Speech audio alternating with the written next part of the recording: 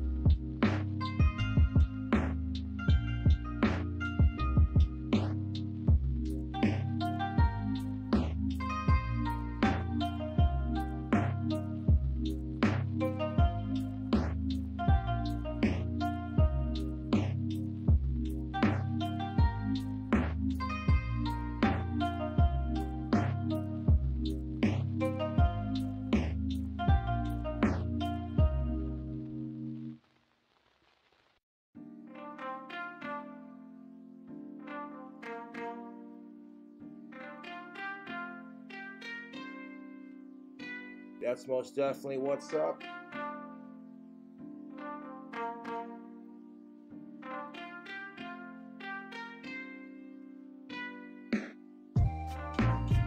Death to all of them.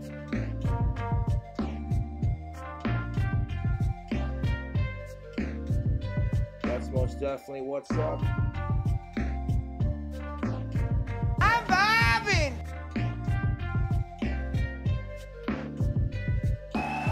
The chess club.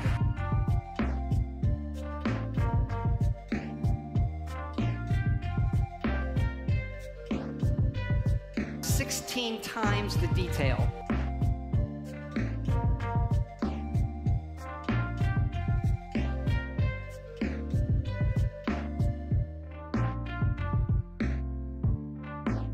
Assassins, Creed Valhalla.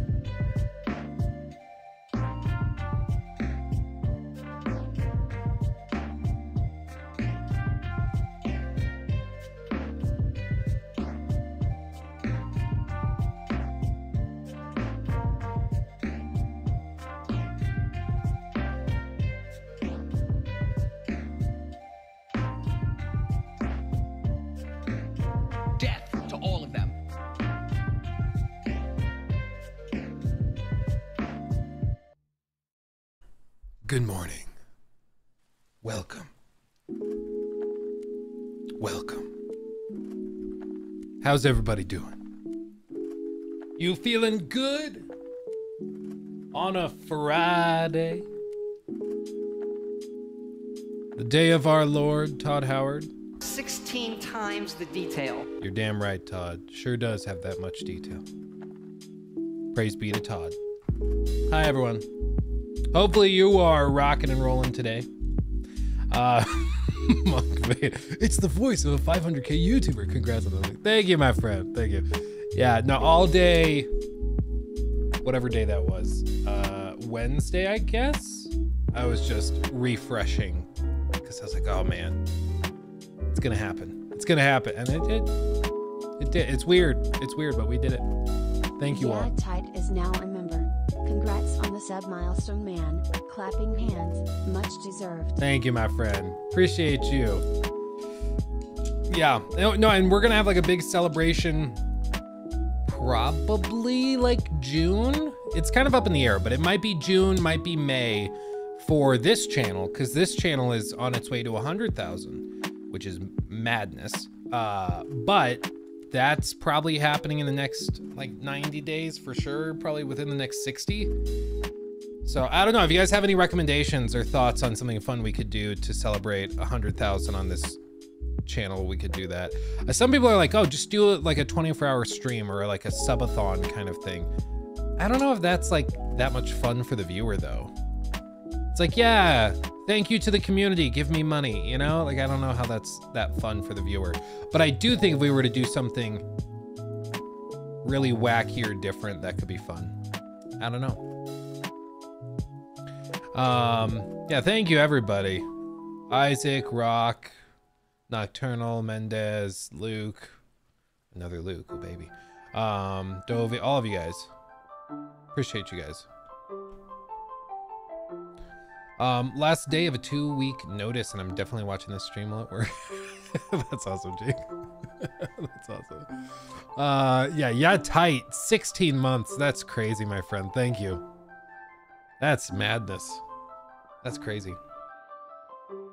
Can we bring somebody from Ubisoft to chat? I don't know if they'd be allowed to. Like, I know people who work at Ubisoft who are delightful and would be super fun, but I don't know if they'd be allowed to talk. Like, I, about anything anybody would, like, want to ask them about, you know? Like, they could talk about their favorite foods, but I don't think they could talk about much of anything else, you know?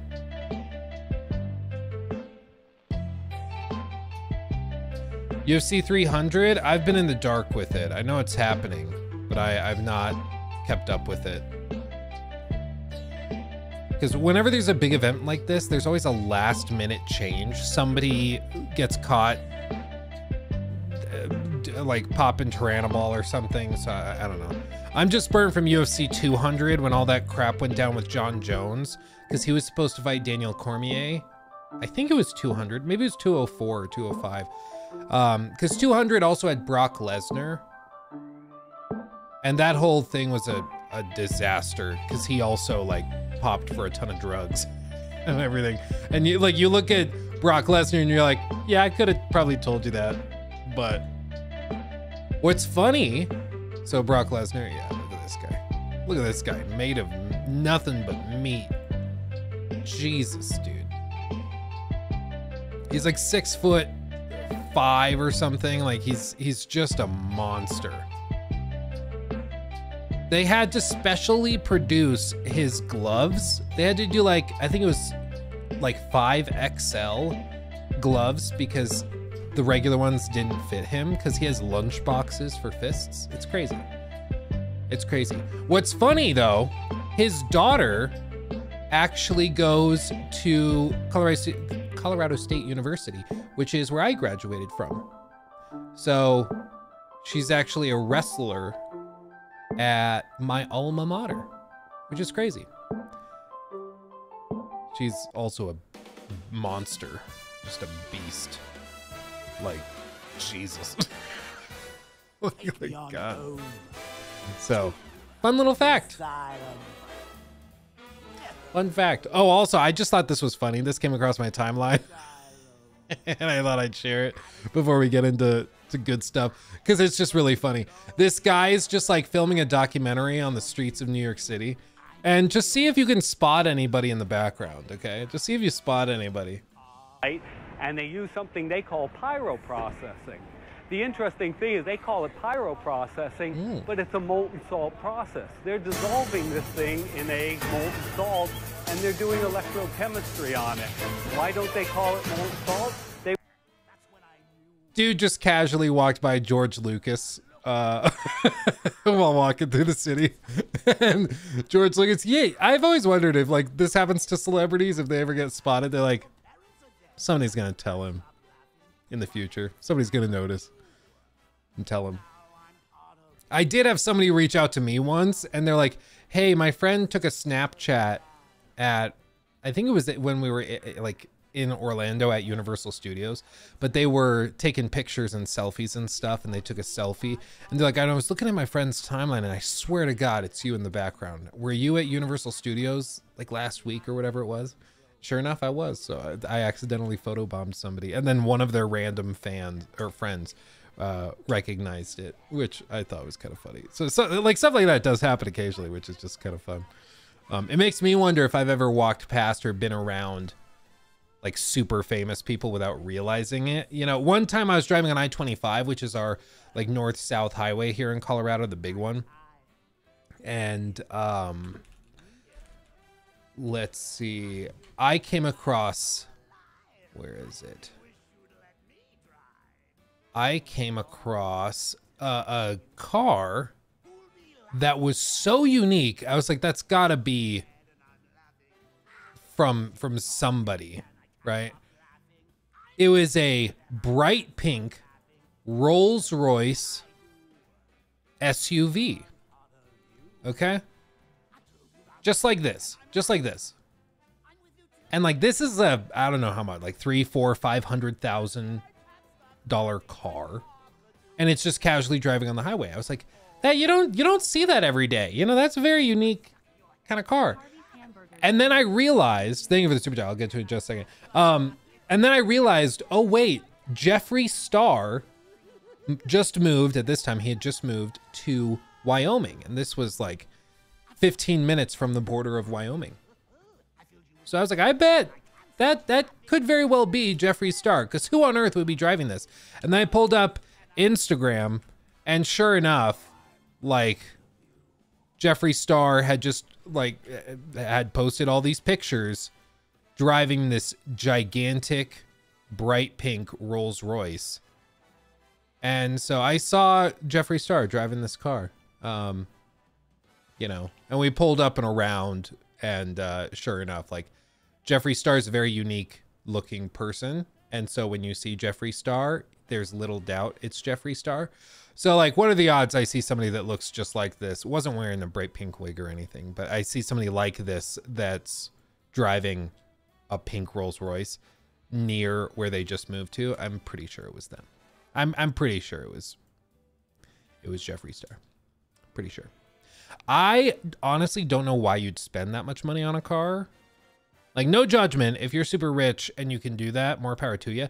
But, well, Rolls Royce, I guess, is actually usable. But, like, one time I was driving through Old Town Fort Collins, uh, where I went to, to college, and there was a guy driving a Bugatti. And this guy driving the Bugatti, like, he had to go and do like a 15 point turn to get up into a gas station because it had like a, a dip in the gutter. And it's like the dude can't even drive around town, you know? It's just tough. You know, I, I just, I don't know. I was at the MGM the night Tupac died. Huge crowd got rowdy. Found out later that it was him and his entourage jumping a dude. Oh, Jesus. That's crazy. What color is you Bugatti? I I wish uh, like a Bugatti. Well, I don't wish. I'd rather spend that money on something else. Um, a Bugatti, I don't think I'd do. A Rolls Royce just seems like a really nice car, so I I could see doing that. But like a Lambo, it's like oh, it goes really fast and can peak at like 200 something miles an hour. Like that's awesome. But why? Like, what use would I have for that? And especially in Colorado where it's snowy and icy all the time, I wouldn't want to ever drive it. like I wouldn't trust myself, you know? I just wouldn't want to do it. Is that Patrick Starr's brother? Yeah. Yeah. Um let's see. Real quick, Harvey's hamburgers. Thank you for the super chat. You hear OJ Simpson passed, man, he'll be looking up at us this stream.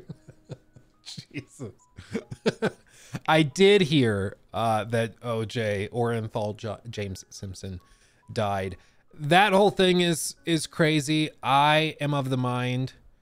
The, the way I heard one of the lawyers put it that worked on the case was that both juries got it correct because he was charged initially for murder, acquitted because largely they had to dismiss a lot of the evidence because um, Mark or Mike, I think Mark Fuhrman was one of the detectives, and he was like a pretty hardcore racist, casually dropping the N word all the time.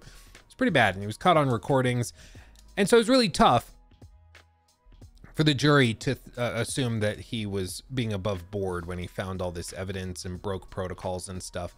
So they dismissed a lot of evidence, even though the evidence was pretty overwhelming that OJ did it. Um, but then there was another civil trial that was brought against him by the family of uh, Goldman, and OJ was found liable for their deaths in that trial. And I, I think both trials got it right. Like, I think probably by the rules of our system, probably should have been found not guilty because they broke so many rules in the original trial and the prosecution was terrible and just so many problems. But I also think he definitely did it. I mean, yeah, if you've never seen the cover of his book, this guy, man, MR Steel Yo Kill underscore 54 donated $5 Like, look at this. Super Chat. Hey, what's your thoughts on the pricing points on Star Wars Outlaws? Happy Friday, Luke smiley face. Oh yeah, no, thank you, my friend. Well, I'll I'll go through these like in order, otherwise I'll lose my I'll lose my train of thought. Um, but thank you. We'll talk about that in just a minute. Um, but uh, yeah, I mean, look at this. This is a book he wrote,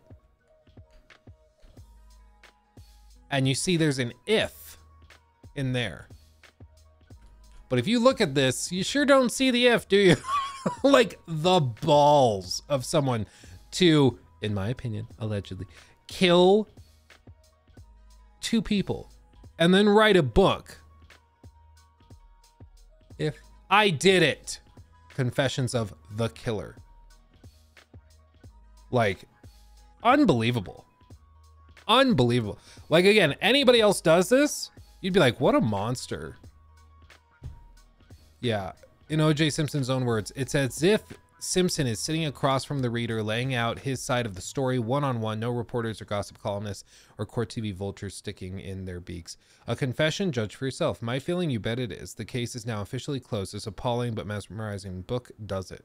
So, in in 2007, as they outline here, federal ju- court judge A.J. Cristol awarded the Goldman family the rights to If I Did It. Thus began one of the strangest odysseys in publishing history. Basically, the family of um of the one of the victims, um Mr. Mr. Goldman, he or his family gets all the proceeds for it.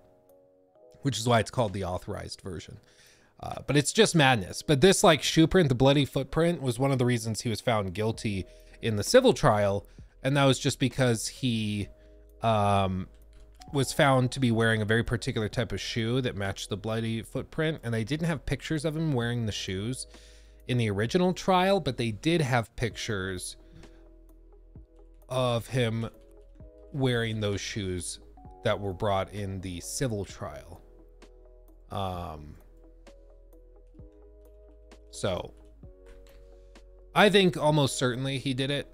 Yeah, you can kind of see here bloody footprint comparison. So like very unique shoe pattern, and they eventually did find the the actual footprints, um, or the actual shoes that did that. Um, but they didn't have the pictures of him wearing the shoes in the original trial.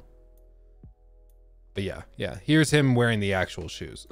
so like they found him wearing the shoes that were used in the murder, and like there's just so many things you're, you're looking at where it's like okay this is getting really hard to like argue against. So i i think honestly i, I think he did it. Um and if he didn't do it how insane do you have to be to go and write a book basically admitting you did it you know? Like how does that make any sense? It's crazy dude yeah, Casey Anthony. My my take on Casey Anthony is that I think she, um, the the it's not an original take to be fair, but her, she said her nanny was named Zanny. Zanny the nanny was her nickname. She said her name was Zenaida, but uh, that lady didn't exist. She she made her up. But Zanny, I think, was actually a kind of tongue-in-cheek nickname for her actual nanny, which was Xanax. So I think she drugged her kid whenever she wanted to go out partying, and one day she overdid it, and the kid overdosed basically, and then she panicked and freaked out. So I'm I'm pretty sure she did it. But also like I I understand how that was like a circumstantial case and everything, but I I still think that it was clear she did it, even though it wasn't clear exactly what happened. It was still clear she was involved. Like, come on. Yeah. Anyway, but yeah, the OJ Simpson thing, it's it's crazy. I was playing games with my brother last night, Jacob, and Jacob just casually mentions, "Yeah, it's crazy about OJ Simpson, right?" I'm like, "Yeah, he just died kind of out of nowhere." He's like, "Yep, murdered by his own butthole." I was like, "Jesus," because he died of prostate cancer apparently. I was like, "What a way to put it." Oh man. Yeah. Yeah, he's one of the unluckiest men alive if he didn't do it, and his whole image was tarnished like this. Yeah. Either he is the world's most unlucky human being, and also kind of a jerk for kind of leaning into it and pretending he did do it, or he did it. Harvey's Hamburgers donated 10 Canadian dollars through Super Chat. I burst out laughing cause he said at one point he was afraid to go to LA cause he knows that the guy is still. I just picture him, hand on the mirror. Who could have done this, with a tear in his eye? Yeah, no, I, I think that's fair. I mean, for a while, I think he was kind of pretending he didn't do it and trying to rebuild a career or whatever. And once he realized that there was no way of rebuilding this, like you're you're just done. Uh, that nobody's ever gonna cast you in a movie. No one's ever gonna like forget about this. Once he realized that was the case, he just started leaning into it. So, yeah. Um, real quick, thank you also Taser for subbing with Prime over on Twitch. Appreciate you, my friend. And also, uh, oops, I'm very behind on chat. There we go. Um, let's see. Uh, oh yeah, we can get to that. Uh, yeah, the Star Wars Outlaws thing. Let me pull that up here in a second. Um, can you show me the contraption for the second keyboard? You told me to remind you during the stream. Oh yes, Handler. I mentioned this. I think I actually moved it.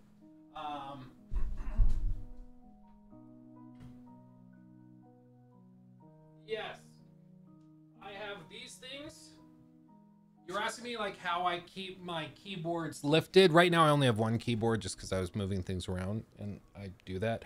But they're just like little cardboard braces that went on the corner like edge of a box, I think for our lawnmower.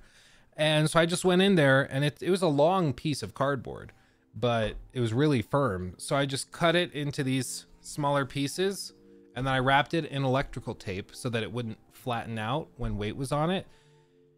And then I just set them like this and then the keyboard sits on top. Like very, very easy. It- for me, it was free because I already had the tape and the cardboard. Uh, normally I would just throw the cardboard away but it worked far better than any of the like expensive keyboard stands that I was finding online, you know? It just worked easier. Long and firm, you're damn right. Is there any other way? You know? Um yeah, thank you for the 500. Congrats on the 500. Yeah, thank you, thank you, thank you. The juice has dried up. In fact, the juice is no longer loose. True. Um, do do do do. Let me see. Uh, and Mr. Steal You'll Kill, thank you for the five. What's your thoughts on the pricing points for Star Wars Outlaws? Happy Friday, Luke. Um, I'm I again, I'm just kind of surprised that everybody's acting like this is some huge revelation. Like I saw one guy who was like, Ubisoft has overstepped once again. I'm like, bro, look back at the pricing for like Ubisoft games in 2016. Like they, they've been pricing games like this for ages. like I'm just surprised that everybody's acting like they just realized this is going on. I'm like, this has been a thing for a while. I don't know what it is, but it seems like, you know, and to be clear, that doesn't mean that that's okay. I'm just saying like to, to phrase everything and frame it all as this time they've overstepped. I'm like, bro, where were you like six years ago, seven years ago. you know, it was just funny that like we're just now realizing all of this. It's, it was just stupid. Um, because this has been going on for ages. It's the same exact thing that happened with Dragon's Dogma 2, where it's like everybody's freaking out over the DLC day one and yeah, being in a single player game. And um it was like last year, like literal months ago with Resident Evil 4 remake, they also sold like gameplay altering things in the the game day one but like nobody brought it up or cared about it. it's just weird for whatever reason this year people are just like all of a sudden realizing what's been kind of a mainstay in the the industry for a decade. And it's just kind of weird that it's all it's like everybody's just now waking up to it. You know?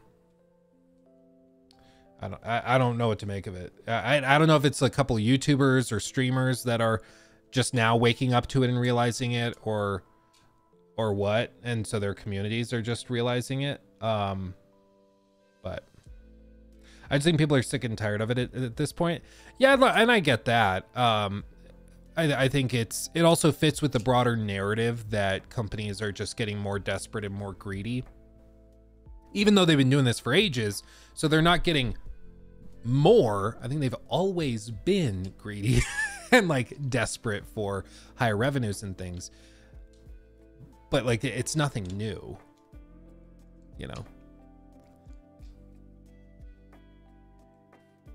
No, specifically what I'm saying, Zach, is the people that are framing this as Ubisoft has now stepped over the line, or Capcom has now stepped over the line, or Take Two has now crossed the line. It's like, bro, they crossed the line eight years ago, nine years ago. Why are we just now bringing it up? You know? And that's why like the Dragon's Dogma 2 devs were by all accounts pretty surprised at the the backlash over the DLC because they were like uh Capcom games have been doing this for ages. Like why why are we just now getting upset? So I, I just think it's it's funny that people are just now like acting like it's a new thing, you know. Um, as for the the pricing of Star Wars Outlaws, like my stance is and probably will always be, don't pre-order things. You don't need to buy anything until you've seen reviews and heard what it actually is like. The premium editions mostly are sold based off of having a season pass built in and early access don't pay for the early access and don't uh, buy the season pass until you know the season pass is going to be worth it. Like it's really just not that complicated. Like those higher editions are just built to appeal to hardcore fanboys that are going to pay whatever amount of money. Like they're going to buy the highest end version of the game that they possibly can. Um, but a reasonable level-headed person just shouldn't buy it. And this hasn't changed. Like this is nothing new. For the Star Wars Outlaws, yeah, don't buy the the 130 dollar version. You know, just don't. it's it's really just not that complicated. It's just funny. Um, let's see. Harvey, thank you for that. Let's see.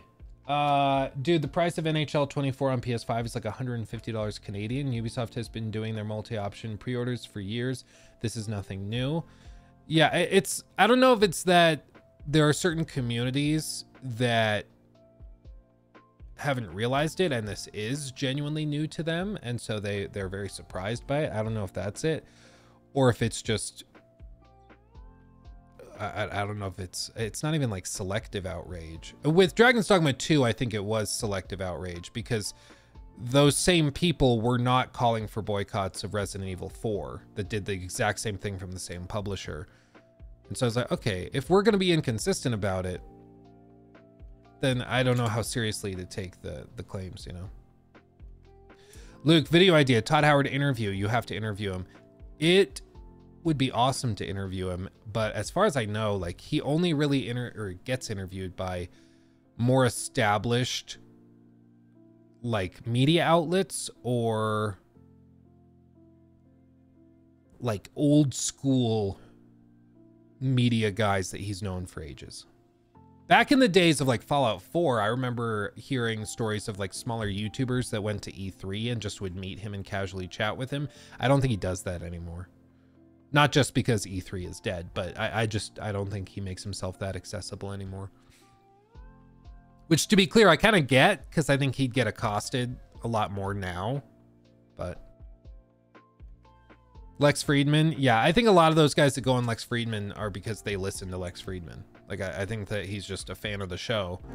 Uh, and so he's like, yeah, I'll go on. Why not? So. Uh, yeah, nobody. I've been watching. I've been watching Have you been keeping that. Yeah. on Manor Lords? City Builder solo dev project coming out in two weeks. Yeah. No, I've, I've been keeping an eye on it. It's on all my uh, my notifications and stuff, so I've been watching it. I'm very intrigued. I played the demo when they dropped that, however long ago that was. But yeah, I think it looks really cool. And also, by the way, Jesus, 35 months on Twitch. That's madness. We're almost at three years. That's crazy. Vinny dude. Diaz donated $4.99 through Super Chat. If you're gonna buy the DLC, you mighty as well buy it early and get the expensive version. But I also understand $130 is $130. Yeah, Vinny, I think for me, or my my point is just that right now, as of today, we don't know if that DLC is going to be worth the extra, you know, 40 bucks or 50 bucks for the season pass. We don't know if the game is even going to be worth 70. You know, it could be that it's a buggy, broken mess and it's not worth 70. It could be that it's only five hours long and it's super repetitive and it's like, oh, this is worth 30 bucks or 10 bucks or whatever. It's not worth that. Um, so for me, there's just too many question marks. And especially like we just had Skull and Bones, which was a full price $70 game, which was just like ridiculously lacking in variety. And I- don't think it was worth 70 bucks. I think it should have been free to play, if anything. So that makes me think that okay, maybe the value propositions from Ubisoft are not super consistent. You know, it might be worth 70, it might not be worth 70 at all. So for me, I'm just like, let's just wait. you know, it hasn't changed since they did it last time on a big game, and it's not changing today. Just wait. Let's just not Potential spend Beauty money, Ruined you know? donated $4.99 through Super Chat. Thank you. Hi Luke, did you see the Warhorse announcement? Yeah. Of an announcement coming, lol. Hopefully Kingdom Come too. Thanks for the entertainment tent. Cheers. Thank you, my friend. Cheers, cheers, cheers. Um, yeah, like look at this. In case you guys missed it, I guess news segment. Look at this. Okay, buckle up, Buckaroo. Some of you guys are with me. You've been fans of Kingdom Come Deliverance. I think it dropped in 2017. That sounds about right, right? 2017, I think it was. So it's been a while, and we've been waiting to hear what Warhorse, the the studio behind it, has been doing. We've just been patiently, patiently waiting. And they just casually drop this tweet, sorry, post on X, yesterday afternoon. New game reveal Thursday, April 18th at 20 hours CEST on YouTube and Twitch. Ooh, baby. Ooh, baby.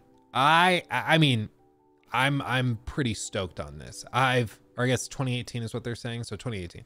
Uh, it was written on the page. I just needed to read. Classic YouTuber problem, not reading. Um, so I I'm super pumped for this. I'm very very excited. I started going through the comments and replies here, trying to see if there was any information to be gleaned. Because right now all we have is this picture of a horse and a guy on the horse. Seems medieval themed, but there's not much. But I started looking through it, and there's like, will it feature a warhorse soap though? That's the real question. Uh, please let there be horses, and they say, well, there is one on the picture at least. And so, like, I think they're implying that the picture is of the game that they're revealing, right? It's not just that this is a generic picture from their studio, like list of wallpapers that they have from from Kingdom Come Deliverance. And if this is a picture of the the game that they're working on, if this is an actual image from the game, which I don't know if it is. Jeez. It looks a pretty fire. Uh, I, I don't know though. I don't know. Could just be a random picture. And he's like, yeah, but there's a picture of a horse in the in the image post revealing this. So who knows? I I do think they're probably dropping a sequel. We know that Kingdom Come Deliverance did very very well. They even post here sold over 6 million copies. Not all of those at full price, but this was considered to be a pretty niche game and it just exploded. Tons of people played it and loved it. I'm one of those people. And so it seems as though they've gotten a much bigger budget. Obviously, they've gotten a lot of time to work on it. So I think the stakes are pretty high, but also I think they've poured a lot more into this than they have previously. So I'm very, very excited. I mean, any game that takes six years to put together is probably going to be pretty damn ambitious, especially coming from a, a well-established studio with a big budget. So I'm excited. I'm excited. Uh, I mean, as for what they need to do for me to be happy, literally just Kingdom Come Deliverance with some of the jank polished up. Just a little bit. Just a little bit. Because it was, it was pretty rough around the edges. It still was playable and stuff, but if you've ever played Kingdom Come Deliverance, you know, like the combat can be a little janky, the navigation and like walking around, um, the nav meshes are a little bit janky and not super precise. And uh, I, I think that it it's just a really, really good game if you can put up with that jankiness. But if they can do the same game, but just polished around the edges and just really, really refined, I think we'd be in for one hell of a treat. I'll tell you what. Tell you what. Um, I just hope it's not on CryEngine. I feel like we dug into this before, and I, I think it is. I think it is, because we pulled up their website. Let's do this in real time. Uh, Warhorse Studios. Do they have like a, a full official website? Kingdom Come Deliverance. Warhorse Studios. Okay. Um, it's all in a different language. That's going to make it tough to read. Contact careers, maybe. Houdini programmers. Okay. Um, MS Visual Studio environment. Good English. Has no check. Uh, da, da, da. This doesn't clearly outline it. Multiple platforms, develop of game systems. Have experience professional game development. Um, performance, SVN, or Perforce, Mercurial. We offer work on a worldwide successful game. Ooh. I don't... I feel like we dug into this once, though. Was anybody here on stream when we did that? I feel like we dug through a bunch of this and we found that it actually listed their engine again. That they were using the same tool set. Are you applying for a job on stream, Luke?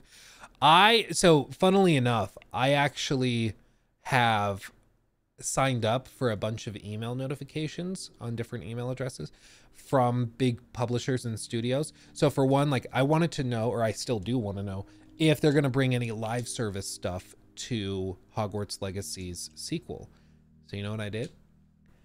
I went and with a few different email addresses, I signed up for email notifications of job offerings and openings at Warner Brothers Avalanche. So if they ever post a job requesting somebody with like live service experience or knowledge of in-game shops or something, and that's listed in the like requirements or uh, nice to haves, I'll know and I'll be able to report out on that. So I, I have actually gone to the steps of uh, asking for notifications on a lot of job openings and offerings, which I, I would rather know. So I signed up with all that. Um, we used to do the same thing to be fair, uh, fair when I worked in commercial real estate, where we wanted to know if there were other good deals and like really solid properties available. So we would just create a bunch of different profiles of different people and they each had their own like Gmail inboxes and we would pretend basically to be investors and go and sign up for the email lists of different brokerage firms. So when they sent out emails with all the new listings they had, we would also get it so we could show it to our clients. it was the whole thing. Prismatic donated 10 Canadian dollars. The whole thing. Chat. The character's outfit on the horse is giving me Victorian London vibes. That would be a cool game. Congrats on 500k. Here's to the next 500k. Yes, thank you, my friend. Kinda. I do get what, get what you mean. The coat doesn't look very medieval. CMMNDRNCHF11 donated $4.99 through Super Chat. You've mentioned you enjoy classically PC games, City Builders, Settlers, Age of Empires, Total War. Would love your thoughts and content on those. Um, yeah, I I like the OG one that I think made me fall in love with those games were the old school Stronghold Crusader games. I played the crap out of those, so did my brothers and stuff. We still will play it occasionally just for fun because it's just a, a throwback. But yeah, those old school Stronghold Crusader games, I played the ever living crap out of. And uh, in fact, when my internet was down just a few days ago, I played some of those because I have it installed and it's just a really easy game to pop into. It's not always online, so you can do that. And just a really good time. Yeah, I love those. I love those. Um, yeah, Brandon, I see I see what it did. I gotta I, I probably need to tweak that. Because how it does it is it for whatever reason it doesn't read. It's set to read super chats at five dollars and up. Or if you go through the uh, Streamlabs tip link, it'll do it three dollars and up. But it does a currency conversion. So if it's five Australian dollar dues, it converts it and then determines if it's going to read it. When I don't want it to do that, um, so I have to see if there's an option for that. But I think that's what happened because I I didn't hear it read off. Uh, but thank you, Brandon. Um, for the five Australian dollar dues. Would you rather never share an opinion again or randomly blurt out an intrusive thought in public daily? Well, I basically already do the latter and I've turned it into a career. So I'll stick with the latter. That's basically my, my whole job. So I'll just do that. uh, thank you, my friend. It was confirmed by Tom Henderson that it is the sequel. Okay then I'm here for it. Already, I'll tell you what, if this is in fact a like screen grab or something from the game, and this is actually in the game, this is on another level. I mean, the the fur and the hair on the horse is ridiculous. It might just be a picture of a damn horse, but if this is actually running in engine, oh, oh baby. I'm going to scream. But at the very least, it shows that they're doing a sequel, uh, or the Tom Henderson thing shows they're doing a sequel. I'm here for it.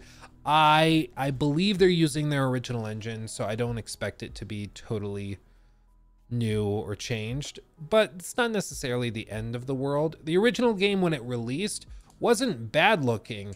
It's just janky. Like you'll have some moments where like, wow, this is gorgeous, and then there's other moments where like, oh my god. So it's just a little all over the place. And I'm hoping after the success of the first game, they've just been able to pour tons of time and money and effort into refining those things. So I'm here for it. I'm here for it. And I'm very, very hopeful because it's it's pretty rare, honestly, to get a really solid like hardcore RPG, especially in a grounded historical setting. Like it's just very, very rare to get that. Um, it seems like if we ever get something like that, it's always a fantasy game or it's like hardcore, but it doesn't take itself very seriously. So, like, it really helped this game stand out. And uh, I, I, I'm just, I'm here for the sequel. I want it badly. Hopefully, we get like a little reveal, a little trailer, and then we get like a full reveal at like maybe the Xbox showcase or something in June. That would be really cool. That would be really, really cool. But time will tell. I noticed the yawn. Yeah, I couldn't cover it up. I've got my coffee. I just haven't been consuming it fast enough. um. Okay. Okay. Oh yeah, player eleven, having a great day, rocking and rolling. When do you think Mafia Four will be revealed or released? Mafia Three was four years ago now. I mean, honestly, I when was Mafia Definitive Edition? 2020.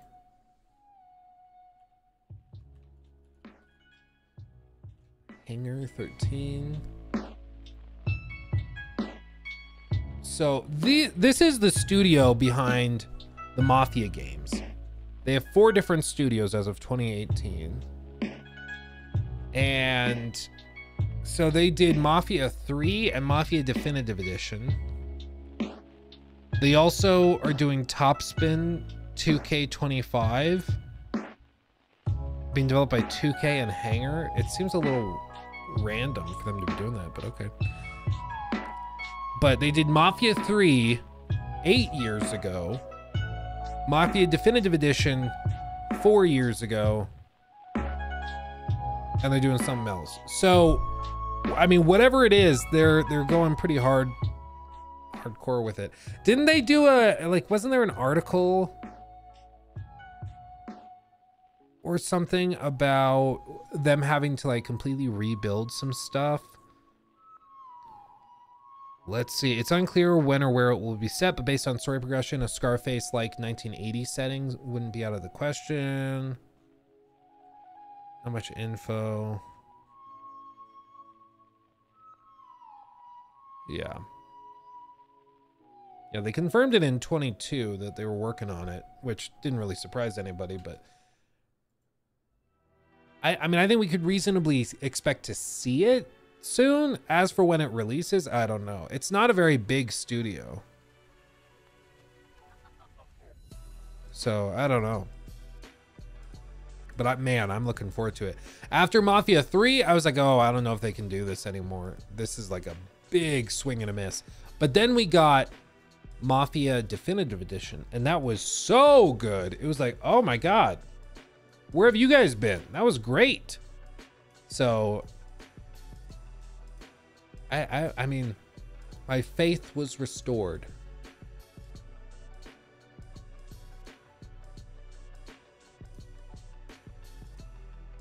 Okay. Anyway, I guess we should touch on the sort of elephant in the room, which is the Fallout show, right? Should we touch on that? So, as for the Fallout show, I have not been able to watch actually as much as I I wanted to, um, but we did start it, and I am thoroughly enjoying it. It's actually struck a really good balance and tone. I won't get into any spoilers or anything because I know some people are waiting to like the weekend to watch it. And I'll also ask everybody in chat not to uh, not to spoil anything.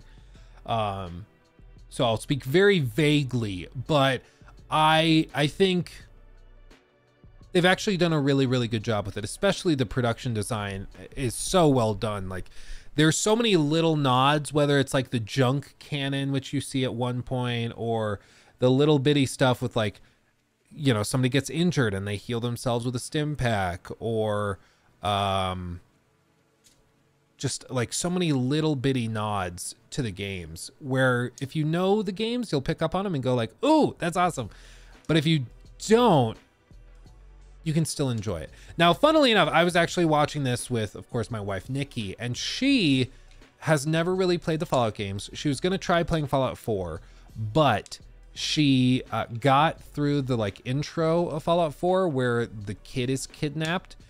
And when she was trying to play it, we had just had Lachlan. And so she was like, nope, nope, nope, can't do that. It, it was just too much for her. So she shut the game down and went and played like The Witcher 3 or something. And so she's never played the Fallout games. So she has had no exposure to the lore or to those little bitty things. So it's interesting seeing her watch the show and try to fill in the blanks. And so I'm very familiar with Fallout as a franchise, but she's not familiar really at all. So we like we were able to watch uh whatever episode, you know, and then we could go back and she'd be like, "So what was going on here? I don't know what that was supposed to be or I don't know why they did this or said that."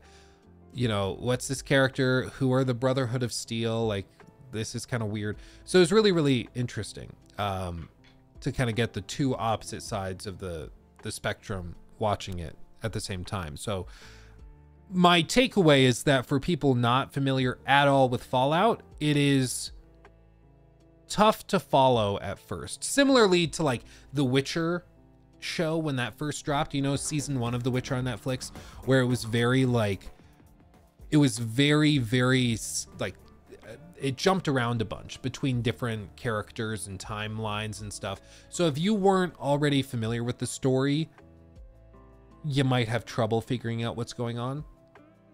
And she said that she was having similar frustrations where they were just bouncing around a ton.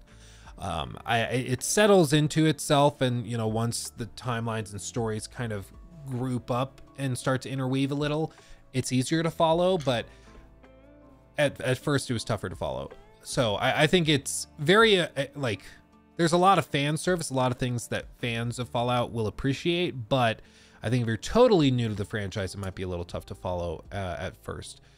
Um, but beyond that, like, I think, yeah, somebody, Mr. Mirror, I'm still at episode two. One hour of episodes feels long for me. I will say the episodes are, are quite long. I think the first episode's like an hour 15. The second one is similar. So they're long episodes for sure. They try to cram a lot in there. Um, and in terms of pacing, you know, they're they're fine. It, it, they do tend to drag a little bit, but I've I've really enjoyed it, and I feel like it takes the world of Fallout seriously. I, I saw some people saying that Bethesda was trying to retcon all of like Fallout New Vegas and stuff.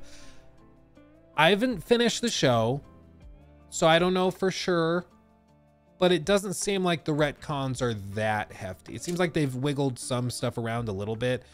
Um, but it doesn't seem like they've totally scrapped like New Vegas or anything. They haven't done anything like that, which some people were kind of acting as though they were.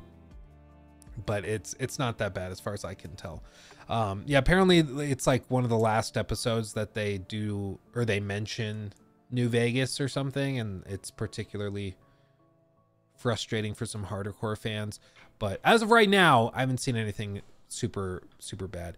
Um, I mentioned at one point that the show is is really solid, but it makes me wish we had gotten also a Fallout game from a different studio. And I think it's because like I mentioned this before, but Fallout 3 and Fallout 4, I, I they're built around being escapist entertainment, and I showed that clip of Emil Pagliarulo mentioning that and that was kind of one of their premises when designing the game is that it's escapist entertainment you just try not to get wrapped up in the seriousness of all of it and i think that that's reflected in the stories that they tell that's reflected in a lot of the the things and while the show has nods to it like at one point they show a kid climbing out of a refrigerator you know he had kind of guarded himself in in the refrigerator during a big conflict bringing up that side quest in fallout 4 like the show takes itself much more seriously. In Fallout 4, that side quest is laughably terrible because the kid's supposed to have been in there for like 200 years. A very long time. And then he just like casually pops out and goes and finds his, finds his parents and everything is fine. Like it's really, really weird.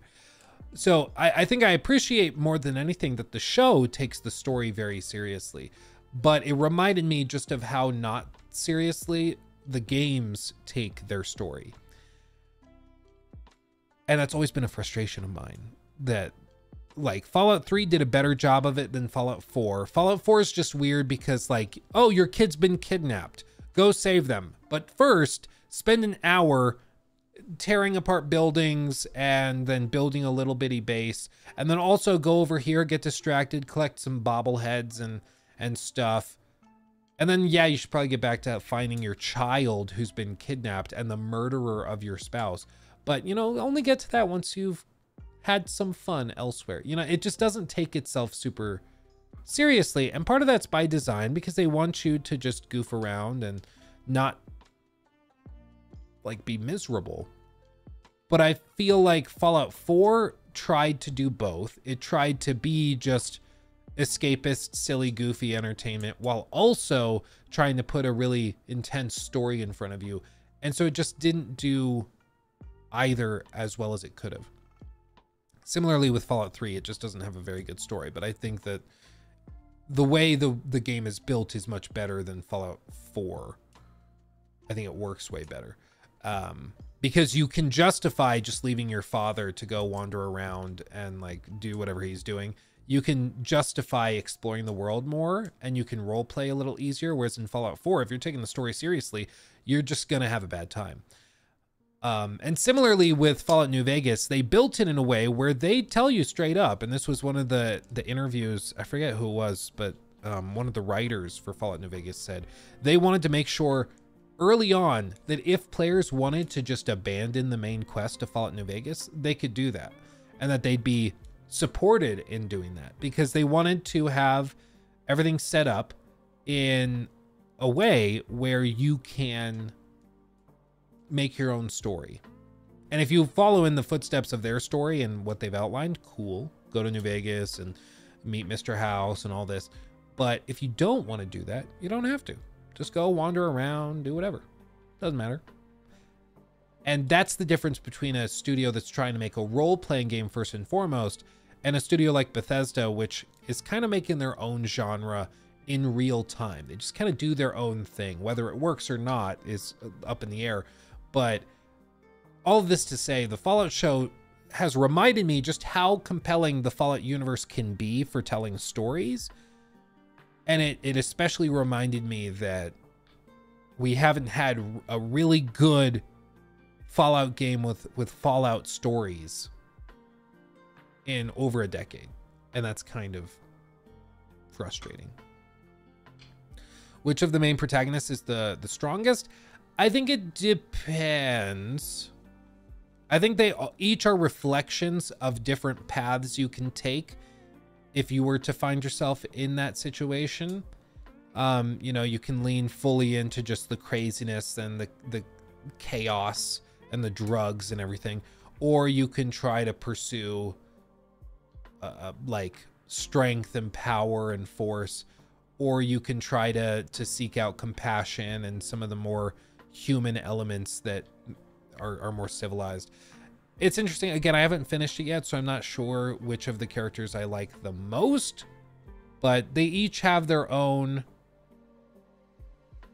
quirks, their own specific uh, traits, which I, I really like. I really like. Um, do you prefer this show or The Last of Us? And let's throw Arcane into. I mean, honestly, like they're just different. Like I know it's easy to just be like, well, they're both video game adaptations, so let's just compare them. But I don't think it's that straightforward because The Last of Us is an adaptation of a game which is built primarily around the narrative. I mean, that's it's pretty much a story game, and that's that. Whereas Fallout, I think personally, is a much tougher thing to adapt because it's so open ended. And of course, with this, it's an original story. So it's not like they just took the story of Fallout 4 and are just turning that into a video game. In this case, like they're writing something from scratch. So I guess you could say that's a freedom, but it's also a restraint at the same time because there's a lot more. You got to do a lot more heavy lifting for sure.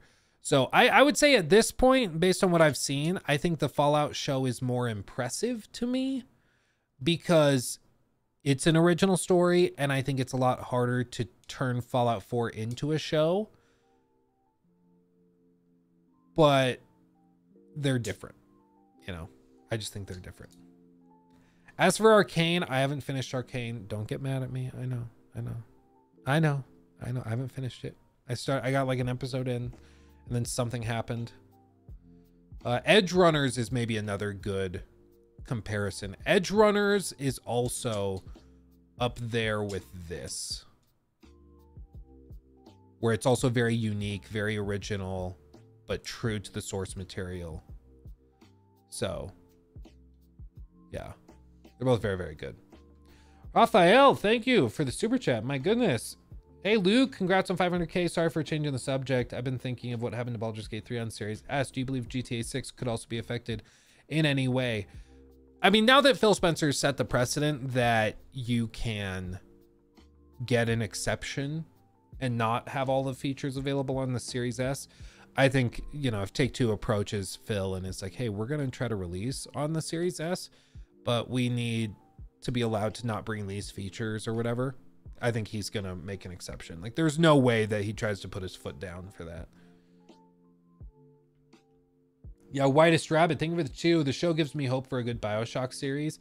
Yeah, I mean, it, it shows that at least there's a possibility for good video game adaptations.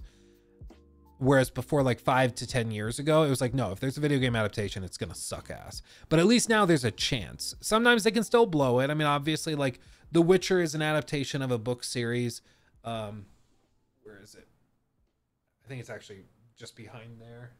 Yeah, those are them. There's a blue light that makes it not look red, but those books right there. So it's an adaptation of a book series, first and foremost, but it's still kind of related to gaming. But with those, uh, with that series, I mean, they just catastrophically dropped the ball for sake of activism and rewriting the story to make it more about empowerment and stuff. It, it was just a tragedy because The Witcher show had so much potential and was so good, and they just blew it. So, yeah.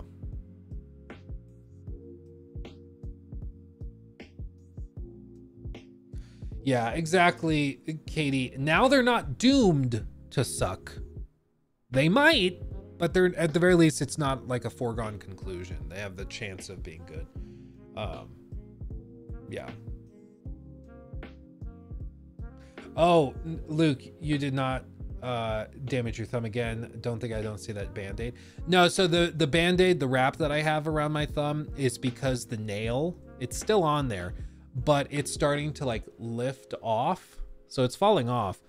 Um but it's it's still like attached on the far right side so it's not fully coming off and everybody i've talked to everybody even like the doctor says just leave it it'll fully like unlatch or disconnect whatever when it's ready to. Just leave it on there as long as you can and when it falls off it falls off. So i put this over so it doesn't get caught on anything and rip off but yeah it's it's on its way. It's on its way.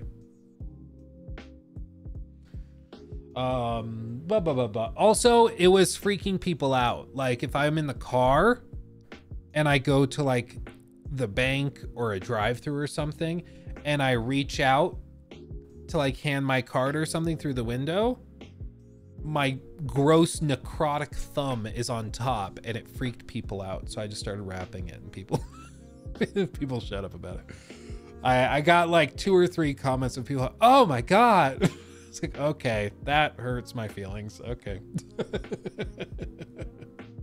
Grab some pliers. Let's get gore. I think actually today it, it might be the day. It's very, very, very close. Ew, zombie. Yeah, exactly. It's worked for a couple gags, pretending that like playing Suicide Squad was sucking my life force out through my thumb you know that that was good but i also was getting comments from people somebody commented on one of our videos right after it happened was like wow luke's fallen off he's going all woke he started painting his fingernails bro it's it's a bloodied like busted thumb i swear these people like just look everywhere and start to see shadows of of Sweet Baby Inc everywhere they look it's so stupid like I saw this. Hold on. Let me let me just share this picture. This was really funny, and then so I came across this. Um, but it's like, you know, these bait posts that always catch people, you know? This is my transmasculine brother, and transphobes think he's a girl. Too bad for them because he will always be a man. And then, uh, wh- uh, whatever, trans pride flag, whatever. It's a picture of MatPat, okay? it's a game theory. And this guy, MAGA 1957, uh, totally bit the bait. No, he is not. That is clearly a woman. Tell your sister that she's been brainwashed. like, that's right. It's just it's very funny because like you put the bait out there, see if they're gonna catch it, and they do. I I wonder what MatPat would say to that. That is clearly a woman. You're not getting anything past me. it's just so funny. Oh man. Yeah, when you blend your identity with politics, everything you view or everything you do is viewed as a stance. Yeah, no, it, it's just like even to the point where you smash your thumb and people think you're making a political statement. It's like, no, no I just crushed my thumb. There was there was nothing political going on about it, you know. it's just oh, it was not that that magical. Okay, quick palate cleanser and then we're going to talk about these little things I can't stop playing with uh, for a second, okay? Let me I forgot I had a picture of of Jeffree Star pulled up, and so it was a little bit of a jump scare for a second. Um, okay. Oh yeah, then we'll talk about this.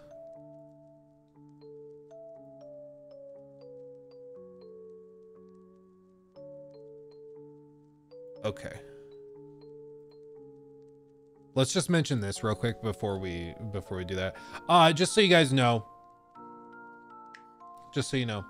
Um, everybody after the Fallout show has been like, oh, geez. So I wonder now if we're going to get a, um, you know, like a, a, a Elder Scrolls 6 or Elder Scrolls just in general TV show tie-in. It just makes sense. Like they've made 15 versions of Fall or of uh, Skyrim. Why don't they do a a TV show based on Skyrim? And Todd Howard has said, as of right now, there's nothing that's happening. He said, quote, everybody asks like about Elder Scrolls, and I keep saying no also. You know, if someone's going to click, I think this really came out of, we think things are aligning to do a high quality job. It wasn't forced. And he continued, I can't predict the future, but this has been one of the most enjoyable projects I've ever done, and we're just over the moon, everybody in the studio, with seeing it in this way. Um, very clunky way of saying it, but basically, they don't have anything in the works right now for an Elder Scrolls adaptation. It's it's not been on their their to-do list, and they haven't heard any pitches that really made sense. After the Fallout show's success, I think they probably push it uh, and and try to make it happen. You might see Amazon come and contact them uh, once we see how the rest of the show does. If like over the next few weeks it continues to do well. So I I would expect we probably see something because it just makes too much sense. Like Elder Scrolls is a huge IP. They're about to drop about to in like three, four years, but they're going to drop Elder Scrolls 6. So it just makes sense. Start working on it now, drop a show tie in shortly before or shortly after the new game. Get people to buy it for 70 bucks. Like, why not? Why not? Just makes sense, right? I think Elder Scrolls is particularly tough to adapt. Like, Fallout is very unique.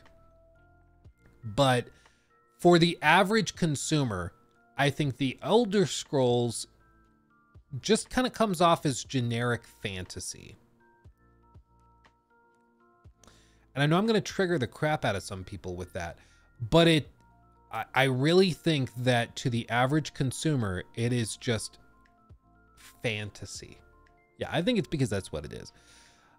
And I think it's particularly difficult to adapt something that is just very milk toast compared to Fallout, where you see one outfit from the Fallout universe and you know what franchise it is. You know, it's it's extremely iconic. It's very very unique.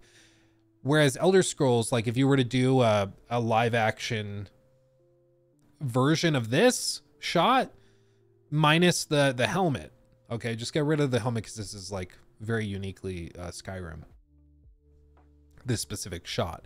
But if you were to just do like a a village like this and then rework it so it's real life, it could be The Witcher, it could be from Wheel of Time, it could be The Elder Scrolls, it could be from uh from like Rings of Power. It could be from any sort of things or just Vikings, yeah. Um so I I think that that's the particularly difficult thing about adapting it.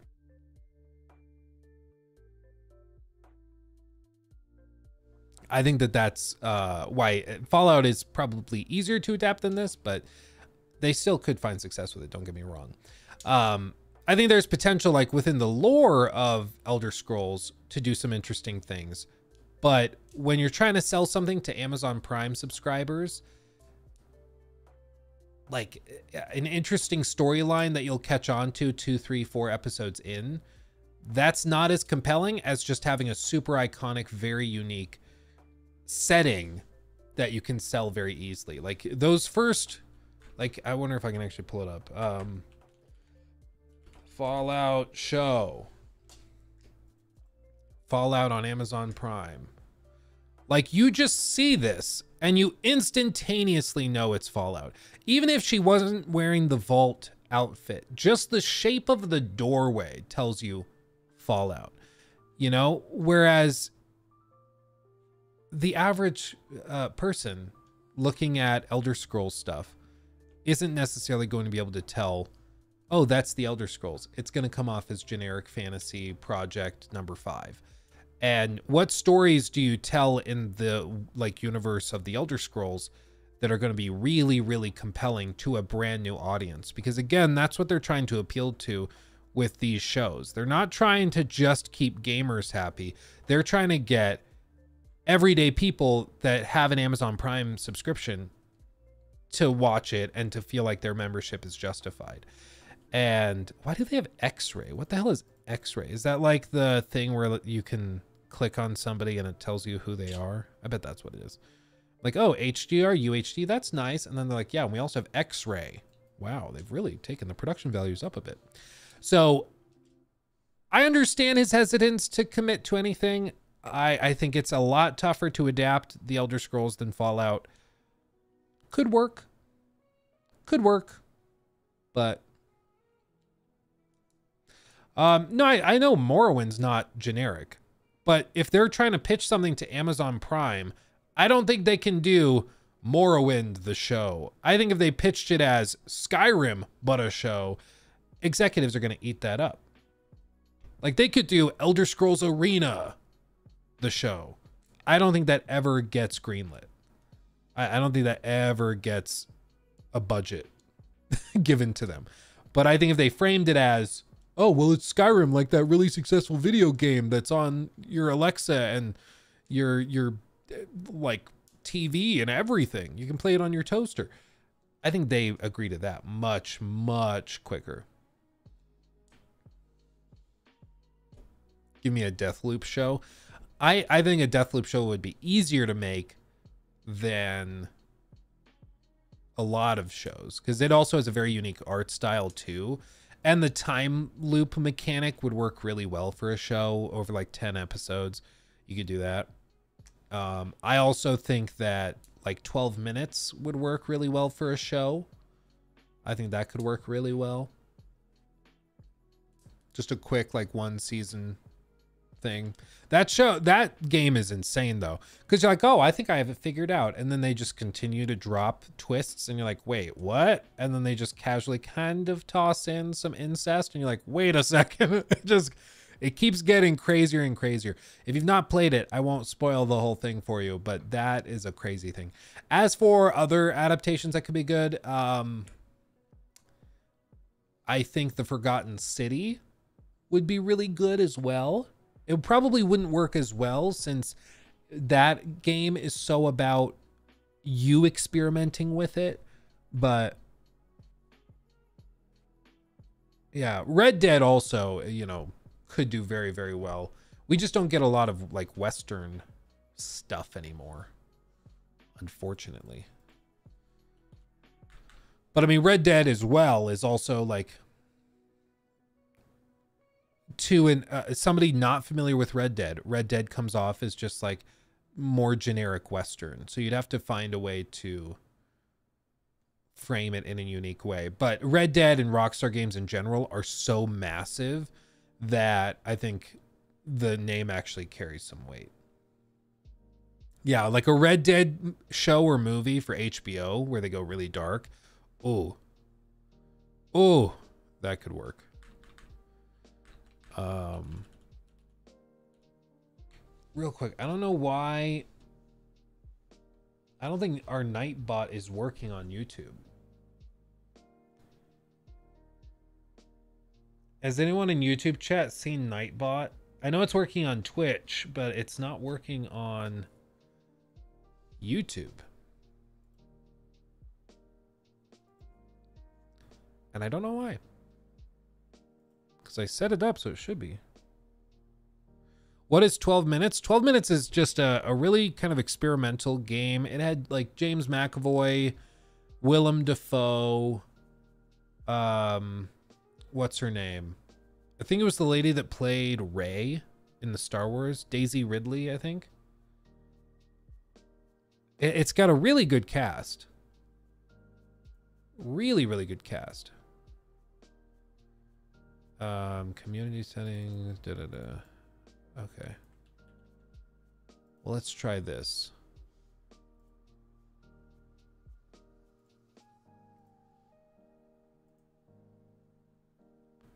Do, do, do, do.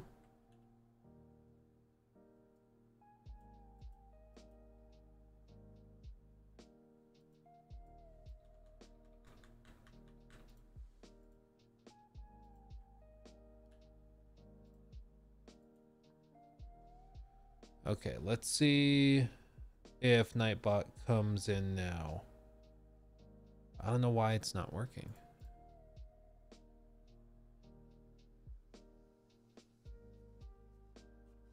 It's really, really weird. Because we should, like, it should just be...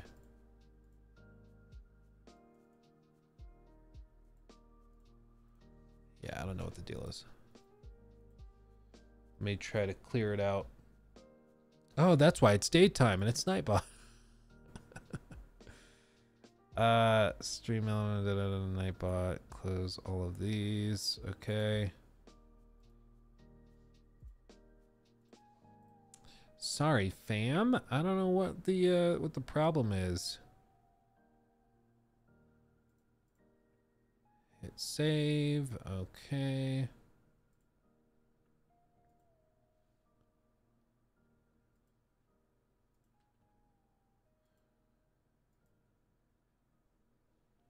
Let's see. Um, what's the most insane thing that a company asks you to do while or before reviewing their game? Uh, honestly, I don't think there's been any crazy requests.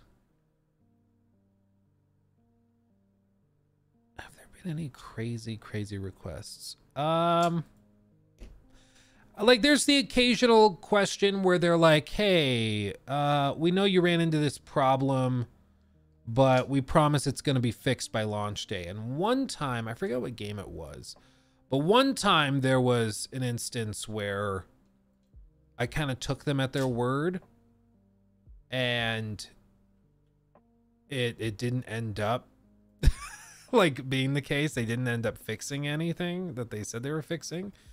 Um so sometimes there's stuff like that that happens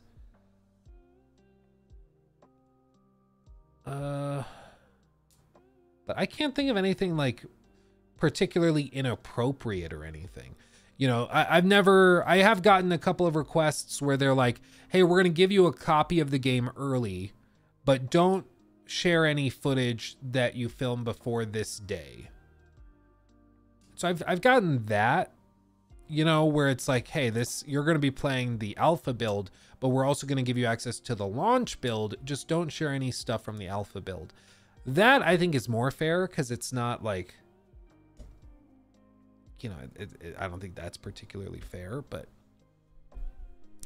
um, yeah, I can't think of anything like really egregious that anybody's asked for.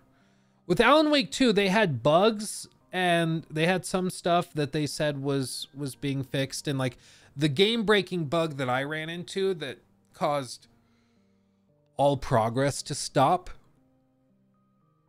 that was was really really rough. But basically it was like they they did fix it. My understanding is they did fix it but it required me to do a new run like to create a new save basically to scrap the old one and start from scratch because it like they couldn't just patch the save file or something and so they fixed it, but they fixed it in a way where I couldn't test it with the 12 hours until embargo lifted or whatever. So it was like, okay, I'll I'm going to still tell everybody I ran into this problem because I have to. But uh, I mean, I'm going to hope that you're telling the truth and that this isn't a problem, but I don't know for a fact that that's the case, you know. But there's just some instances like that where you just you could take them at their word and I don't think they're trying to lie to you or anything, but you just don't know what you don't know. It might end up being the case that it, it doesn't actually get fixed, but they thought they fixed it. Or maybe they were just, in fact, lying to you. You just don't know. Um, have you ever refused to review a game on the grounds that it's mid? I mean, I get asked every day to review different games of different sizes and scales and scopes. A lot of like indie games and stuff. And unfortunately, there are some games where I'm like I just I just don't think this is going to be interesting to the audience. I don't think they're going to enjoy watching a review on it. I don't think I want to spend all that time reviewing it. So I'm just going to pass. You know, that happens all the time. And whether it's like because it's mid, I don't I don't think is necessarily fair because that's not always the case, but there are plenty of occasions where I've been asked to review a game and it's like I don't I don't I don't think that it's worth the time. Cuz it's like reviewing a game is not as simple as, "Oh, just we'll play it, just review it, just share your thoughts." It's like, "No, you're asking me to commit probably dozens of hours. And dozens of hours that i mean time is money. That means i'm probably gonna have to skip streams. I'm gonna have to uh, maybe skip a video or two. Like you're asking me to set aside a ton of time and lose a lot of money to review a smaller indie game that nobody's gonna watch or enjoy the review of. Like I understand it's frustrating because it's like I would love to be able to review every game and give every indie dev a, a, chance. But at some point, like I have employees, I have to pay their salaries. I have uh, a family to provide for. Like sometimes it just doesn't work. Um, yeah, Gollum was an interesting case because I had a gut feeling that game was going to be really bad. So I was like, oh, I'll review this because I think I'll like this could actually end up just being funny and interesting. And I booted it up and got like an hour in and I was like, "Oh, this is a dumpster fire. Oh god." So then I played through the whole thing was like, "Okay, yeah, no, I can I can talk about this." Um and it ended up ended up being, you know, a big video and a big topic of last year, but that was something where like, "Oh, if there's a game I think has potential for people to be interested in, if I think it's going to be really, really good, or if I think it's just very unique, or maybe it's going to be super bad and it could be really funny how bad it is. In those cases, I might go in and actually like start the game, play an hour or two just to see what it's like. And then if I'm not feeling it, I'll back off. There are a couple of platforms that have requirements where they're like, okay, we're going to give you a game review code, but you have to agree you're going to make two videos on it or you, you have to agree you're going to make a review and publish it on this channel and they give you the link of your channel and all this and that's a really good way to get me to not talk about your game at all like okay, if you're going to like try to strong arm me into making coverage, we're not we're not doing that. We ain't doing that. Um ba ba ba ba. So, uh, yeah, I don't I don't mess with that. Let's see. Okay, this says this should work.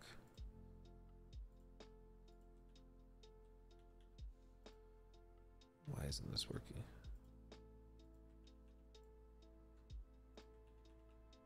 Okay.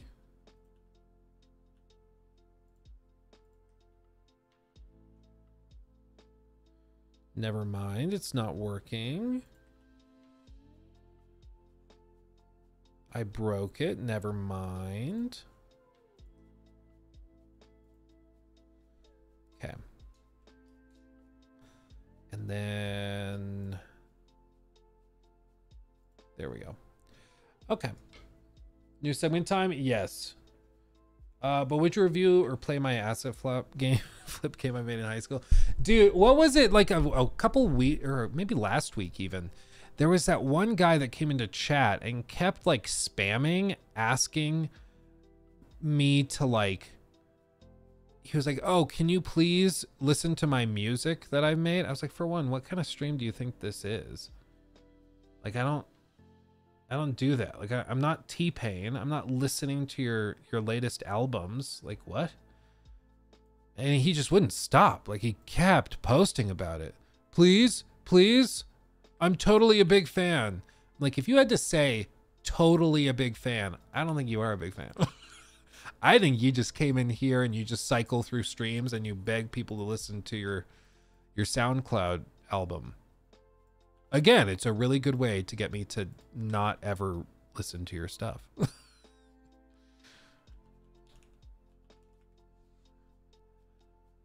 oh man.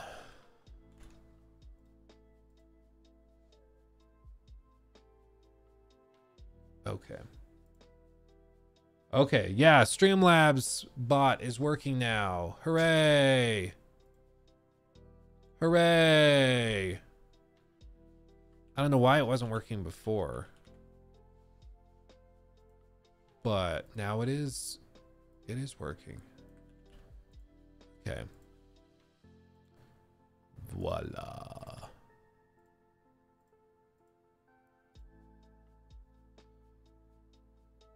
There we go. Okay. Um, blah, blah, blah, blah. Luke Stephens music should be your new channel. It was just so random. Like I get that. I actually get the music thing a lot, which makes me wonder if it's like a bot thing. Like, are they able to go in and create a bot that just scrubs channels with live streams and just asks, listen to my music, check out my latest album? You know, it's the same thing with like the bots that come in and it's like a scantily clad woman in the the profile picture and it's like, "Oh, pics in bio, links in bio. We could have a good time together." It's like, "Bro." You know, you can get a bot for everything nowadays. Yeah. I don't know. There's, I, I'm fine with talking to anybody that comes into chat and asks questions. Of course, like I give preference uh, or preference to people who give super chats and stuff because they're contributing. Like that's awesome. Um, so I, I will respond to those for sure, and you know with priority. But I'm not gonna like ignore people in chat if if they're just leaving comments. I won't be able to get to all of them, but I'll I'll read the comments. But this isn't one of those things where I'm gonna like stop everything for the whole stream, everything we're doing to go and listen to somebody's music. You know, it's just we're not doing that, especially because you're just trying to take advantage of the audience. You know, I'm not going to do that to my audience, and we're not going to do that. Yeah. Notice me, senpai. Okay, Aram. Okay. Yeah, watch my theater class film, please. Big fan. Well, and like, if I were to say yeah, and I don't like it, like I could ruin that person's day or month or year. Like it's just not worth it. You know, the odds of me, I think people see that video of whatever the the DJ uh, or musician, like he was listening to somebody in chat randomly who's like, "Hey, check out my my video. I posted a bunch of lyrics. I put a some vocals over your your hardcore beat." And he loved it and like turned it into an actual release. People see that and they're like, "Oh, that's going to be me." You know? It's like that's it's probably not. You know?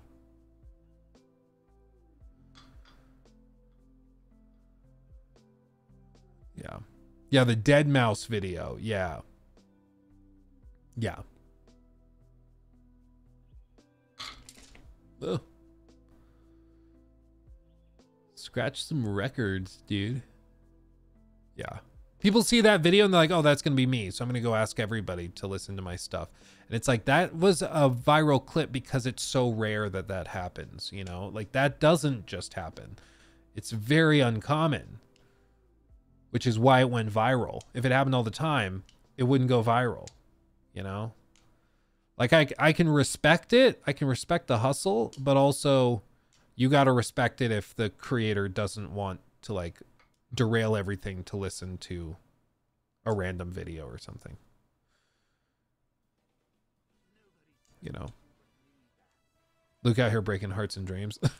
it's just there's a time and place for everything. You know, time and place for everything. Um like there was that one guy who came onto a stream and he wanted like me to download his game that he had made and play it on stream. And I was like, I I mean I can't. I can't just do that. Cuz I don't know if your if your game is like uh, content friendly. I don't know if I'm going to be able to do that without getting in trouble. Like there's just too many variables. So I was like, well, I'll pull it up. And so I pulled it up in a tab off to the side on my my other monitor and I was like, okay, I'll check it out after stream. So after the stream ended, I actually did pull it up. And it was like a straight up asset flip. Like it, it was just a collection of Unreal Engine assets and it was just like plopped in there and you ran around and you like used a basic animation to punch rocks that would give you points and stuff. And I was like, okay, so like this is probably like a 12, 13, 14 year old kid who just wanted to show something he made. And I can admire that, you know, he's he's doing the thing. Cool. But it was not like I don't think it would have been that helpful for me to watch that on stream. Like it might have actually like how am I supposed to respond to it, you know? So it's just eh, our general policy. We also had people asking to watch YouTube videos and stuff, and so our policy at this point has just been nope, Luke prepares the like to-do list of things we're going to talk about on the day. I might pull something up randomly on stream, but uh, I'm not going to just pull up any link that people post. Like I'm I'm just not going to do that. It's just cuz it just takes one person trying to be funny that gets you to click on a link that has like nudity in it or something for all of this to go away. Like that's all it really takes. So we're just not going to risk it. I'm not going to risk it for your biscuit, you know? Yeah, even if you were nice, the chat may have been ridiculing and laughing. Nothing good can come from that. Exactly. Like it's just not worth the the trouble, if that makes sense. Or like a snuff film. Yeah, and there's so many horror stories of streamers that have had people try to do stuff like that to them. Um, and even streamers who have done it to themselves. Like that Vaush thing where he pulls up his computer like folder or whatever and it's just got a bunch I forget what they call it, but there's like a name for cartoons with like kids and bestiality and stuff and he's just got that sitting on his computer and he because he clicked on the wrong folder, he's like, "Oh, oops." He's probably fine cuz his community's weirdly tolerant of that kind of thing, but um yeah. I don't I don't want to have a situation where somebody links me clips or something like that and then because I was trying to be nice, everything's ruined. Um random little tidbit, new segment and then we can get to the the Stamaro thing now that we have the uh the chat box or chat bots actually working, it seems. Um this is this is interesting. Okay, news segment. Maybe that's why he thought I was T Pain. So here's the deal. Everybody has been keeping an eye at this point on Hellblade 2, the latest game from Ninja Theory. And there's some things that are going on with it that are interesting, that are different. The um oh, I'll pause cuz our our frame rates are plummeting. I don't know why. Are we back? Hold on. We randomly we had like 5 seconds of of buffering. I think we're back. Okay, it looks stable. Okay, anyway, so we've been keeping an eye on Hellblade 2 because it, it's a game from a studio that I respect a lot. Uh, they made, of course, the original Cell, Hellblade Senua's Sacrifice that was really, really good and very unique and different and quirky. And they've been away working on this sequel for a while. And what's weird is that, for one, the studio's founder has left. Granted, he sold his studio for over a hundred million dollars. So a lot of people are like, no, he just got his bag and he ran off. Can you blame him? Not really. Still uncommon because a lot of creative types, even after they get their bag, they stick around. And a lot of studio sales require leadership to stay for a while. That's actually one of the reasons that uh, a lot of Bungie focused content creators are braced for kind of a total implosion of Destiny in the next I think year and a half, two years, because I believe it's at the end of 2025. Jorraptor would know off the top of his head, but I believe it's the end of 2025 that a bunch of their contracts for the leadership the leadership that was set to stay there after the PlayStation acquisition, all those contracts expire. So all of those people get like the option to stay or they can leave at that point with all their bonuses and everything. And if that happens, they are like they're uh, they're screwed. Like uh, all of the executives and old school designers of Destiny are leaving all at the same time. That could be bad. So uh, it's pretty common with acquisitions to have contracts that require the leadership and the the main headlining talent to stay. So it was just kind of weird to hear that the founder of Ninja Theory the the Criss Angel looking guy that he left. It's just a little strange. And then there's other things that have dropped, such as the fact that the game is reportedly only seven-ish hours long. They said it's about the same size as the original, which means that they've spent about a year on each hour of content that the game has. Which is a, a pretty tough ratio. I mean, you compare that to like From Software, where they'll drop granted very very different games but uh you know they'll have 15 20 hours of gameplay for each year that they're in development. So it's just very different. Even other narrative studios that are of a similar size are typically able to pump out more content per year that they've worked on it. So there's just a lot of strange things going on with hellblade that make it interesting um real quick thank you i i see it it popped, but it didn't read off for whatever reason. Um, thank you to the super chats. Do, do, do, do, do, do, do. Oh, it didn't read a few of them. That's weird. Uh, okay. Uh, Prismatic, thank you for the five. Speaking of video game adaptations, I think Metroid would make a great sci-fi or even sci-fi thriller film, but I don't think Nintendo ever would. Yeah, I don't think they ever would because I think it would be really successful if they made it dark and gritty, and I just don't think that uh, they're gonna do that. Um, and Kinomansky, thank you for the super chat as well. What do you think about Outlaw's facial animations? Um, I think we talked about it back when we saw the story trailer. To me, it's like the facial animations are fine. I I don't think the the character designs are what I would have done.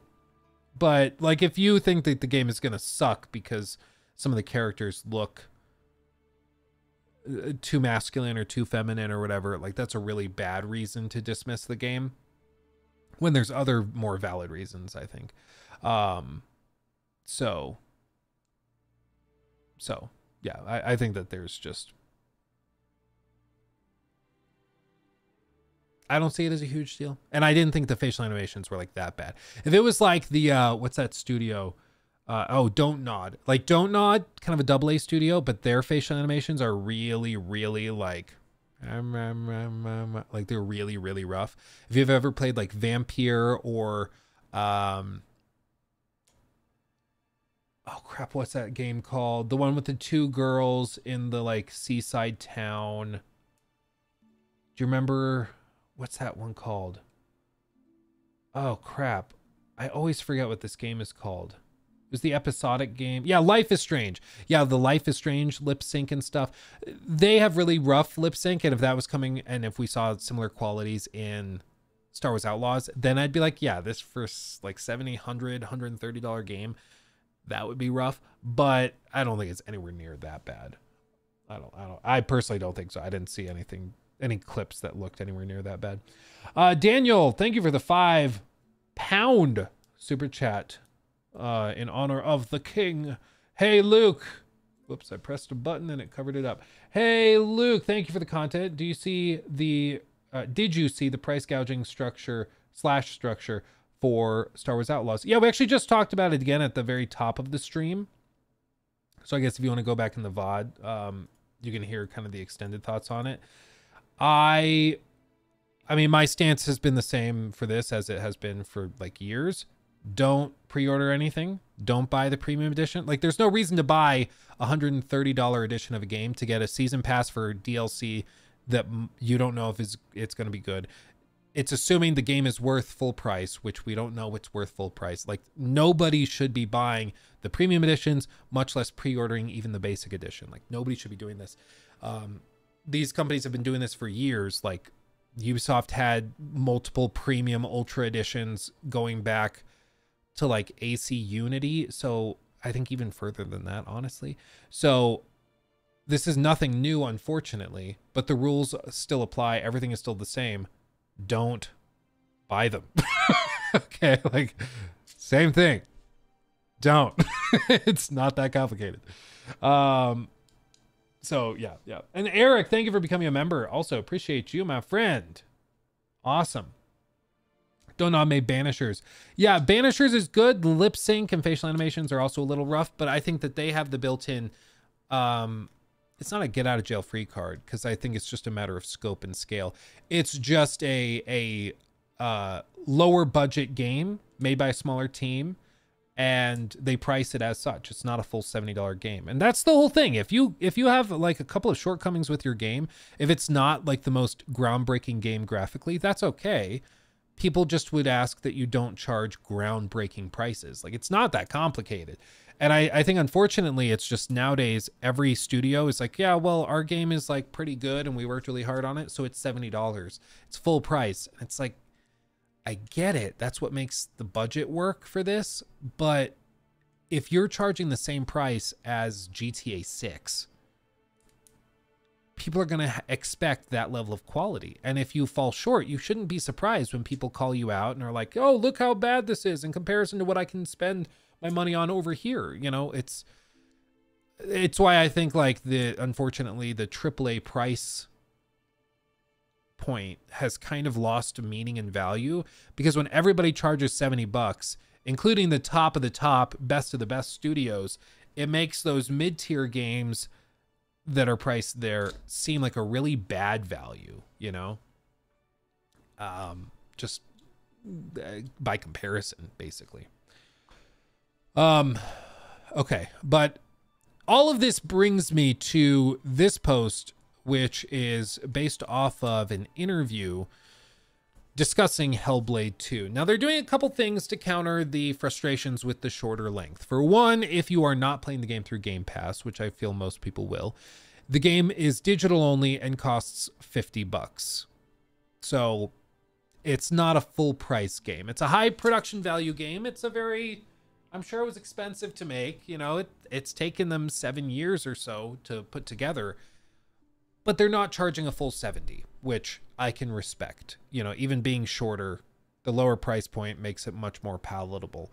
Um, and this is a lesson that the industry has learned from years past where shorter games always get into trouble. Even if their really high production value is is a selling point it's just it's gonna be a point of discussion. It just will be. Same thing with like uh, the most iconic and recognizable instance of this was with uh, the Order 1886, which you might actually see the collector's edition of the Order 1886 up here.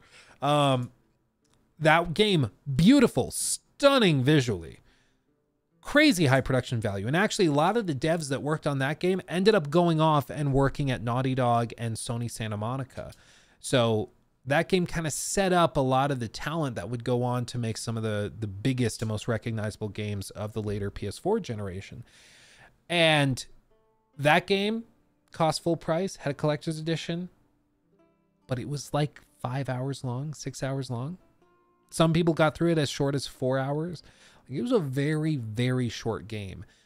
And it was just deemed unacceptable to charge full price but not provide a, a super long campaign. It seems to me that most people's standards are about 15 hours. Like if you can't get to 15 hours, you shouldn't be charging full price. That seems to be the cutoff. Even Spider-Man 2 which was like 17 hours for most people, I think on average. That game even upset a lot of people. And so I think 15 is like the minimum you gotta hit. You can say like, oh, but the the production value is so crazy high that you know that's just where it is, you know. And you spend. I, I heard one executive say in an interview, he's like, yeah, people just need to get a new perspective. They're spending 10 hours playing our game that's really high production value and and is crazy impressive. Took years and years to make.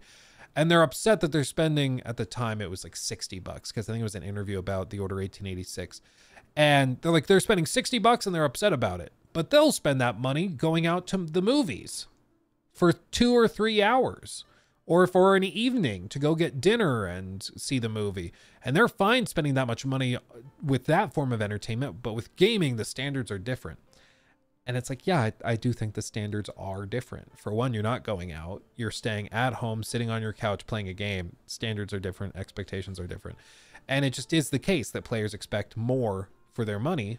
So instead of complaining that it's not like the the movie theater, maybe we should just learn how to deal with it. You know? So um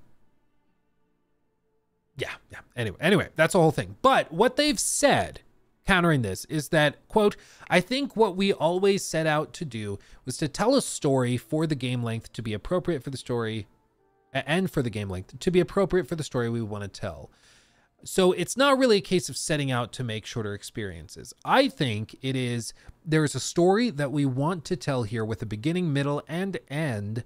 What and what is the right shape and size of experience to tell that story. So that's kind of where we start.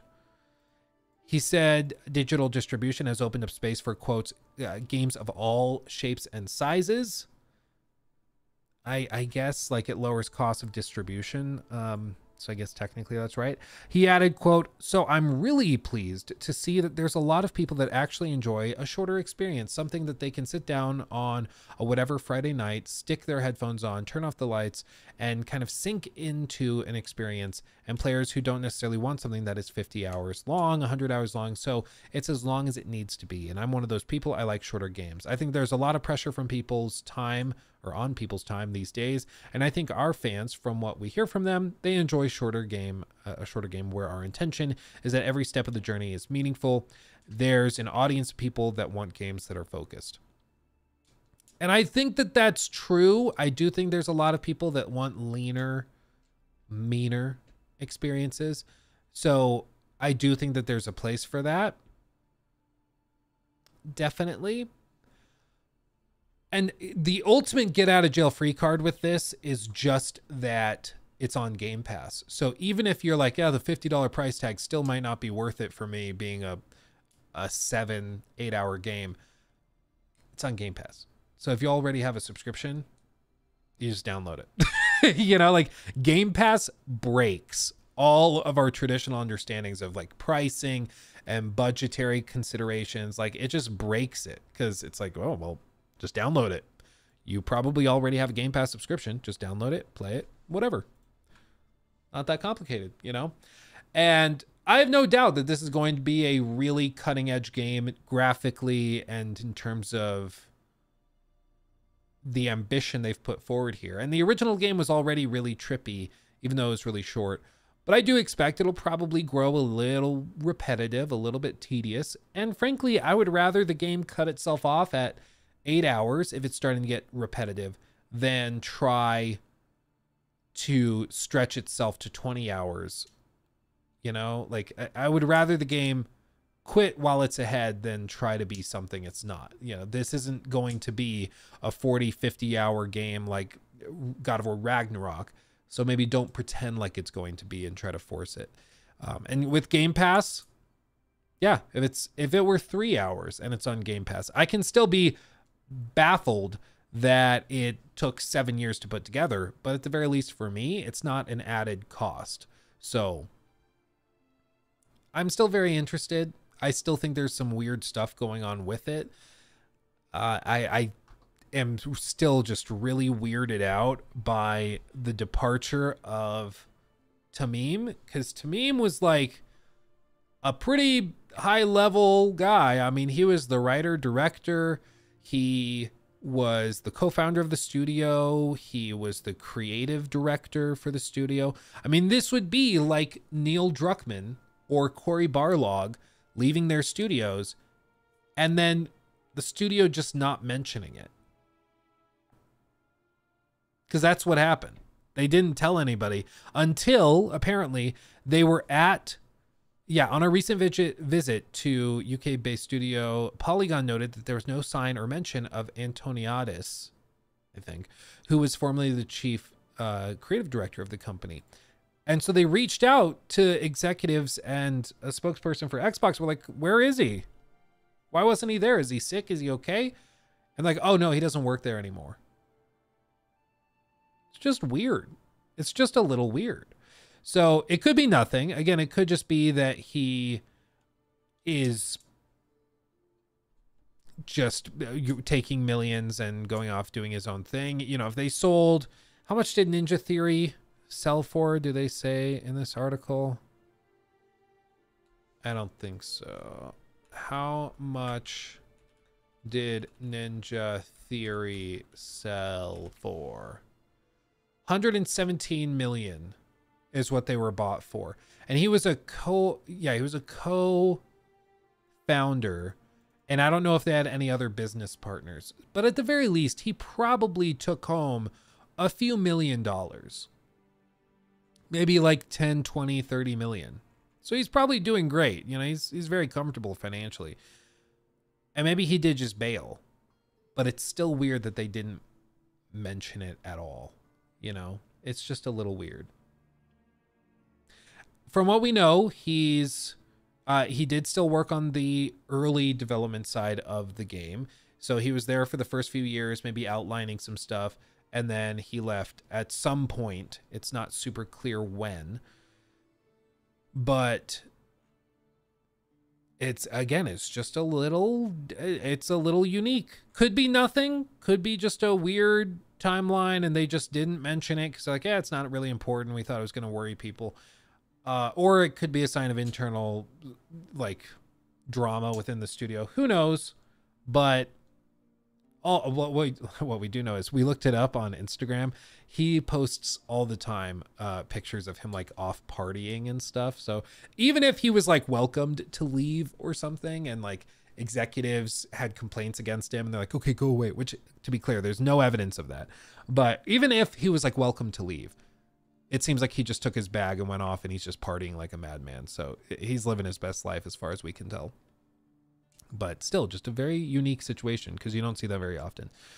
Um, as for everything else, you know, I'm still very hopeful for for Hellblade. I think it has a lot of potential as a game. I just I, I want to see what they've got cooking because I have a feeling like they have a lot of cool stuff up their sleeves that they are not dropping and not revealing. They're going to wait until people actually see it, which makes sense. I mean, if the game isn't that long, it makes sense that you wouldn't actually go out and like reveal all your coolest stuff. You'd keep some of it close to the chest, and it seems like that's what they're doing here. So we shall see.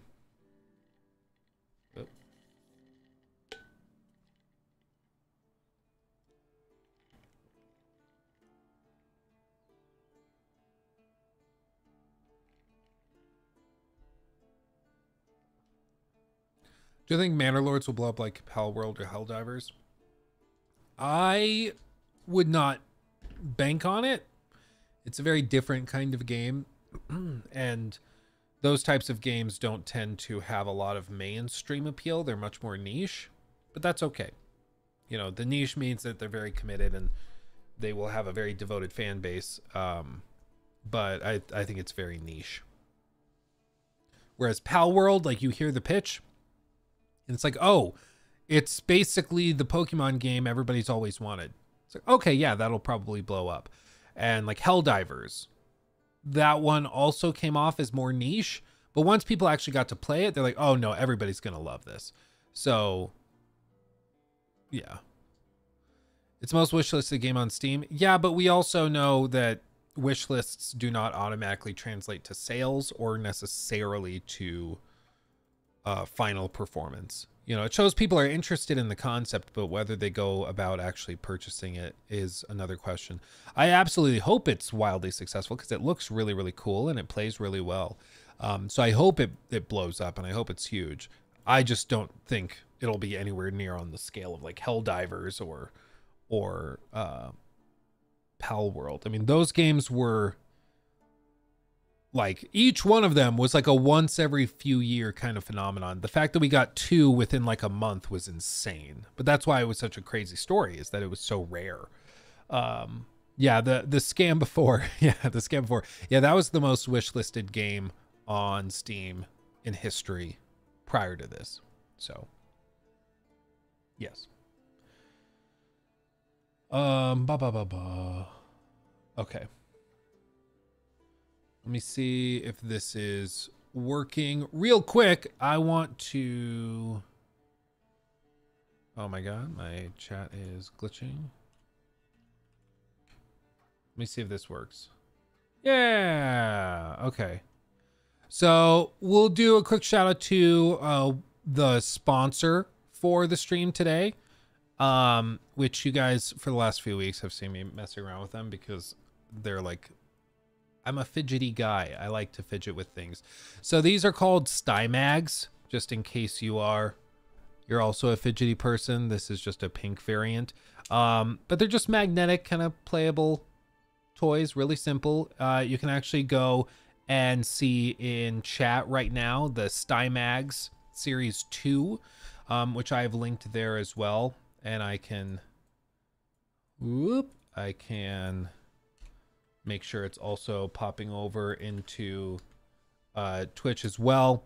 But this is actually something that's been up on Kickstarter, and they have a few different versions of them. This is the Series 2, so it's kind of like the reworked uh, version of it that just has really strong magnets, really simple. They're very solid, very well built. And you guys have seen me playing with these like on stream for weeks and even in some videos because I don't even realize I'm playing with them anymore.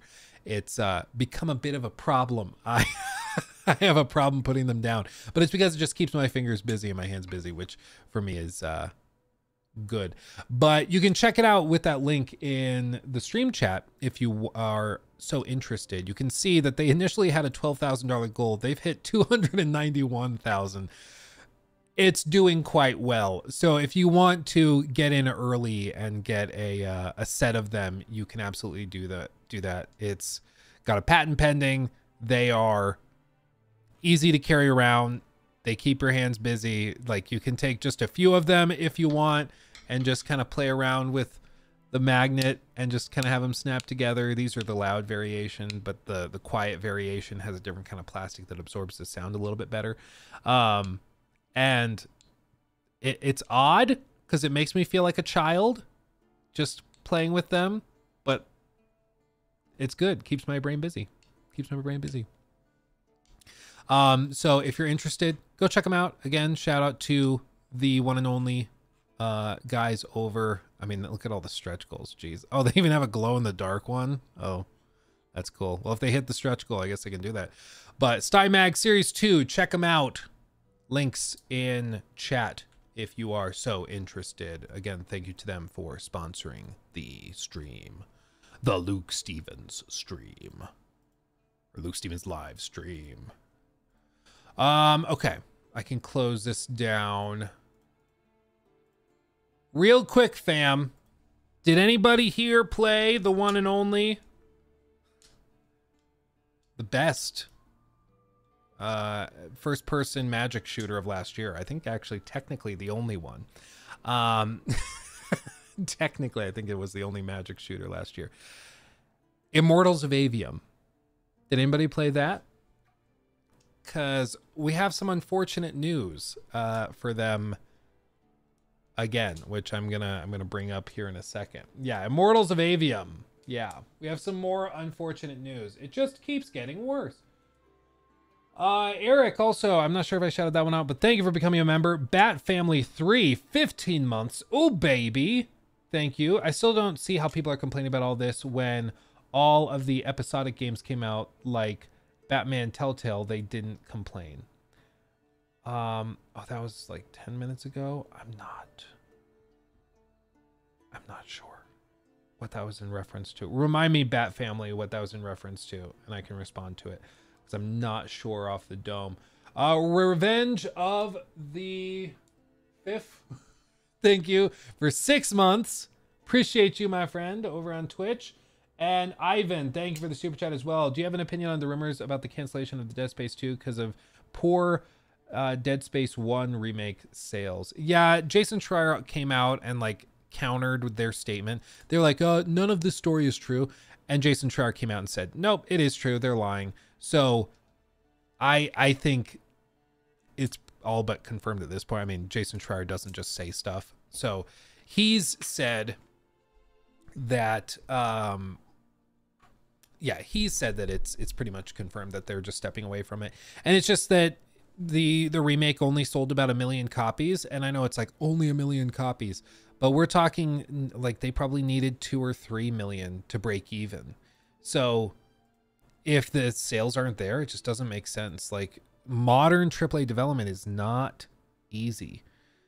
Like it just isn't. You know, after the the cuts that these companies take, like PlayStation or whatever, even if they're making like 40 bucks a copy, which is generous after taxes and everything, 40 bucks a copy, you know, you sell a million copies, assuming full price, which isn't even a given. They made 40 million in revenue. That doesn't factor in marketing that doesn't factor in you know anything else it probably cost more like a hundred million to to 200 million to remake that thing. So it just doesn't work. But like this is the thing. This is the the tough spot that gaming is in right now where we're all pissed that companies like ubisoft are putting out hundred dollar versions of their games right? But nobody wants to buy games at full price because the quality is up in the air and really inconsistent. And uh, studios can't get AA games to sell because people are frustrated they don't have AAA features. And so we're just between a rock and a hard place where studios can't afford to make the games players want. And even when they do try to give players what they're asking for, if the game just doesn't happen to click with everybody, it just loses a hundred million dollars and that's just not sustainable. It doesn't work. Um so it doesn't shock me that it didn't turn a profit. Like unfortunately it just seems to be like yep that's just it's really really tough to to find a way to make that happen. But it's it's just how it how it goes. So I'm not surprised by it. I'm still disappointed by it because I would love more remakes and stuff. But to do a remake on the scale that people are hoping for and asking for requires a ton of sales at full price. And a lot of people are like, no, it's a remake. It shouldn't be full price to begin with. And even then, I'll wait till it, it goes on sale. And that's the worst thing that gamers or that a, a, game developer could hear is I'll wait for a sale. That's the worst thing you could tell them because these things only really work if they sell two, three million copies at full price. Once they have to start putting it on sale, it doesn't really work. You know. Um, games are also a luxury. A lot of other factors affect being able to buy them at those prices other than quality. Yeah, Arctur, and I mean that's the other thing is that we're entering a time when people don't really have a lot of expendable income, and people are trying to save up for you know, just savings. They're trying to pay off debts that they might have. They're trying to uh, maybe save up to get a house or or whatever they might be trying to do financially. And spending $70 on a game at launch is a tough sell, especially when they know it's going to go on sale and they'll get it for cheaper. You know, like that's that's the other piece to this, and it's something we brought up with the Ubisoft discussion. Is these games only work if they sell five to ten million copies? Um, with how expensive they are. But when everybody knows that in six months it's going to be 50% off, a lot of people just wait for it to go on sale. And then all of a sudden the math breaks. It just doesn't work. So there, there's just a problem in the gaming industry right now where games, like the games players want, are too expensive to produce with the returns that are happening. So either they have to charge more per copy, which gamers will explode if you try to do that.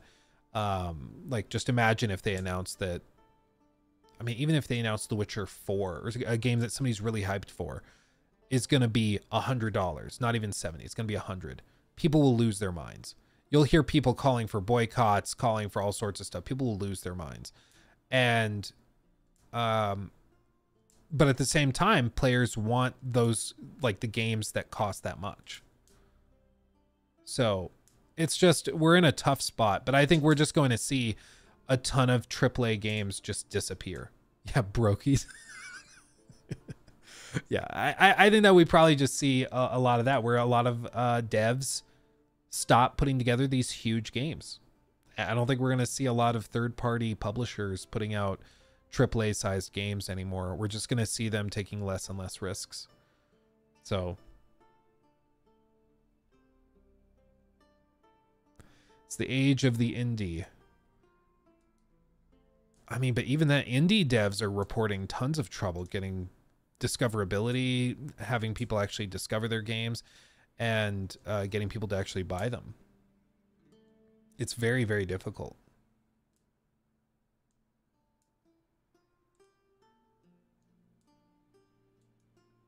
This is why people are also signing up for the monthly subscriptions, about $20, then cancel it after the first month.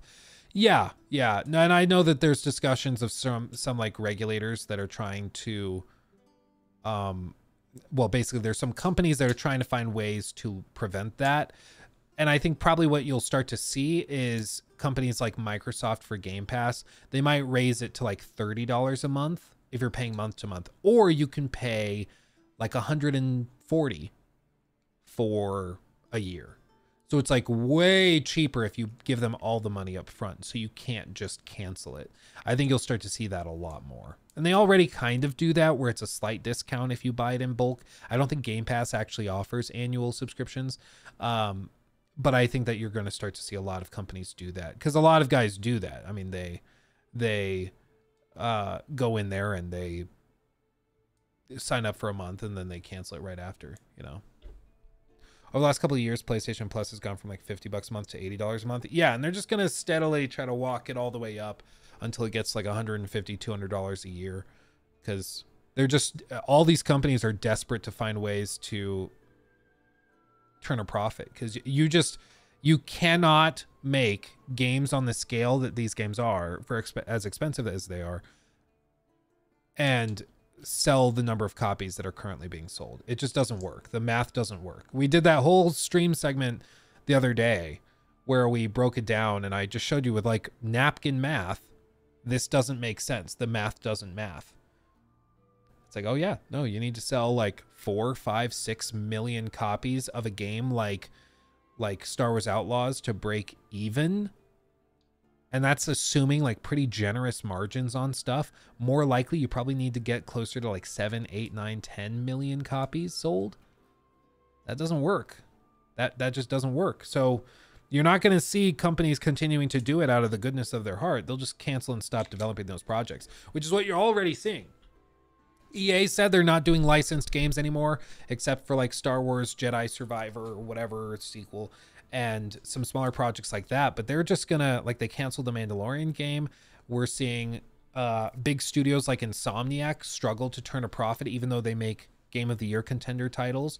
They they're struggling to find any success. And uh, I mean, even Ubisoft. Oh, excuse me. even Ubisoft is running into trouble where they are about to put out Star Wars Outlaws and they've already said, no, we're not making a sequel. This team is going right back to the division right after it because the margins are just too tight. It just doesn't work. So, yeah. But anyway, bringing it all back to this, this is kind of topical. Immortals of Aveum Studio has reportedly furloughed the majority of its staff. Last year, of course, after the game dropped, they reportedly laid off about half of the studio. Um, it wasn't very large. I think it was like 100 and something developers. So, you know, it wasn't a crazy number of, of people, but still, it's half of the whole studio.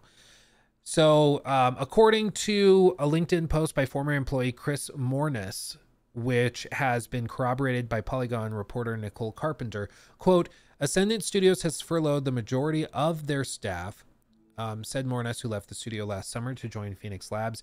I can't imagine what that would be like, as that is worse than getting laid off. Furlough is basically just an imposed leave of absence from work, which is typically unpaid. While employees typically, or rather technically, keep their jobs and are expected to return to work at some point, it means that they don't qualify for things like severance pay.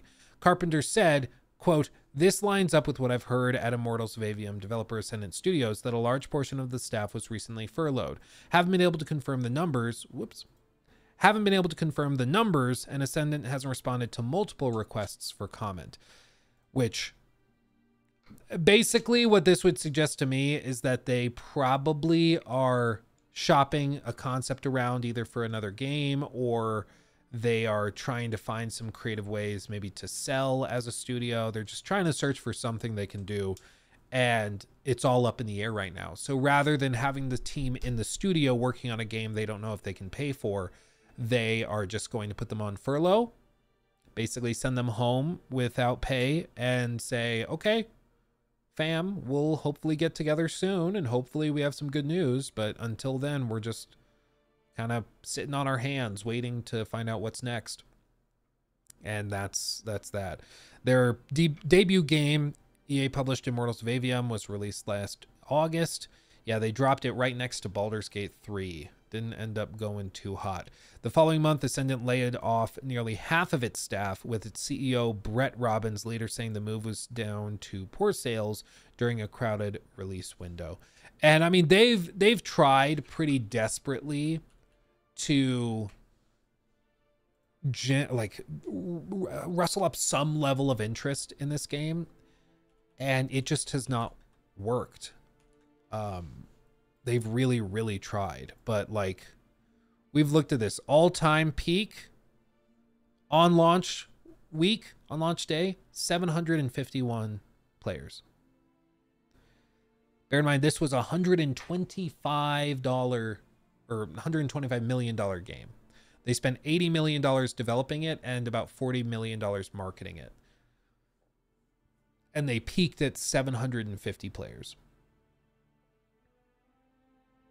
And like they they realized, I mean, th- there were interviews after the fact where they were like, "Yeah, looking back, doing a AAA shooter as our first game didn't really work.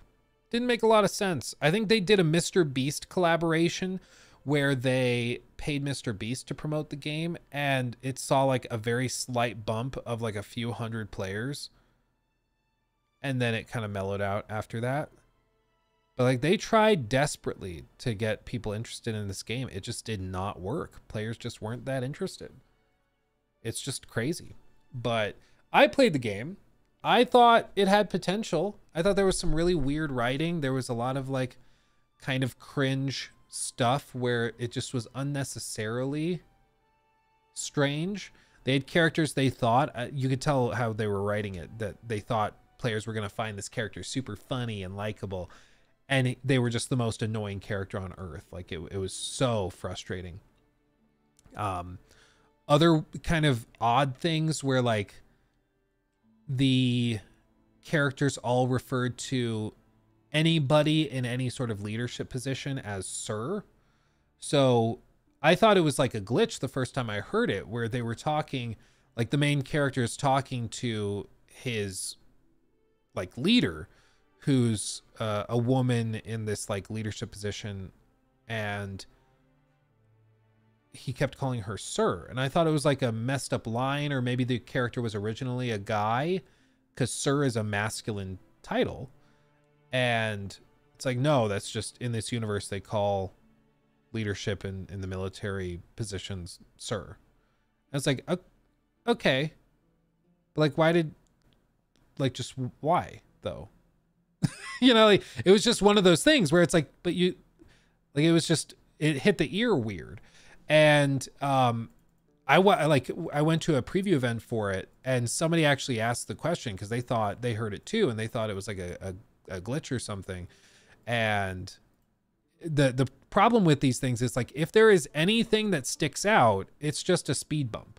Like yeah i think in in real life they do that in certain military contexts but to gamers like to casual gamers it just hits the ear weird. And so people ask the question. And it's like that right there was just another speed bump you gave when it just like you didn't even have to uh to to have any dialogue that frustrated anybody you know? Like it's just there were many little things like that where it was just another speed bump that was a little bit frustrating or a little bit confusing. Um i'm in the military i can conf- confirm they don't do that. It's sir or ma'am. Yeah I, I, obviously not in the military but uh I, to, to me it was just like you just had an instance where somebody brought this up thought that it was a, a mistake and whether people think it's a mistake or, or whether it is a mistake or not if people think it's a mistake it probably is a mistake. Like it's just another issue. It, it goes back to the thing of you know uh, perception is reality. If people think that there's something wrong with the game if people think that there's a mistake in the writing if people think that there was an, a, a mistake with how the dialogue played off it probably is a mistake whether it was intentional or not. You should deal with it as a mistake because people have that impression you know? And, and that's where that's where um i think it's tougher to understand how it could still be a, a problem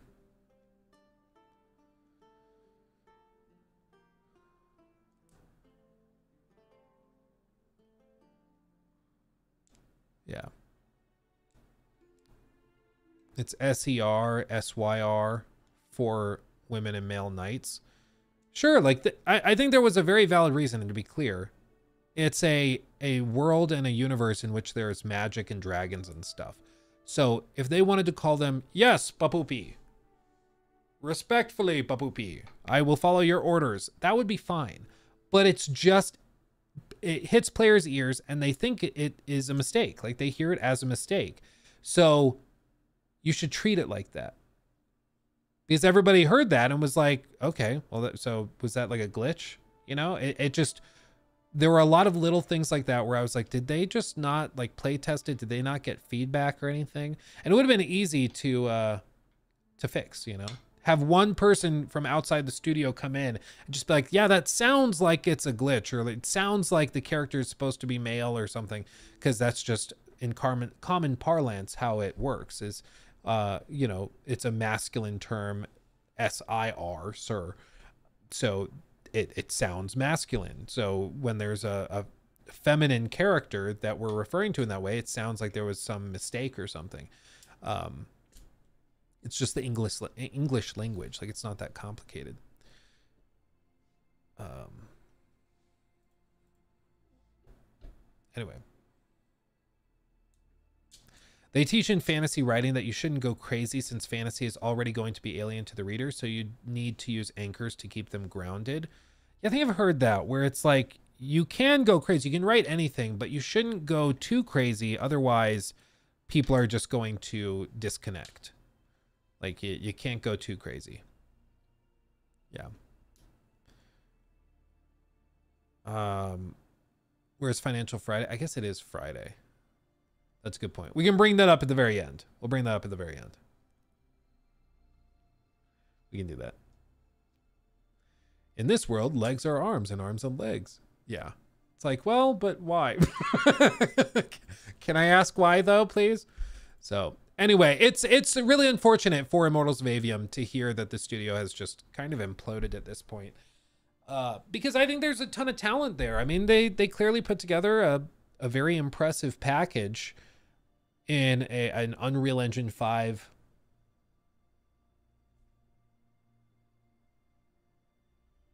I don't know what I, I was trying to find a way to to describe it.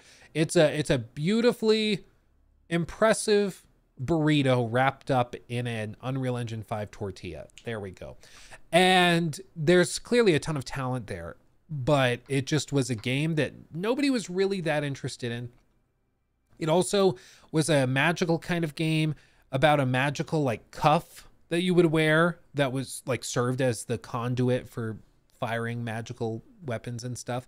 And it came out at a time like after Forspoken did the magical cuff thing, and then there was uh, Atlas Fallen, which also had a magical cuff. So it seemed very samey to all of those, even though these were in development for years. It just happened to drop next to all of these other ones. And on top of all of that, like it just didn't really stand out. It didn't do anything super unique that was really exciting. And even when they showed gameplay, it was it was a lot of flash, but not many people saw a lot of substance. You know, we didn't see any really cool gameplay stuff. It just looked like, yeah, you basically have a shotgun, basically a rifle, and then like an automatic machine gun type of magic that you can fire. And like that was basically it. That was basically it. And so it just didn't stand out much. Yeah, no more sarcastic magical cuffs. Yeah, you better believe nobody's going to be do, doing magical cuffs in the next decade. Nobody's touching that with a 10 foot pole. I don't know what it was like that that inspired these studios from all around the world to do very similar things all at the same time, but it's damn funny because it all these games dropped within like 6 months of each other and were just they all shared the same thing. It was really weird. Um let's see, Shinji, I'm going to be honest, Immortals of Aveum's flashy, sparkly BS reminded me of Forspoken, and since I didn't like that one, I avoided this too. Yeah, and I, I think that that's the danger with being similar to other titles is if the other titles are really awesome and you know people loved them that could help you like if you have a game that looks very reminiscent of Baldur's Gate 3 and it launches 6 months after Baldur's Gate that could actually help you cuz people are like wow I need another Baldur's Gate fix I'm going to go play this cuz it's similar but if it sucks it's going to drag you down with it and I, I just think that that's what happened here and more than anything, from what I could tell and from what I saw, people just flatly weren't interested. There just wasn't anything that captivating. They spent tons of money on trailers, they spent tons of money on YouTuber impression videos and streamers playing it. Like they did everything by the book, but gamers just weren't interested. They just weren't. And it doesn't matter if you have the, all the millions in the world. It just doesn't matter. You know? The two to three hour tutorial of Forspoken killed the game more than any gameplay or cuff or weird writing. I think more than anything, it was the demo and the fact that the writing in the intro hour was so freaking bad that it was easy for streamers to boot up, play it for an hour or two, make tons of viral videos and clips that showed how terrible it was and leave it there. Like um, how I actually found my my short form content editor. Uh, let's see. Was uh, from this. So streamers can't take Forspoken's dialogue seriously. All of the footage in this video is from like within the first hour or two. Okay? So it made it really easy for streamers to pop in, try the game, and be like, oh my God, this is so bad. Whereas if this footage were much later, if this footage was like 6, 10, 20 hours in, it would have been much harder to make these videos at launch. But because the writing was so terrible from the get go, it was really easy for this stuff to go viral. Oh, I saw this clip on Twitter. I just oh, yucky. it. Oh, and here's that dialogue that went viral. I viral. did not just do Something that. I do now. I do magic, talk to sentient cuffs, kill jacked up beasts. This is heckin' awesome. Yeah, okay, that is something I do now. Heckin' awesome, dude. Whoa! All excited for for Forspoken, are you? Well, Papa Squat. I've, uh, I've, I love my cats. dearly. But yesterday, Finley went and scratched up the carpet on the landing of these stairs. And then he peed on the spot he dug up and tore up. And I know he peed because, for one, it smelled weird. But I also have this like UV flashlight I use for helping cure resin when I 3D print stuff like like this. Um, and it also is good because it's basically a black light and it can scan and show spots where cats peed. And I, I shined it there, and sure enough, like a big old spot where he tore up the carpet and peed. I don't know what his deal is. Like he, well, I do know what his deal is. He throws a fit. He's a very cute cat. I love him dearly. Don't get me wrong. But he will just pee on things to throw a fit about something. So like if he's upset that the neighbors are having lawn work done and it's really loud because they have like uh, an aerator or something going. If he's just upset that it's too loud and he can't sleep because it's too loud, this cat will just claw stuff up and pee on stuff. like he's he's a vindictive little bugger. I'll tell you what, it drives me crazy. Um, Hermione will will act out if she thinks like if she, her food got shut off or something, which I actually appreciate because I'm like, okay, yeah, you scratched at the couch, but it's because you knocked over your your water bowl or something and you need me to fix it. Like, okay, at least you have a way of telling me, right? Finley will do it just to be a little butthead, where he's just like, I'm upset. Yeah, I'll pee here just to show you I'm the boss, you know? Drives me a little bit crazy. Um, yeah, I'm braced, dude. I the the word okay, I'm about to complain in in first world problems, okay? Just be ready, okay? Then we're to we're to get into this. Um my house it has relatively newer floors and carpets, okay? Probably within the last like year and a half, 2 years. I think they replaced them right before they sold the house. Which is great. Cool, right? No problems. What's the problem though?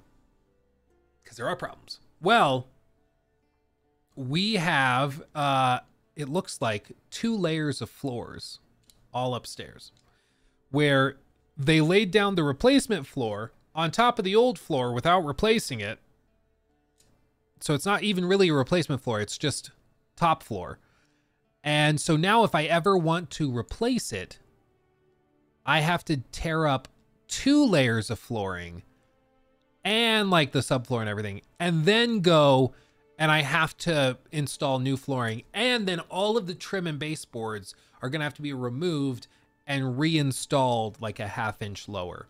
And because this is also done in my kitchen, I'm going to have to, like, if I ever want to replace the dishwasher, I've got to tear up all the floors because the, the flooring is like a half an inch above the actual bottom of of where the the washer's installed. So the washer dishwasher is installed like a half inch lower than the floor. So you can't actually pull it out from the like quartz countertops and stuff.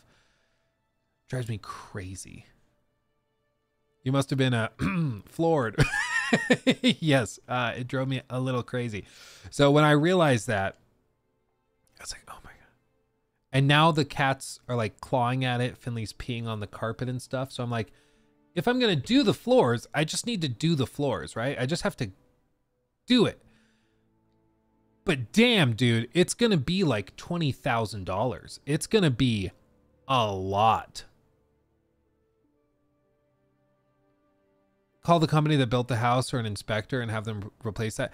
The problem is that the the guy that most likely did it was like a handyman that the previous guy that owned this house used because the guy that used to own this house was like an investor so he owned like like 15 houses in this neighborhood or something.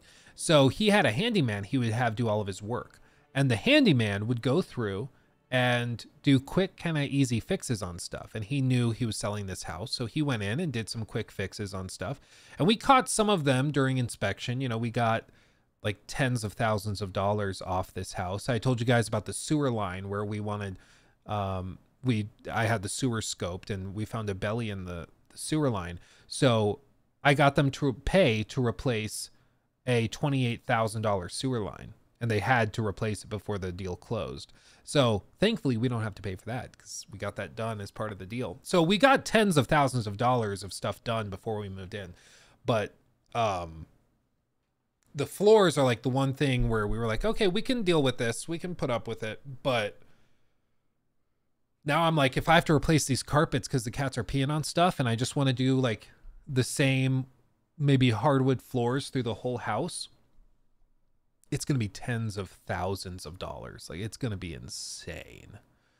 So, yeah, handyman is landlord code for cheap labor with no experience. Yeah, yeah, no, and there's all sorts of things that the guy did in this house where it was like, you really made it more difficult on yourself.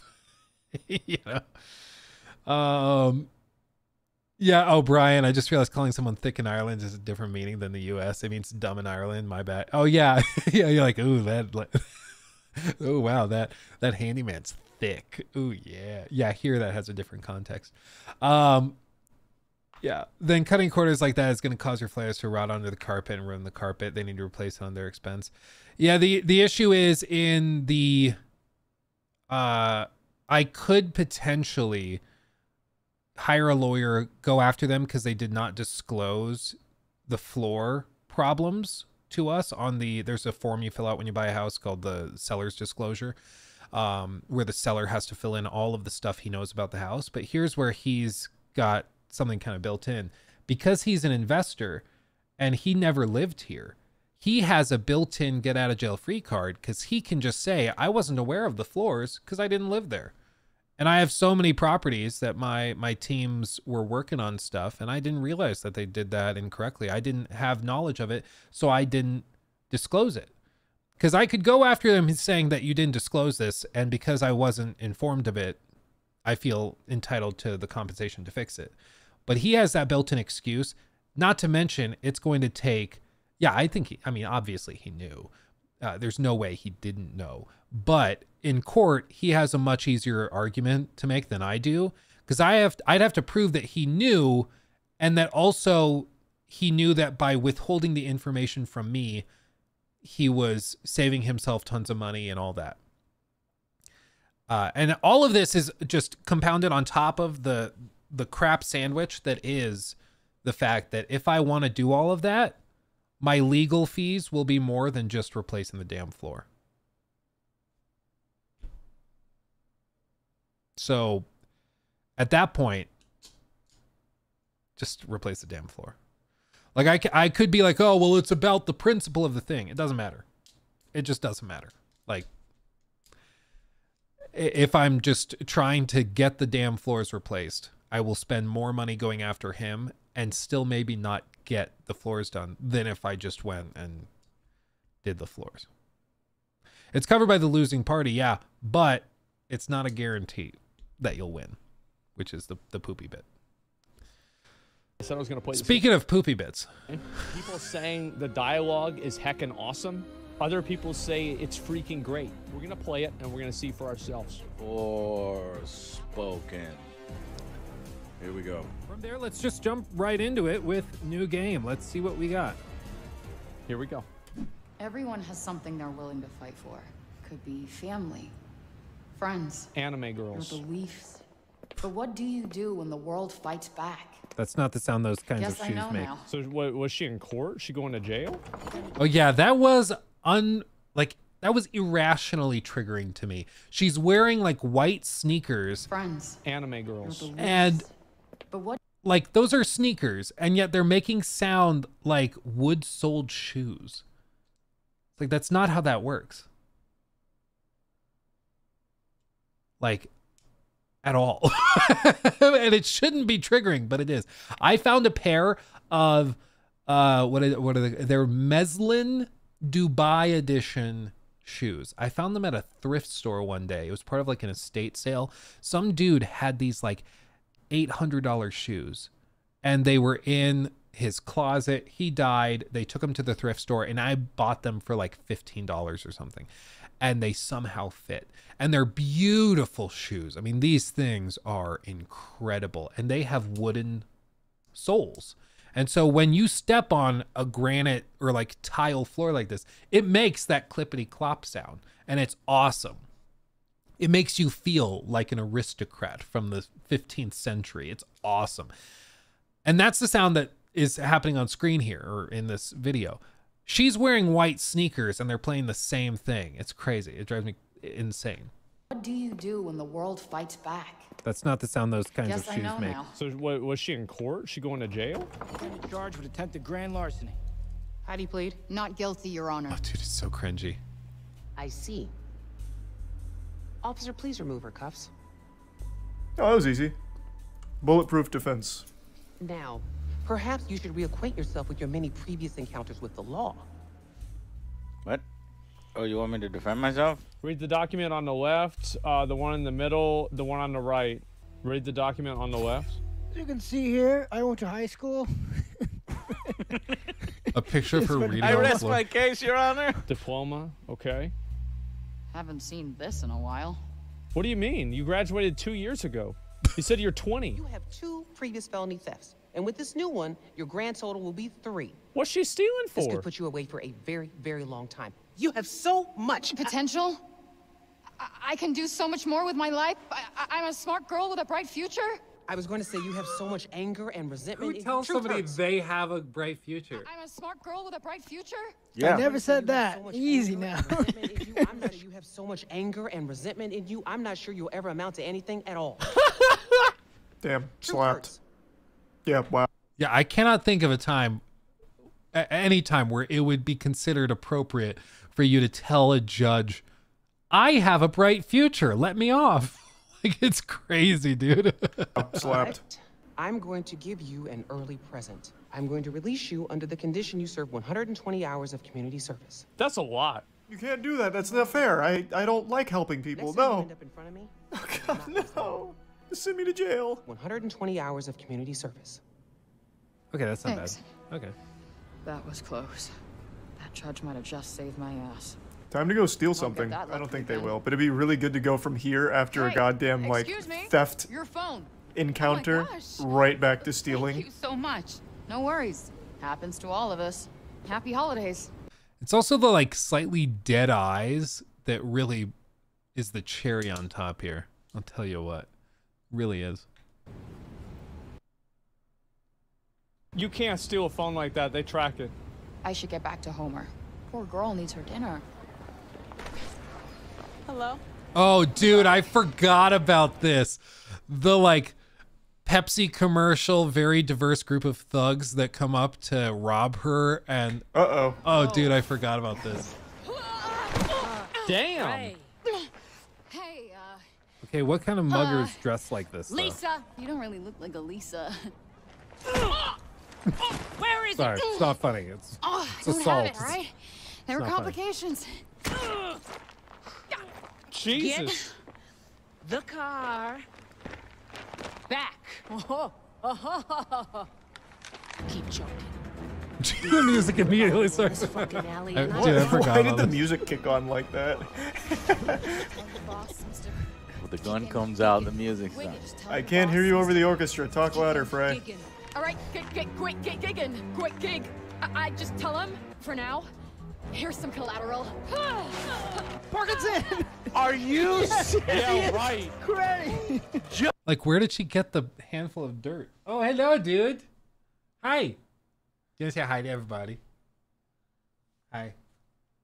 You say hi? I'm really grouchy today. You're really grouchy? Oh, that's not okay. With his face, he already uh, mad. Oh, You you want to just say hi to again. everybody? Hi, everybody. I'm gonna go eat some lunch. Ooh.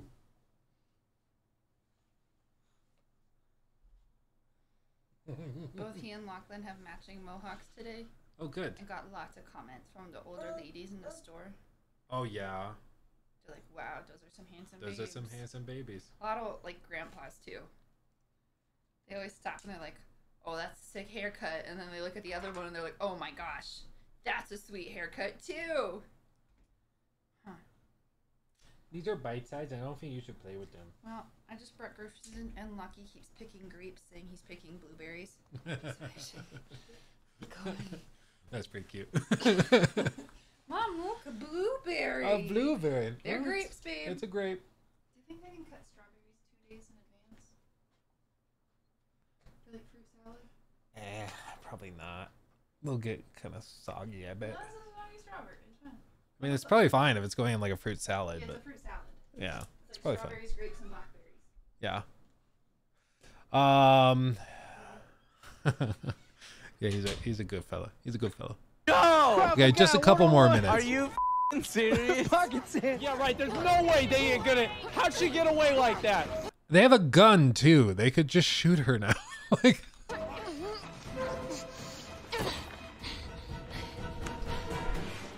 I mean, they can still just shoot you. It's a, it's just a chain link fence. And she just parkoured her way through all of this. What the? F- They forgot they had she a gun. had a gun uh, pointed at her f- neck. No turning back now. Okay. How they not see her? She's right there. Oh damn! She threw dirt in his face. Where is she getting this dirt to throw at people? she didn't pick any up. She just had a fistful of dirt. I do like the idea that canonically she's just running around with pockets full of dirt, just in case, you know. Jump Parkour off of him. Fucking ladies, Jackie Chan. They, they better explain that she trained with Jackie Chan. Wait, isn't he coming? Like, it, bro, you tell me he can't jump up and check? Bro, I'd be up that in a second. Yeah, right. That dude couldn't get that. Get up there. Ah! Where'd she go? We will find you, Frey! You will burn! All right then. Dude, the whole thing is just so bad. Where's the the famous line? Like when she gets the cuff. Oh, it's right here. Whoa! Shit! Whoa! What the? F- Defeat the mon. Okay. Magic missile. Missile. Missile. Take this, and then some of this. Ah! Missile. Missile, missile, missile, missile. Okay. Did I just do that? Well. oh, and here's that dialogue that went viral. I did not just do that. We did. Let's just sit back and enjoy I just move shit with my mind. Perhaps our connection has somehow awoken some abilities. Oh, I saw this clip on Twitter. I just oh, move yucky. shit with my mind. That is something I do now. I do magic, talk to sentient cuffs, kill jacked up beasts. You know what? I'll probably fly next. Now you're just being ridiculous. Oh, that's too far. Good to know there's a line. If you could just master these new abilities. Um, did you not just Can- see me can everyone go- that gnarly beast? Well, yeah, that's it's pretty bad. It's not helped by the fact that the lip syncing is also just a little off. This 100% a boss fight area. 100%. Yeah, dude, everybody just so dead in the face. It's just crazy. It's crazy. But bear in mind, this game, by all accounts, cost on the same scale as like Final Fantasy 16. Like they spent hundreds of millions of dollars on this. And it is a huge game. I mean, there's a lot to Forspoken. Um, I was talking to Jorraptor about it on the podcast once. And he had an interesting thought. Like he, he basically came and said that, well, it's it's um if you can overlook the the kind of writing that isn't great, there's actually a really solid game there. There's some really cool boss fights and stuff and some cool combat. I played it. I don't remember how many hours I put in, but I, I played a good a good bit of it. Um, and then I played the DLC as well. And for me, it just never got to the point where I was like, this is worth putting up with terrible writing. Like it just it never got there. It, it never got there. And so I can't put up with it. Some people can just turn their brain off and they can just tolerate the cringe and handle it. I just don't have that superpower. I I hear it and it like turns me off. I, I like shut down. But some people are able to just kind of turn their brain off and it's like, oh well, whatever. You know. Born of tungsten. Jor is just chronically positive. Um I think it's just Jor is is a glasses half full kind of guy, which is one of the reasons I love talking with him and chatting with him. Um, just because he he always has a different perspective that I can appreciate, but I just it, it's something like that to me, I just can't look past. You know, the Marvel speak is so tiring these days, dude, for real. And that's what that is. I mean, it's just you can tell that they're like, yeah, and then maybe just ad lib a little bit, just riff a little bit, have some cool banter, a little bit of this, a little bit of that, you know. He likes Suicide Squad. What Jorraptor said about Suicide Squad was that he thought at a certain price point it would be worth it because there were some good things about it, but it was not worth $70. And I technically agree with him. I think at like 10, 20 bucks, maybe. Especially as later seasons come in. If you could play through the whole game with Joker, for example, I could see it maybe being worth um like 20 bucks or something. You just have to understand that you're going to get like 3 hours of content and then stretch that over 10 hours. Like that's that's where what you'll be getting. And uh, in that context, I mean, I, I, think that that could make sense. But I, I, do know some people took him out of context and clipped it and were like, "Oh my God, see, Raptor loved it." He didn't love it. He just thought it's at a certain price point, it could make sense. Plays the Joker, baby. I'm the Joker, baby. Oh man. I, I was gonna see if I still had that clip. I don't have the Tommy Wiseau. Ha ha ha! Joker.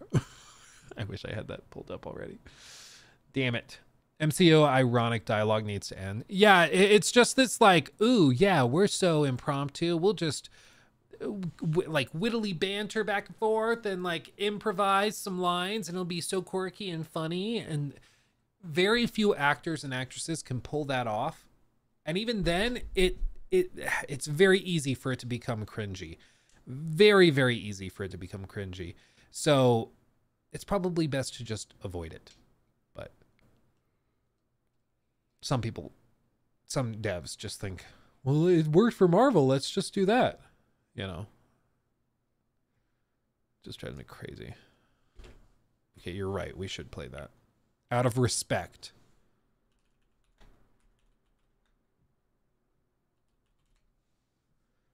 Out of respect. Here it is. Uh, Hi, this is Tommy Wiseau, creator of The Room. Let me introduce you to the new Joker. Ah!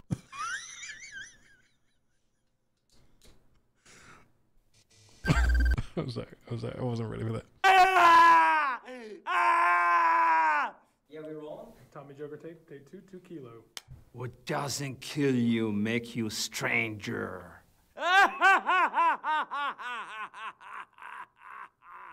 Ah! Joker. Joker. Oh, but I did. And I did like it, devil. I am not the monster. No, I'm just the head of the curve. He has come to me. Come on, I'm not the monster. No. Why? So serious? Why? What's funny is if they did this and if this was the Joker, I guarantee you season one would have been very successful. If they had a couple of cutscenes with Tommy Wiseau acting as the Joker, it would have been successful. Like I think it would have gone viral. Every big streamer would have been loading in to to try the latest update of Suicide Squad. Like I really think it would have blown up. Of course they didn't do that. Instead we got like wish.com angsty teenager Joker. Uh but man, it would have been so amazing. Can you just imagine if you're playing Suicide Squad Kill the Justice League and just randomly in combat, ha ha, Joker. So serious. Why so serious? Let's put a smile on this face. Why so serious? Jingle bell, Batman smell. Action. Bang. ah! Oh my god, dude. Oh, it's so good. It's so good. Bang. Bell. Action. Bang. Ah! the little click. Oh, oh man. I need him. Where is he? Where is the Batman? Where is... Okay, like stand right here, like this. You're not the Batman. Get out. I need Batman. Where is he? Oh, hi, Mark. I'm Batman. I'm Batman. Why do you want to kill me? I don't want to kill you. I need you. Why should I kill you? Why? Why should I kill you? I don't want to kill you because you complete me. Yes, I need you. You'll be in a pencil for. like, come on. This would have been amazing. Oh, but it just goes to show you, like, there are there are solutions. It's like, what would you have changed, Luke, to make Suicide Squad Kill the Justice League successful? Honestly, not taking itself super seriously and just leaning into meme culture, that would do a ton to to lift its image. Um seriously, like if they had had Tommy Wiseau as the Joker, uh, unironically, I think it actually could have have helped the game a lot, which is hilarious to say, but uh, I, I really do think that that would have brought some levity. And honestly, if people aren't going to play it because it's a really good game, maybe get them to play it for the memes. And this would have been a great way to do it. I really do believe it. What doesn't kill you makes you a stranger. Joker. My favorite one is the uh, is the gun though. This. Bang. Bang. It's just so good dude. Oh man. Oh.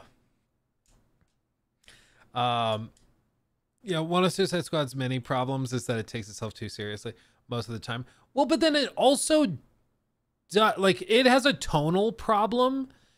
And so like they have Boomerang pissing on the bodies of Justice League members, which is like really jarring and does not feel appropriate or fitting at all.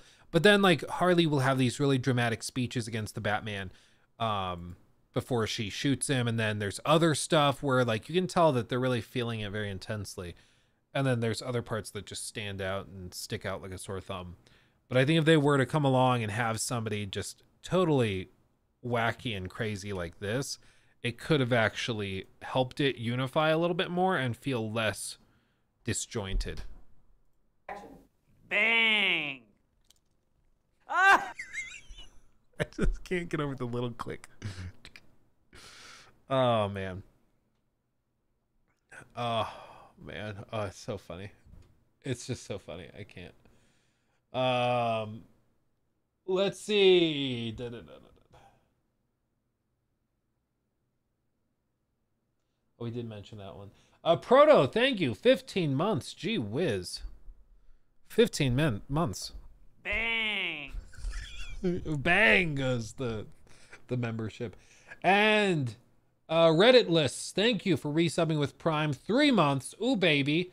Um, let's see. Off topic, just a quick question. Do you know if it's possible to link a YouTube channel under the main channel section to an account you do not own? I think so. Under like it would be under um like there's there's something where it's like recommended channels or friendly channels there's something like that in the the settings for your channel page so i think there is a way to do it it wouldn't be under the like official links for your channel but i do think there is a way to do that i think Bang. Bing. So, yeah, I think so. Um, ba ba ba ba. Oh yeah, Sea of Thieves. Sea of Thieves beta has launched on PS5. They can sample it until April 15th. Interesting. Is there anybody in chat who is currently in the beta? Do you know how it works or if it works? Is anybody in chat? Please, for the love of God, make that the dono sound. Bang! I could probably do that. I could probably do that. Oh man. Bang. No, I don't think so. Okay. That's okay. It's a very niche thing. But high volume of new players, which may result in longer wait times, normal da, da, da, until April 15th. Ugh. It seems like they, they actually are getting some some interest in it, so there's that. That's a thing. That's a thing. Bang! Okay, we should touch on this real quick because this also dropped out of nowhere. So after, I guess, news segment. Bang! So some of you guys have been with me waiting on news for the Fallout 4 Next Gen update because this was announced like last year that they were working on. Well, it was announced a while back, but they have been very, very quiet on it, which was odd because like we knew the Fallout show was coming and it just seemed to line up. Like, oh yeah, drop the Next Gen update right when you drop the show, and you'll get people to download the game for the first time or maybe re-download it and try it after they try the show and are really loving it. Uh, but for whatever reason, they were just very quiet on it. And then the show dropped, and then they announced that the update is coming, not immediately, but it's coming in a couple of weeks. Specifically, this is being referred to as the next gen upgrade for Fallout 4. It's been delayed a ton.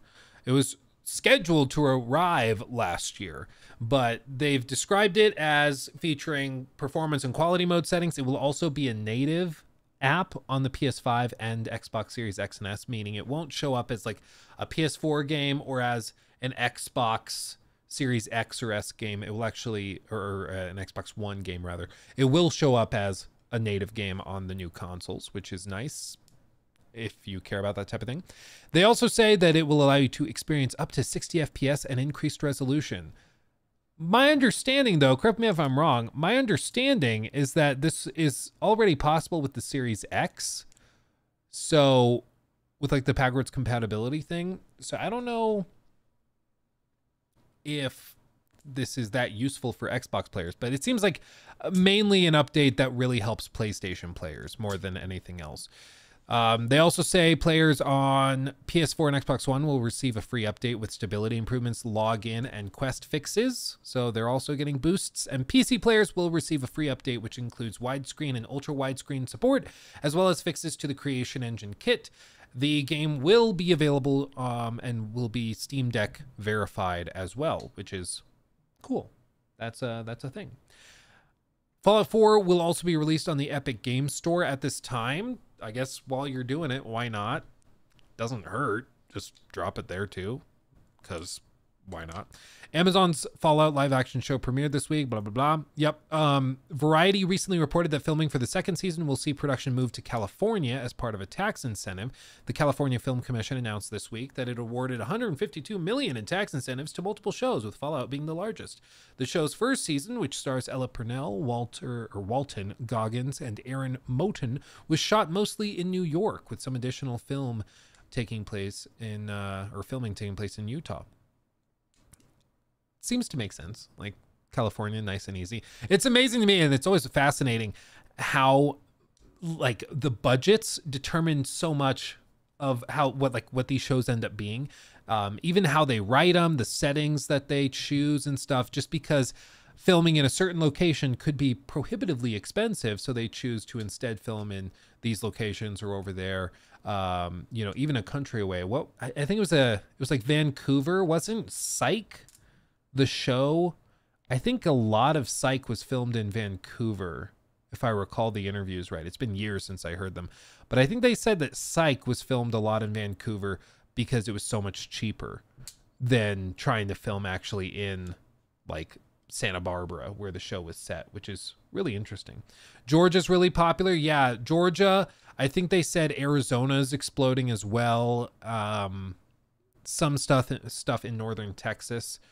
Wasn't The Last of Us filmed in Canada? Yeah, I think a lot of it was filmed in Canada. There's just a lot of tax incentives. Like uh, some cities will ask for shows to come and film in their their locations and in their cities to bring whether it's tourists or just to bring business in and so they'll offer tax incentives and stuff um, i think the famous story was that the sequence in rocky where they're like he's doing the training montage jogging around the city and everything that was actually filmed in like an afternoon because they didn't have all of the permits they needed to film. So they ran around and they like filmed out the back of a van because the teamsters if they were to find out because everything was like unionized very heavily. If they were to find out that they were filming they'd get in tons of trouble. So they just kind of ran around and chased sylvester stallone filming as they could manage it um, through the city. But that's just kind of what you had to do which is always kind of funny. There's so much like that and so much drama that goes on in the background. It's always fascinating to me. You would just think oh well it's it's a show or a movie. Film it in hollywood. Nice and easy. But it's not that simple. It really isn't that simple Cape Town popular, uh, New Orleans and Louisiana is getting popular. Yeah, I think just a lot of places are trying to find areas outside of California. Cuz California became so popular, so there were tons of like uh, new rules and like regulations put in place and then unions had all sorts of rules for it. And for these companies, they're trying to find ways to save money and produce shows for cheaper so they'll go elsewhere if they need to. And it even is doubled down like one of the things i learned in college when i was doing that like professional actor prep is what the class was called.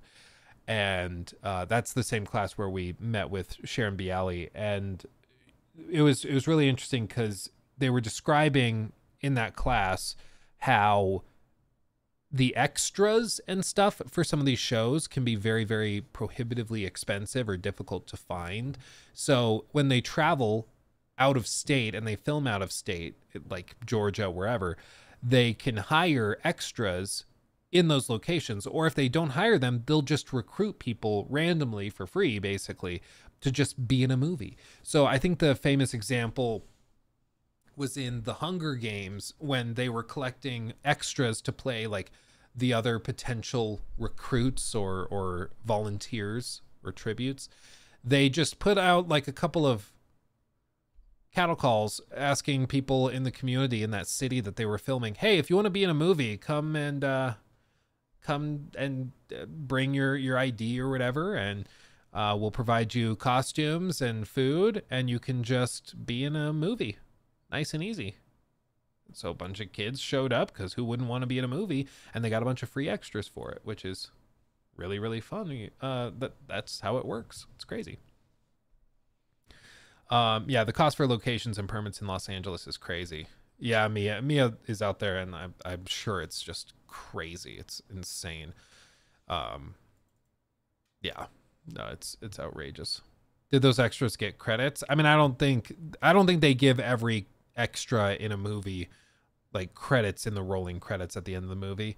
And it's probably it's probably like a, an actual stipulation where it's like yeah you agree that you're not you're not to do that. One of them being charlie moist critical if i remember correctly. I mean i guess we can google it. Uh moist critical hunger games. Uh Let's see, is this it?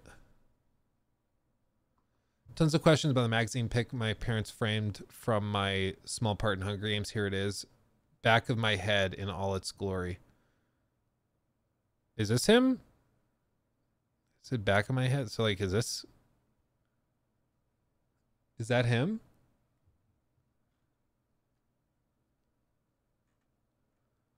I mean, that's pretty funny. But like, there's so many people in this shot. I don't think all of these people are getting in the credits of the movie. But it's still cool to be in a movie if you can manage it, you know? Yeah, such a good actor. You can't even tell. Yeah. Yeah, when he had short hair. Look at the spongy, the spongy arms. yeah. Oh, it's, it's super cool. It's super cool. You know? YouTube will probably, uh, well, in Twitch chat might also ban the link if you try to post one because of the auto mod stuff. Um, let's see. Electronics, Asmongold says that games get so expensive because they have to be designed to cater to larger audiences, so much so that gameplay becomes bland and uninteresting. Uh, yeah, I mean, I think that's definitely part of it. But it's the chicken and the egg thing. Like, are games so expensive because they're trying to cater to everybody, or are they trying to cater to everybody because games are so expensive? And the answer is yes. it's kind of both. Um, it's just because these studios and companies are used to making like AAA scale games, and as time has gone by, they've learned that if or like if we want to be successful, if we want to sell AAA size games, we have to find ways to um like we we have to find ways to appeal to broader groups of people and sell more copies. So to do that, we have to put in all of these different systems that appeal to everybody, and it's just it it spins and spins and spins. Yeah.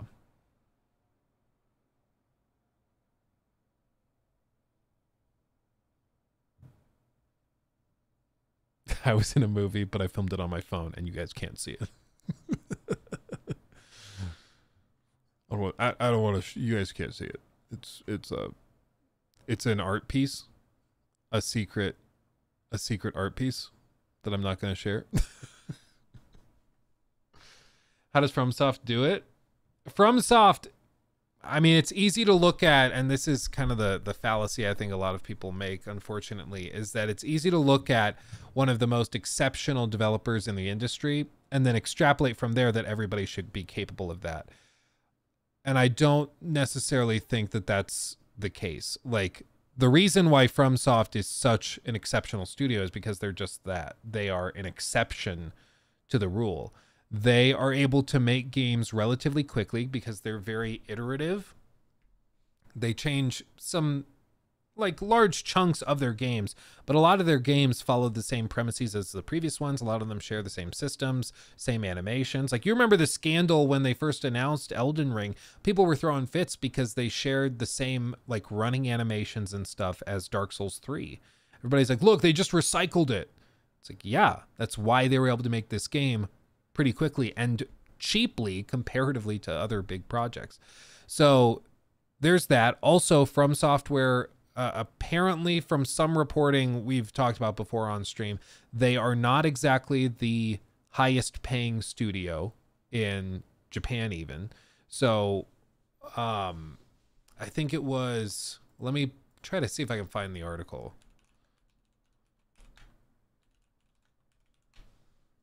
Uh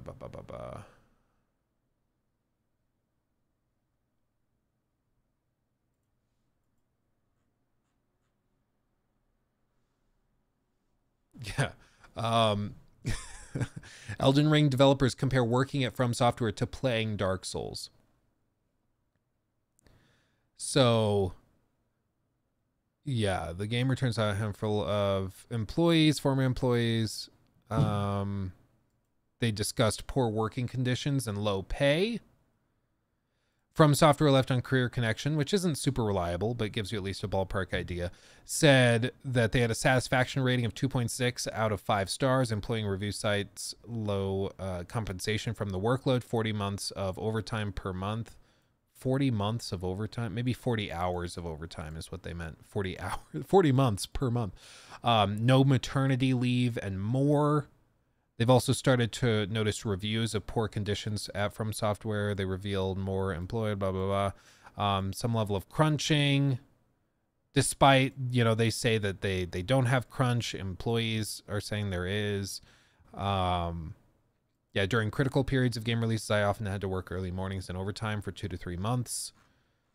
And in terms of pay, let's see. From Software employees also spoke about low pay at the studio. One source said their salary quote is not adequate and added their coworkers felt the same.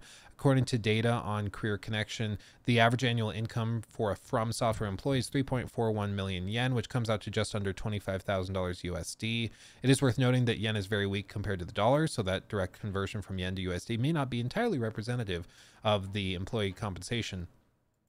But they also operate in Tokyo, where the cost of living is higher than most other places in Japan.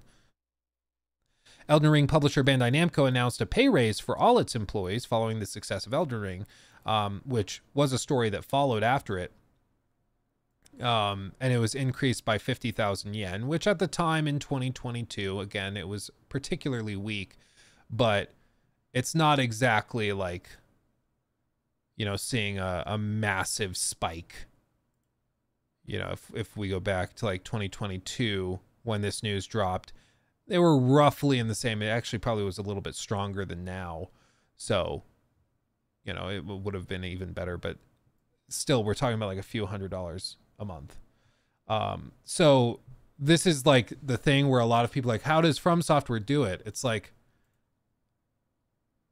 honestly, it's kind of because they don't like they don't really pay very well. The average salary is approximately $43,000 a year, whereas in the US or in Montreal or some of these studios uh, or places where studios are housed, the salaries are more like 80 to $120,000 US. Um, and the cost of living in the US is lower than in Tokyo. So like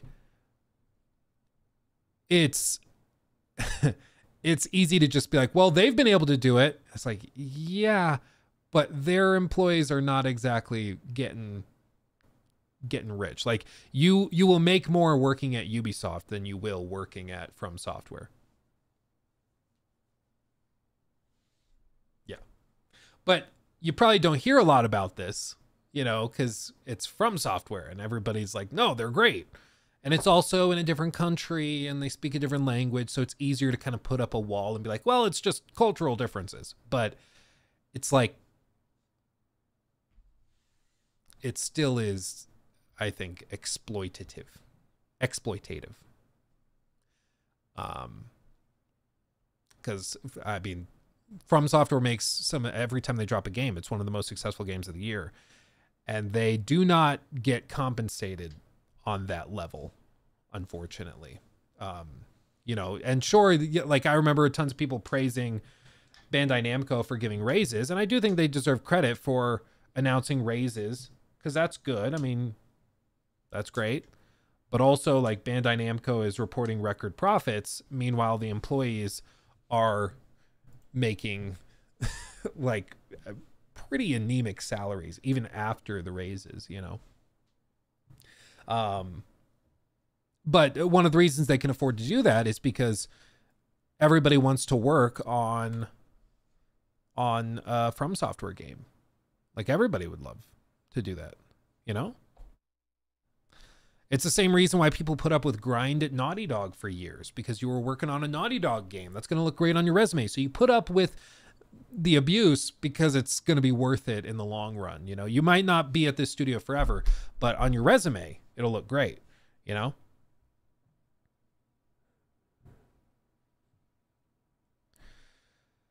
Yeah, well, and this is why location of studios matters, but more than anything, it matters about where the talent is. That's why so many studios are centered in places like Montreal or might be centered in San Francisco or Paris or whatever. And it's because that's where all the talent is.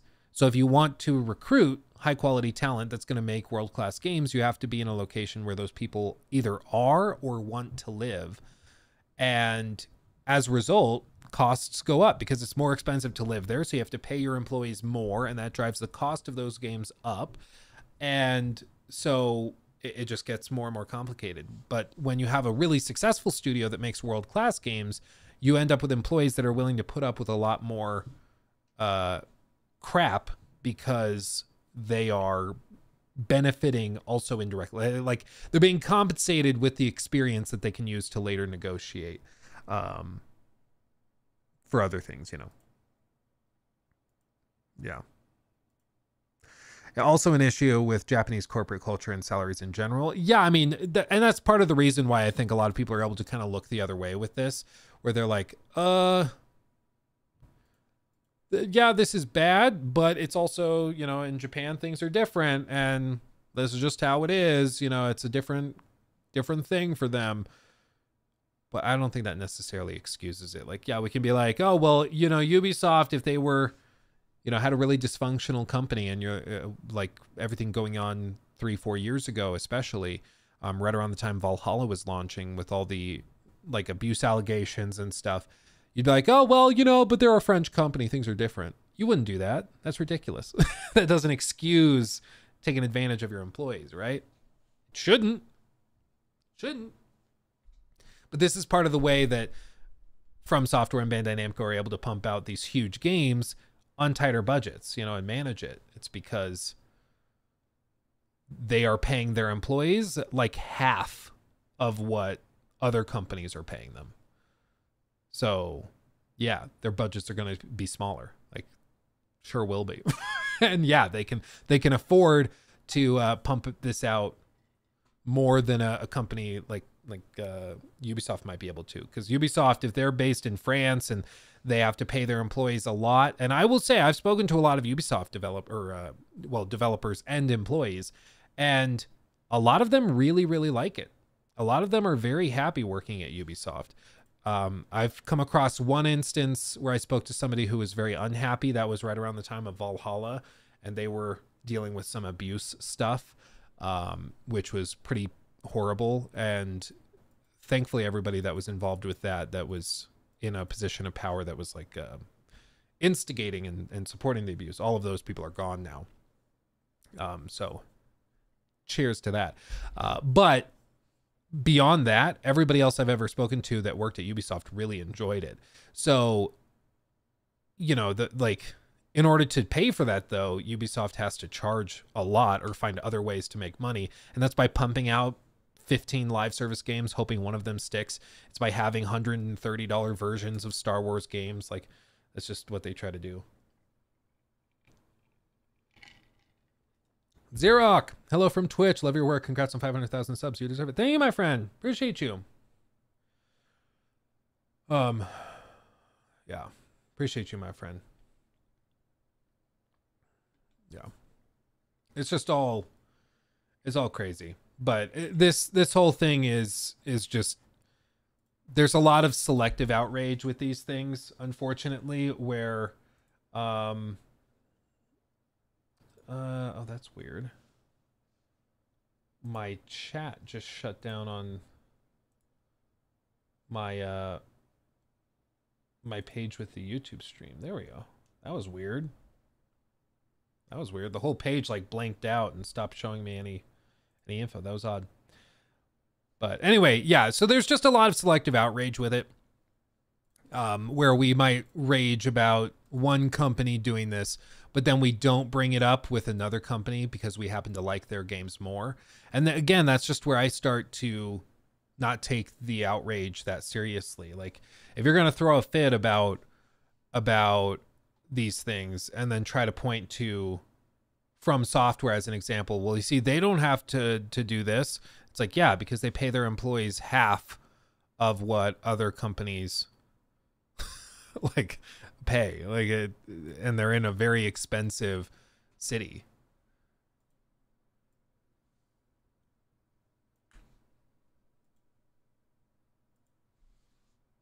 Yeah dude like look at this.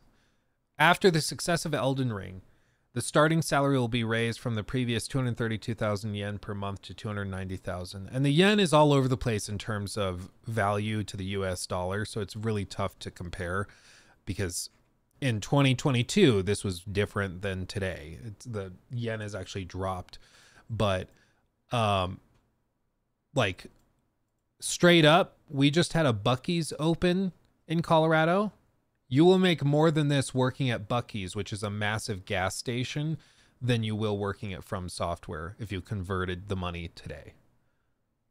Like working at a world class video game studio in a starting position, to be fair, but world class video game development studio that makes some of the best games in the world. Or you could work at an actual gas station and make more. And it's it is verifiably more expensive to live in Tokyo than to live in like Johnstown or Berthoud next to this gas station that just opened. So, um, this, yeah, th- this is why I don't take it super seriously when people are like, well, you know, these companies are all raising prices and trying to find ways to make more money, but From Software doesn't have to do that. Like, yeah, if, if you had basically a collection of like people that you're paying high school wages to to make the best games in the world, yeah. Yeah. No, you'd be able to do it too. Um, thank you, my friend, to Daniel for the super chat. Um, what do you think about the Star Wars Outlaws prices? Yeah, we've talked about it throughout the stream because some people have brought it up, but it's just it's a reflection of the current state of the industry. Licensed IP games are stupid expensive to make, and like Star Wars Outlaws probably needs to sell seven, eight, nine million copies to break even, much less make a profit. So it has to be one of the most financially successful games of the year to break even. And part of that, you know, people can just be like, oh, well, it's corporate greed. Not really. It's just because if you pay people a decent wage and you give them time to work on a game, it takes hundreds of millions of dollars to make a AAA size game. And in order to recoup that, you either have to sell 8 million copies or you have to also sell $100 versions, $130 versions, which I don't think you should buy. Like, nobody should be pre ordering anything. Like, uh, we don't even know if the base game is worth $70 yet. so, do not spend $130 on a game we haven't even seen, okay? Nobody should be paying for that. It's insane. But hopefully you can understand why this is happening. And it to be fair, it's been happening for like a decade. I mean, Ubisoft has had ultimate editions and gold editions of their games for like 15 years or something stupid like that. So it, this is not a new thing at all. But part of the reason it's continuing is because it's so expensive to put these games together. And it takes so many copies to break even. And when people counter it with the most like brain dead thing of, well, but Elden Ring didn't manage to uh to have super expensive editions. I mean, for one, they had a collector's edition, but th- that's I grant you that's a special instance because you get a physical Malenia statue in addition to it. But uh, it's like, yeah, they didn't have to do all of this stuff because they pay their employees less than my local gas station attendant makes. Which I've worked as a janitor. I respect the hell out of people that work very difficult jobs like that. My point is, the people that are making Elden Rings DLC, the people that are making the best, some of the best action RPGs ever made, are making less than high schoolers. And they're living in a more expensive city. Like, that's insane. But it's really easy to just point to it, but, they don't have it. Yeah, maybe look, dig into it a little bit, you know? You know? Like it's crazy. So they pay their employees shit and then have the balls to sell their DLC premium edition at fifty dollars. Yeah. Stop comparing two different countries on salaries. We're comparing, uh, and I've been very, very clear. Currency conversion rates are extremely fluid. Things change constantly. These articles are based in 2022, where the salaries were outlined at 290,000 yen per month. Um, that some months that would be the equivalent of like 2000 USD. Other months it might be 1800 USD. It changes all the time. It's very fluid. These things alter all the time. Nobody's denying that at all. Um, what you also cannot deny is that that is a very low salary for somebody working at a world class studio. And that's why employees at From Software, former and current, are actively upset have been for years and still are today at how they are treated, how they're compensated and paid. Like they work on world class games, are expected to crunch, and then also don't get paid uh, very well at all. You know, and again, this is not like some sweatshop studio pumping out mobile games. Like this is a world class studio, and I, I don't like it. Doesn't make when you defend it, you're not like you're defending Bandai Namco, like you're defending executives and managers of a multi-billion dollar company. Like you're not fighting for the little guy, you know? Like it's crazy. It's crazy. So like I, I don't find it particularly noble.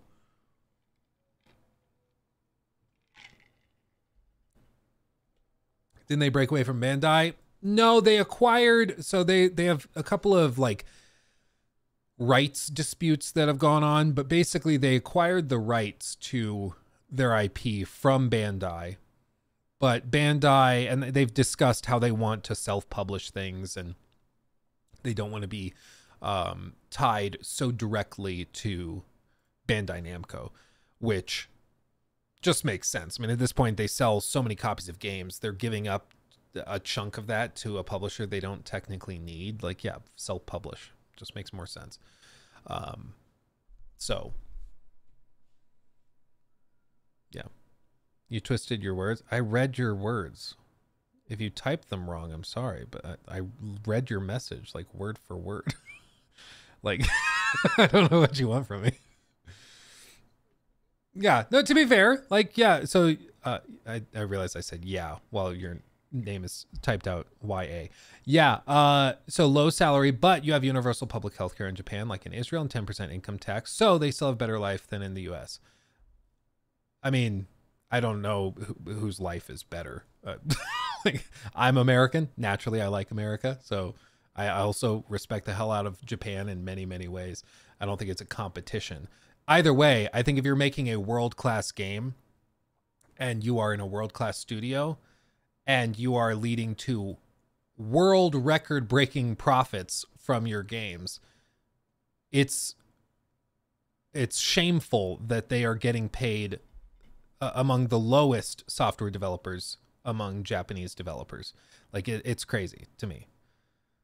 You would think, oh, most successful studio, they'll be like having the they'll have the most impressive salaries, right? You you would just assume that they'd make more if they're making better stuff, but that's not a given at all. Yeah, we accidentally got into Finance Friday. Yeah, kind of.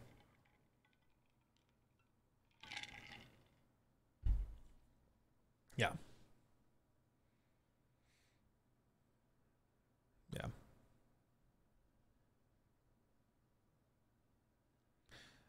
Abhinav, Japan has one of the worst office culture. I've lived in Japan for two years. Yeah, it's it's very it's very different than I think. Like you see those those uh, TikToks or videos of like the employees at tech companies in the U.S.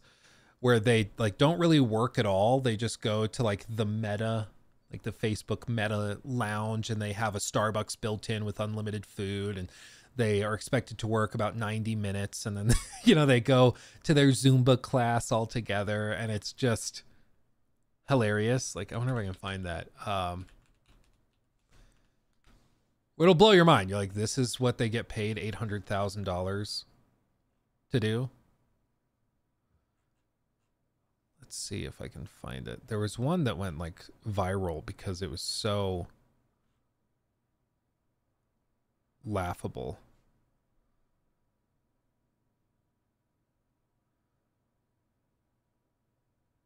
Uh, did she delete it? I think she did delete it. I don't blame her. She got roasted for it. Um, is this one? Welcome to a day in my life as a corporate baddie in NYC. Per usual, I started my day off at the gym. Look at my little abs trying to peek through. Teehee. Then I worked from home for a little bit before getting ready to go into the office. I was feeling bougie today, so I decided to go to the Hudson Yards office. And when I tell y'all, literally everything about this place is grand as hell. Like the big doors to the marble floors, everything is bougie, and I be eating it up. And look at this view from the office. Like, immaculate. Anyway, I ate lunch when I got to work and linked with Mishka, of course, to do work for the rest of the day. And some people on IG seemed bothered that they didn't see me working so much in the last one. So here's a boring clip of me typing. Anyway, after a long day of working, we went to the office minibar and took shots before heading The to the San. Gennaro feast. The festival was cute and had lots to eat. I heard you're supposed to get one of these Italian sausage rolls, but honestly, it was not even bussin' like people said it was. I got a cannoli, which was actually really good, and took my drunk ass home. Welcome to a day. I just love that she can say with a straight face, I went to the office minibar. like, oh my god, it's amazing. It's amazing.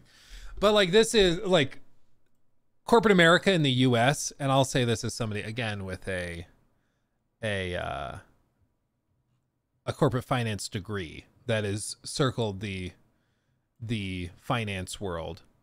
Um, here it's Miss Nicole Sai.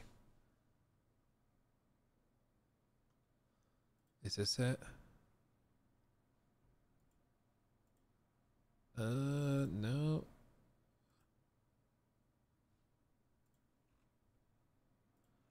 Oh no, one of these girls got fired after she posted one of these videos. Oh no. Um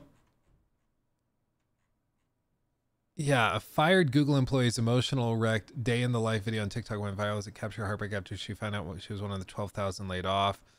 She's a TikTok vlogger, uh got a text. Uh check you got to work and you don't have access.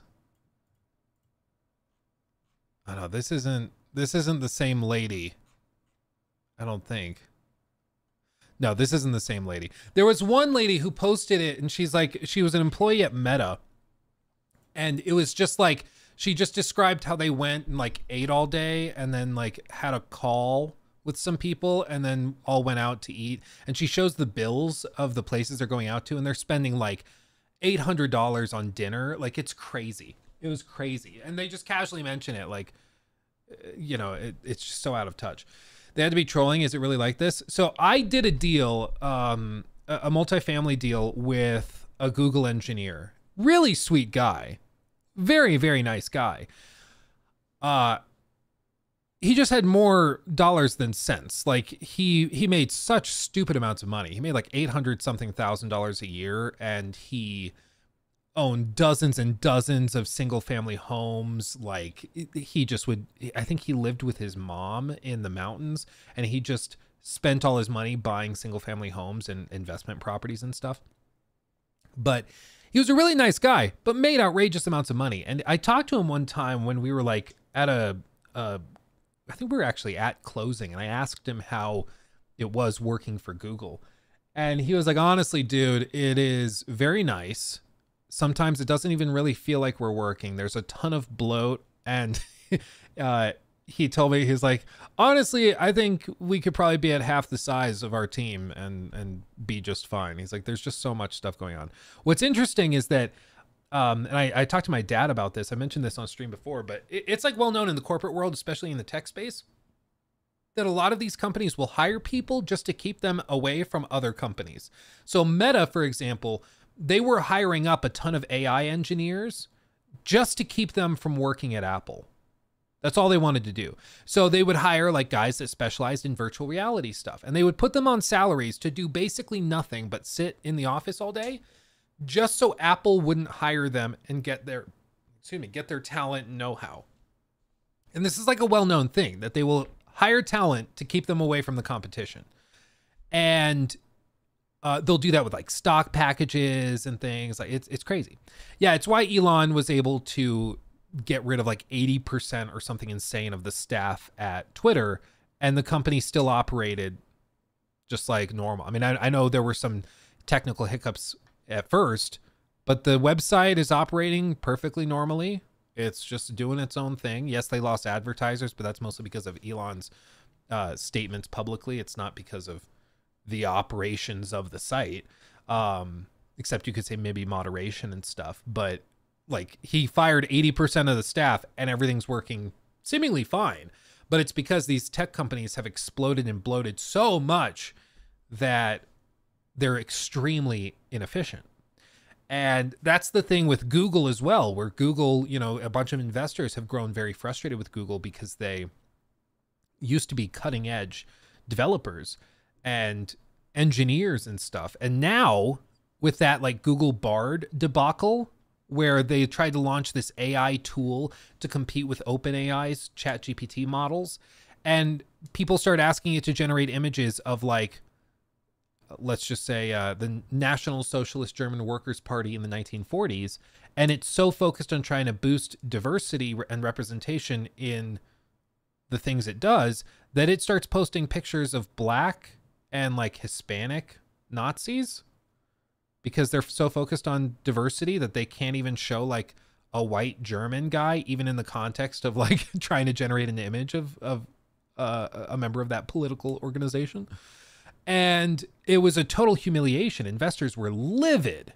They were livid, but it was because like the the company is just so bloated and fractured and doesn't really know what their priorities are anymore. So it's just dysfunctional.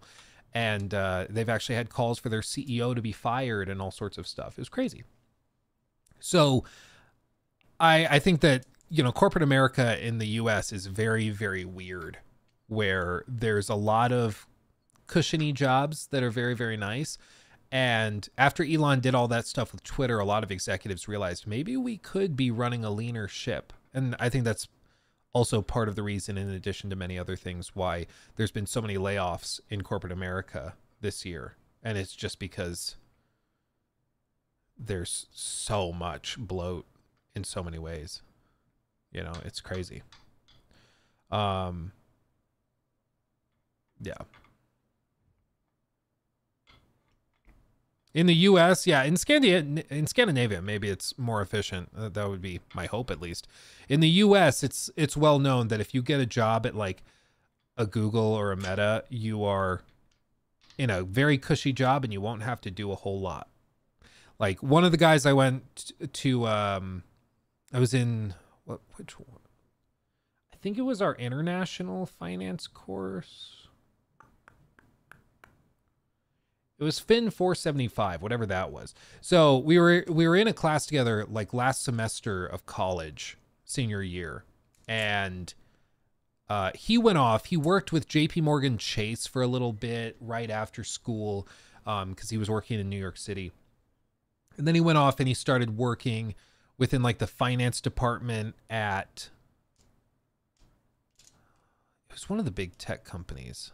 I can't. Uh, Oh, it's going to drive me crazy. I don't think it was Oracle. It was one of those like that. But anyway, he went and started working at one of these big tech companies in New York City. And he was like, it's kind of driving me crazy because we just don't really do much all day. We just kind of like hang out. He's like, it's kind of nice because we're making really good money, but it's weird feeling like you shouldn't have a job. He's like, I don't really do anything. It's just weird. In game studios, I don't think it's quite the same. Um, I mean, there's been stories and reporting about like act or uh, yeah, no, Activision, where there's entire teams within like the Call of Duty teams where they just don't really do much. Um, so like there was that one story that dropped. It was before Microsoft officially acquired them.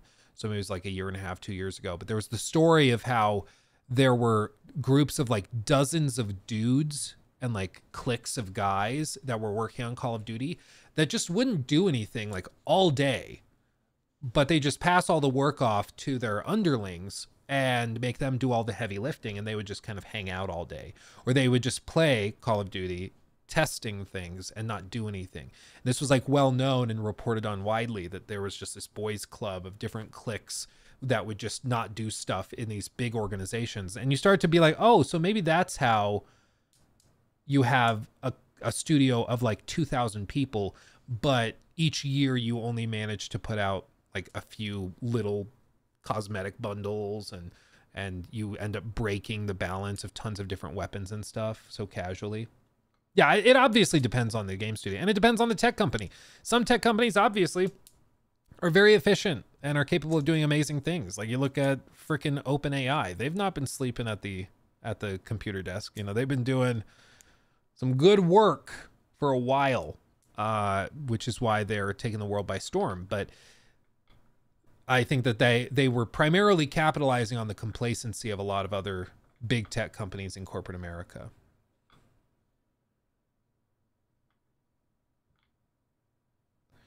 So they didn't have to do anything. The game has been pretty much the same for 15 years. Yeah, kind of. Oh, Jimothy, I'm glad you asked that question. I'll mention this uh, again real quick, just in case you want to check it out. That's a good, uh, good segue. Uh, da da da da da. Let's see if it actually works. Come on, chatbot. There we go. So these, you can see the link just right there. My chat is slowly catching up. It's getting there. Oop. There we go. So these are just Stymags, which are just fun little uh, magnetic toys. They're actually a Kickstarter. So you can check them out at that link that just popped up in chat. And um, yeah, they're just like a fun fidget toy if you like magnets and stuff and just like keeping your hands busy. I have been playing with these things for like weeks. I cannot stop myself. It's a problem. And uh, Stymags very generously offered to sponsor the streams. So I was like, hell yeah. I mean, I've been playing with them a lot. So why not? So uh, shout out to Stymags. Check them out. They're just a, a fun little fidgety toy if you're interested. And I mean, as you can see, they initially posted their fundraiser, or that rather their Kickstarter, targeting twelve thousand dollars. They've done two hundred ninety-two thousand, so they're doing just fine. And you can see their stretch goals. They have all sorts of like additional colors that'll be available depending on which stretch goal they get to. And so, you know, now they're working on terracotta, teal, and if they get five hundred fifty thousand dollar raise, they'll do glow in the dark ones. So, pretty good, pretty good. They're fun. I've had a lot of fun with them. So check them out. Links there. And uh, yeah, shout out to Stymags for um for doing that. Yeah, definitely watch out if you got like dogs or, or kids around. You should never let kids play with anything they could swallow. Um even if they're fun because Ori likes to try to take these because he just finds them fun as well. He finds magnets interesting, which I do too. you know, magnets, how do they work? But you can't let them do it. You can't let kids play with the magnets. It's bad for them. Uh, okay, okay. Um, what else do we have? We touched on that. We touched on that. We touched on that. I don't know. Luke, you should do voiceovers for books on Audible. You have a soothing voice that hypnotizes me, like the pheromones that casinos use to get you to stay longer. Oh. well, thank you. Um, I don't know. It's just, it's just my voice. If anybody has any jobs you want me to do, any voiceovers, hit me up. hit me up. I'll, I'll, I'll help that. Yeah, you sound boring. Yeah, I sound. I have a voice that swallows time and makes you forget what you were doing. I'll take it. you just uh you help me to zone out and fall asleep. Um okay, yeah, you're right. You're right. Finance Friday. Okay, should we list? should we look at a couple of cringy finance tips real quick to wrap up? Is that what we should do? Okay, there's this one. I haven't seen this one. I don't know what he says, so buckle up. It could be brilliant, it could be really stupid. Let's see. Let's see. People that say it's a quarter till this, a quarter till this time, that shit has always angered me. Why? That's some of those. That, okay, what's a qu- when I I didn't learn this till this year. A quarter doesn't mean 25 minutes. It's a quarter past nine, 9:25. Completely wrong. That's not Oh my god. Okay. Well, Completely wrong. What is so? It's 15. Correct. What? Tell me what the? How does that make sense? Explain that to me. Because of dude is getting like all riled up. He's very confident. He's got a good point here. oh no. oh, this hurts. But where does Todd Howard fit into this? That's a great question, Sammy. That's a great question. If I ever meet Todd, it's gonna be the ultimate crossover, I swear. Um, yeah, this is this hurts already. Well, like this is one of those things where somebody gets really riled up and is like, I don't know. You could tell he was in the shower this morning and thought of this and was like, yeah, that's a really good point. 25 cents is a quarter. But for an hour, it's only 15 minutes. That's stupid. Like he's just never heard of fractions. a quarter, a qu- you're you're thinking straight to currency. A, qu- Yes. A quarter is a fourth. That's all a quarter is. Well, okay. A quarter is a fourth of anything. It's a fourth of anything. Don't think of the actual. I don't understand itself. A fourth. Oh my God. it's almost for a moment. It looked as if he was thinking, but then he shut it down. He's like, nope, can't have. I don't understand itself, A fourth. A quarter of ten is two point five.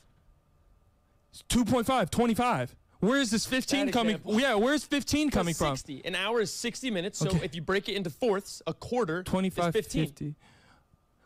When did we start speaking in currency? Like when I No say it's a, it's a dollar thirty until 18? What am I supposed to like? What? Is, This guy, I don't know for a fact. This guy probably graduated from high school. Like, this is one of those people. Like, these people are out there, okay? Just remember that. Remember that. These people are real. it's a dollar thirty till noon. Who the? Who are we? It's a dollar thirty till eighteen. If you fused currency and military time, people are gonna think you just walked out of a spaceship. That one hurts. That one hurts. Average Twitter user right there. And TikTok user, I guess. Uh that's that's pretty bad. That's pretty bad. Oh, this was funny. This was funny. So this guy, this guy posted this, okay? And he was very proud of it. He said, "Watch me make $6,000 trading SPY today in the last 12 minutes of the market. I waited patiently for a setup all day." So this is one of those guys that's like selling a, a training course and you pay $600 and he'll teach you how to get rich or whatever. Which, to be clear, if you ever have something like that, like you just don't buy it. just don't. If he had a way to make all that money, he would not be sharing it for six hundred dollars. Um, he'd be going to a, a hedge fund and selling that information for billions. But you know, whatever. Sure, he's probably on Twitter doing it. But somebody noticed in the video he posted. They zoomed in close and they spotted something. Specifically, the account number and the description of it. This is what's called a top step evaluation account, which is basically a practice account that you can use to tweak settings and just hypothetically see how a, a strategy could have worked um, if you were to have done it back then. It's kind of like a back test, you know, it, it's it's just a back test. And this guy tried to frame it as though he made $6,000, so you should believe me and all my finance advice when it's all just totally faked. But this is the problem is like people will post this stuff on on TikTok and people don't realize any better and so they'll just buy into it and they'll buy his course because they want to be rich and they're a high school and they just believe it and they they get themselves screwed very quickly. Mr. Book a quarter is 25, right? Yeah, a quarter is 25 past an hour. 18 cents past a buck 30. yeah, exactly. Thank you for the super chat, my friend. That's very generous. Oh, it hurts. Oh no. Okay. This is Grant Cardone. Have any of you guys ever heard of the 10X book? So he's basically like uh he's uh not quite like a Jordan Belfort type, but he's a salesman and he's a guy that is like a motivational speaker at the same time, but he had like a book and he has a training program and all this that's based around 10xing your money, your lifestyle, all that stuff. He most people who know what they're talking about tend to agree that he doesn't know what he's talking about. He's had things where he's he's described his like tax strategies where he's like, "Yeah, I walked in there on December 31st. I bought a Rolls-Royce and then I drove it. The next day, I returned it, but I got to write it off for my taxes."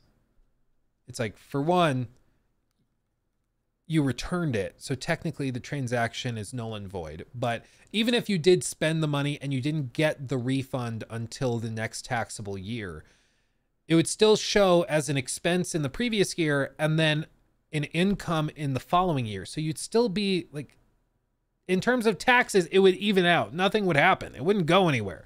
But he thinks he's like really smart and profound when he describes these things, uh, which like this is a very basic bare bones level of of how taxes work in the US. So he is very very wealthy, but it seems like it's because he's a good salesman and he's good at convincing people he knows what he's talking about. Um, and it's only recently he's been debunked so much that he's kind of turned into a laughing stock. But this is described as a very hard watch. So let's see. Hey, I'm coming to San Antonio, man. Will you, will you give me five minutes? Uh, this is before anybody knew who I was, right? No books, no no kind of Right. notoriety. Oh, So- Jordan Belfort. I didn't even realize that's who it was. So that's the Wolf of Wall Street. If you don't know this guy, the Leonardo DiCaprio movie is based on this guy. Sell me a pen. That's him. This is him. notoriety. So they're like, no, no, don't come by. But see, that was interest. To me, that's interest. No, no, I'm not interested. Not interested. So not interested to you is interest. Well, it is. It says not interested.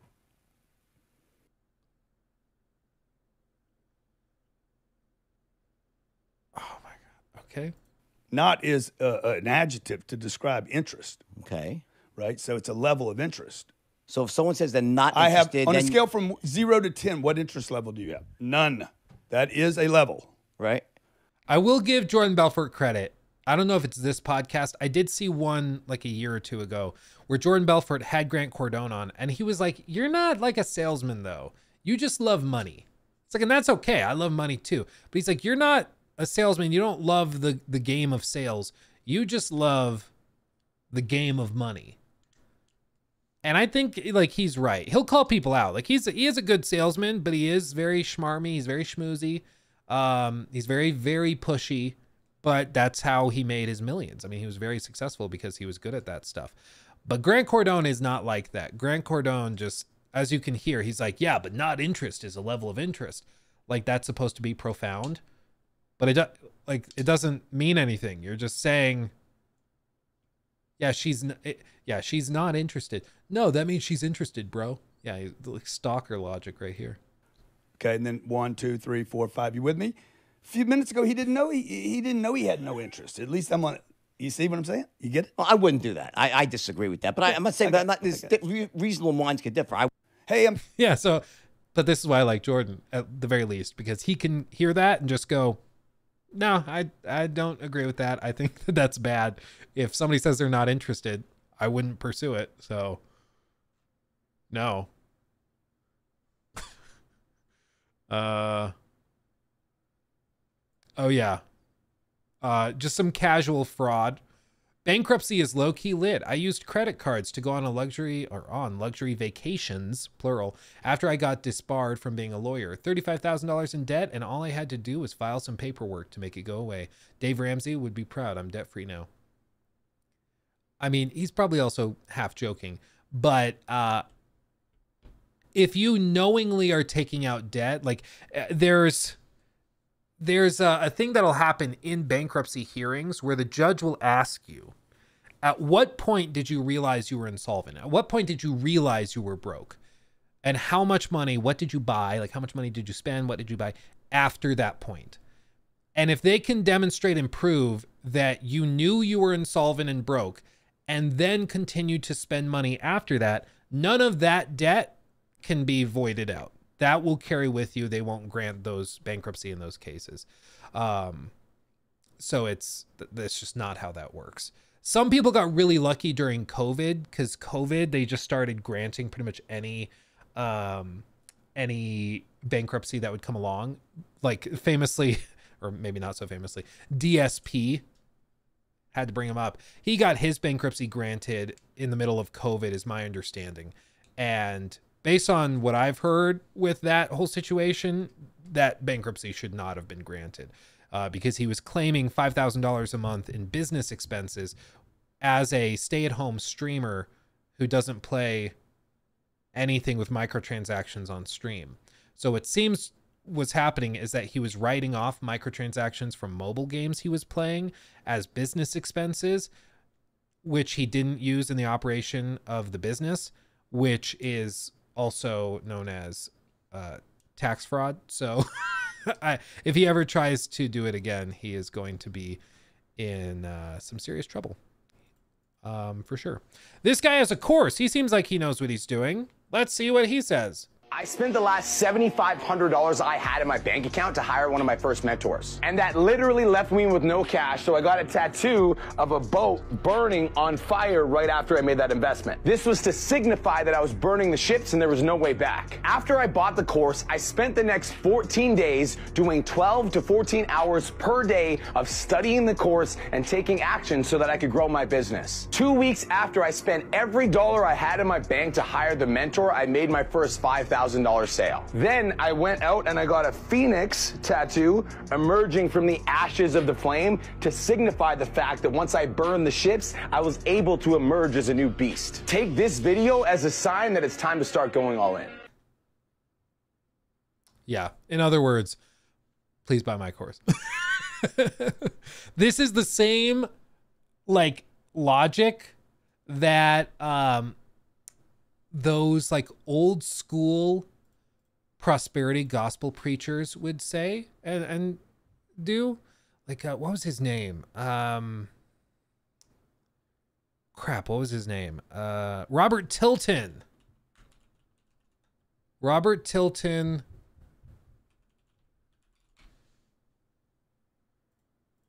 This guy.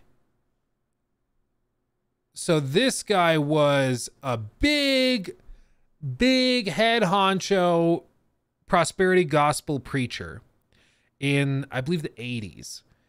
Made like hundreds of millions of dollars, okay? Freakishly successful. And he had the same logic where it's like, you need to go all in with God and make a vow. So he said, you know, if you have a savings account, spend all your money. And in this like context of the guy from uh, TikTok and investors, he's like, yeah, you got to go all in, put all your money into my course and into my my training, and then that will somehow generate profits for you. You'll somehow find success from there. But this guy would do the same thing where he's like, yeah, put it all in you know, and then you, God will give you money on the back end. It's the same scammer logic that they do to try and take advantage of of people. Pregnant with miracles inside of me. I've learned not to operate in my name, but Jesus' name. I've learned not to operate in my strength, but his strength. I've learned not to operate in my health, but his health. And I've learned not to operate in my riches, but his riches. Glory, I know how to fish. See, I'm not on this program telling you. Oh, this one. That's a word. As surely as I'm speaking by the Spirit of God, that is a word for a person right now. That is God penetrating your heart. It's burning on the inside of you, and you need to make a vow of faith of a thousand dollars. Oh, Bob, couldn't you say 25? No! You can't make a thousand dollar vow of faith. I'm saying in faith. And this guy's framing it as, yes, and you need to make a vow of faith, investing into your financial future. Burn your bridges. He's straight up arguing that, like, yeah, I found success because I spent my last few dollars. I spent all the money I had hiring a mentor. And maybe for him it did work. Maybe, you know, he did find success that way. Um, but 99% of people are not going to find success that way. And that's a very bad idea to do that. Um, oh no. Oh, this one looks scary. Okay, what's this one? extra money. I've started selling trade lines on my credit cards. I'm using this site. This isn't sponsored. I just want to point out that they're like legit. And so essentially what this is, if a person has bad credit, but they know that they need to get a mortgage or a car loan or something, they pay money to this website. This website matches them up with me based on what they're looking for. And I add them as an authorized user to my credit card for a set amount of time. They don't physically get any sort of card. They don't get my name. They don't have my information. I have all of their information. Um, but the thing is, because they're an authorized user, they get my credit history and that raises their credit score. They get a better interest rate on whatever loan they're trying to get. And I would not be doing this if I didn't know multiple people in person who had also done this and like said it was legit because it seems so sketchy. I gave this website my banking information so that they can direct deposit me money. And the amount you get paid depends on your credit limit, the length the card has been open, various things. And so the ones I have ranges from $40 to $80, which might not sound like much, but if I get $40 and it took me five minutes to add an authorized user on my credit card, that's worth it for me. Uh, oh, wow. Okay. So what she's describing is adding some random person that pays this website money uh, as an authorized user. And then that person, because they're now an authorized user on the credit account, they will then have that account listed on their credit report and they could in theory benefit from that. So like say you have a hundred like 10,000, let's just say $10,000 in credit card debt and you have one credit card with that maxed out, that's what you've got. So on your credit report, if it was run today, you'd have 100% credit utilization. Your account isn't very old. It's like a year old. You maxed it out. You haven't made payments. All the payments are late, all that stuff. If you went through this service, you could get added as an authorized user on a bunch of other accounts. So instead of it showing $10,000, 100% credit utilization, you could have like 200,000 or a million dollars worth of credit available to you and only $10,000 maxed out, which looks way better and doesn't look like you're as irra- or irresponsible. So you'd be more likely to get approved for the loan. The reason this doesn't make any sense is because like this is super illegal. Um, this is fraud probably classified as wire fraud. Wire fraud's one of those weird charges that can fit into many random little spots and gray areas. But uh, nobody's going to argue that this is legit or that this would be uh, or should be allowed because it's you're lying. Not only is this person facilitating fraud and is helping this person lie knowingly, and they're being compensated for it, but also the person that paid the website to do this is trying to deceive the lender into thinking that they are more capable of handling a higher amount of debt or better rates or whatever. And so they also are knowingly committing fraud. Um it just it doesn't work. yeah, straight to jail. Straight to jail. Uh, you undercook chicken, straight to jail. Yeah, that's basically what this is. This is unbelievable. I mean, the fact that anybody would do this is horrifying. And she says that she's doing it for 40 to 80 dollars. Like 40 to 80 dollars to commit wire fraud is unbelievable. That's crazy.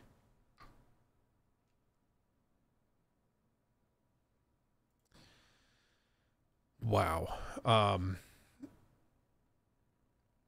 that one just hurts.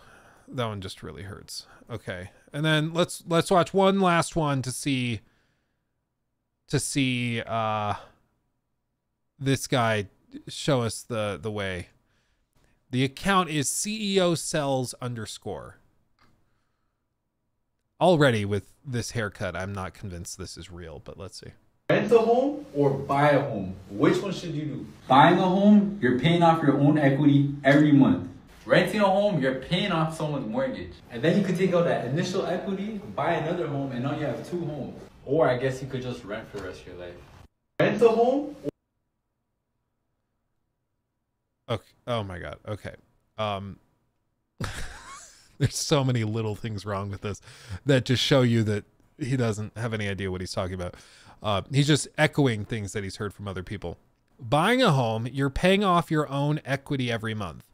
You're not paying off equity. You don't pay off equity. You would technically pay off a liability to gain equity.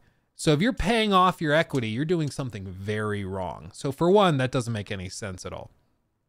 Renting a home, you're paying off someone's mortgage. Maybe that's possible. So I'd say that's probably fair. If you're renting a house that somebody owns through a traditional mortgage, then yeah, your your rent payments going towards paying somebody else's mortgage. And then you could take all that equity or initial equity. I don't see how these follow, but he's like, okay, so you're paying off your own mortgage, gaining equity is probably what he means. And then you could take that equity that you got by paying it off and buy another home. And now you have two homes, which he does by holding up four fingers. um, you know, two homes. but I, I'm not, I don't think he's being real. I don't, yeah, I don't, I don't think this is real.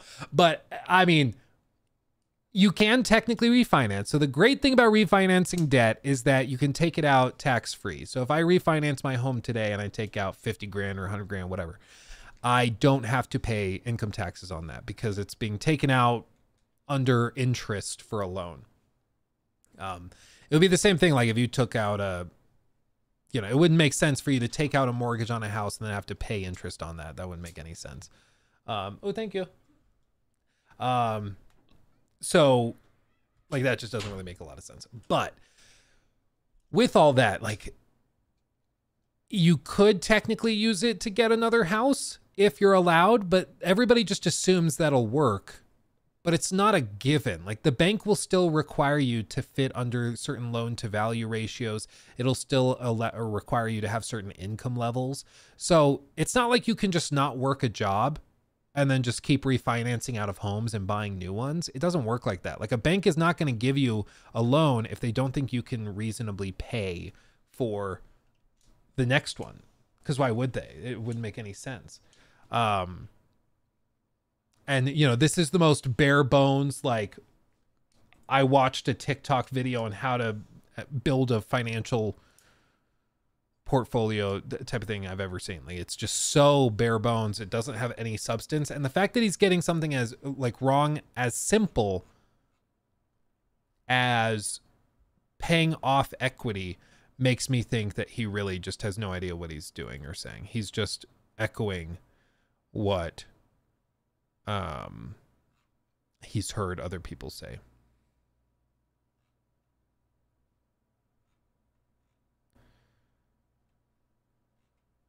Um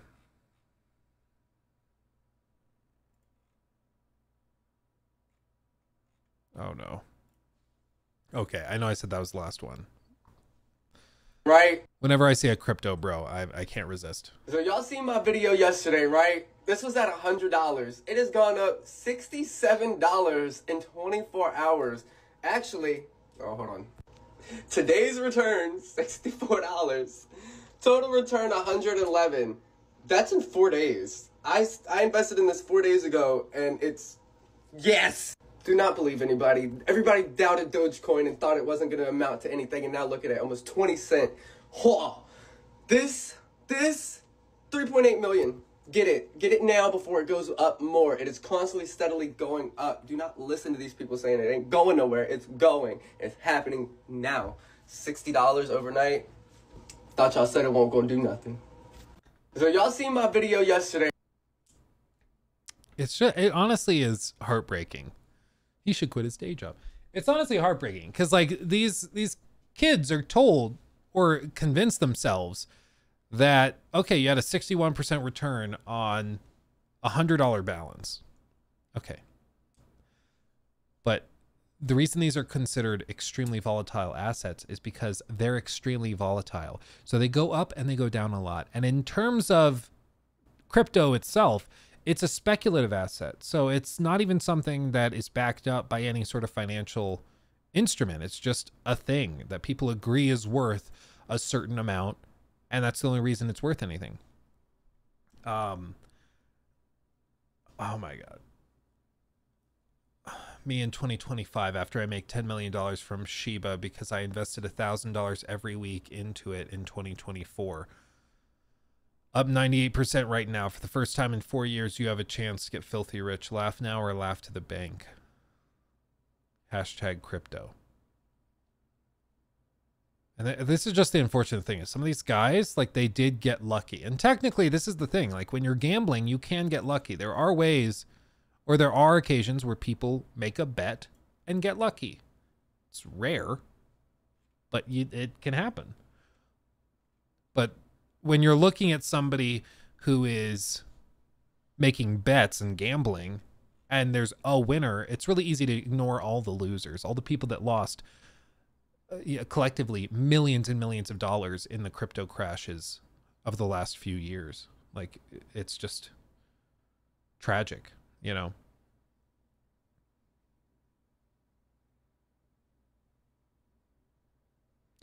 What's a good solid bond to, in your opinion?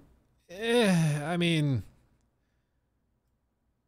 it depends on broader market conditions if it makes sense to invest in bonds. Um, there's still broader indexes and ETFs and stuff that trade bonds for you.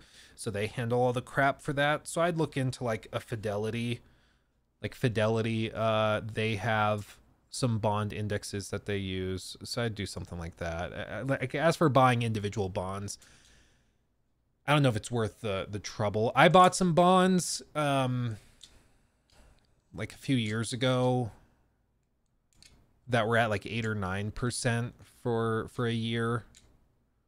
But they always have limitations where it's like you can buy one or two.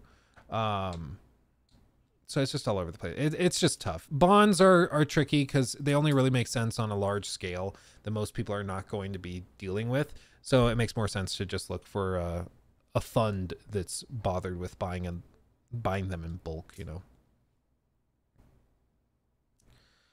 Um I bought Nvidia stock 10 years ago and I'm a billionaire now. Holla. You know, Dylan, I think the only way for us to believe you is if you were to like send through like a million dollar super chat or something. I think then we'd all believe you. But I mean, until then, I just I don't know if the chat will believe you. Uh, oh, that's funny. Um, hey, I don't know anything about investing in stocks, but would you recommend me investing in Take Two before uh, GTA 6's release, or should I rather put it into the Becky ETD? Uh, I mean, the thing with all of this, like, I saw somebody that was saying on one of our previous videos, they were like, "Oh, you should totally um let me pull it up. Like you should totally buy I think it was CDPR before Cyberpunk 2077 and other people were saying, "Oh, you should buy Ubisoft before AC Red comes out and you should do this and do that." But like the thing with all of this is that these releases are already priced in. Like if you think that you've like thought of something these investors haven't, you're just wrong. You know, all of these companies are priced with this stuff already like budgeted in. So Take Two Interactive right now is priced according to the current expected value of GTA 6 when that drops. So like even if GTA 6 releases, and generates $7 billion in added revenue next year, that will still be considered a financial failure and the stock price will drop because Take Two investors are expecting 9 billion. And this is why you can have like I, I I think it was after Phantom Liberty there were some YouTubers that were posting things like well there's no way to twist it uh Phantom Liberty has been a financial disaster for Cyberpunk's developers over at CDPR because their stock price has dropped a lot. And it's like, bro, no. it it can perform very well, but there are other things at play when it comes to stock prices and and what these are valued at, you know? It's just it's more complicated than that. Dylan, thank you for the two dollars super chat. Now I have nine hundred ninety nine million nine hundred ninety nine thousand nine hundred ninety eight dollars. You're welcome.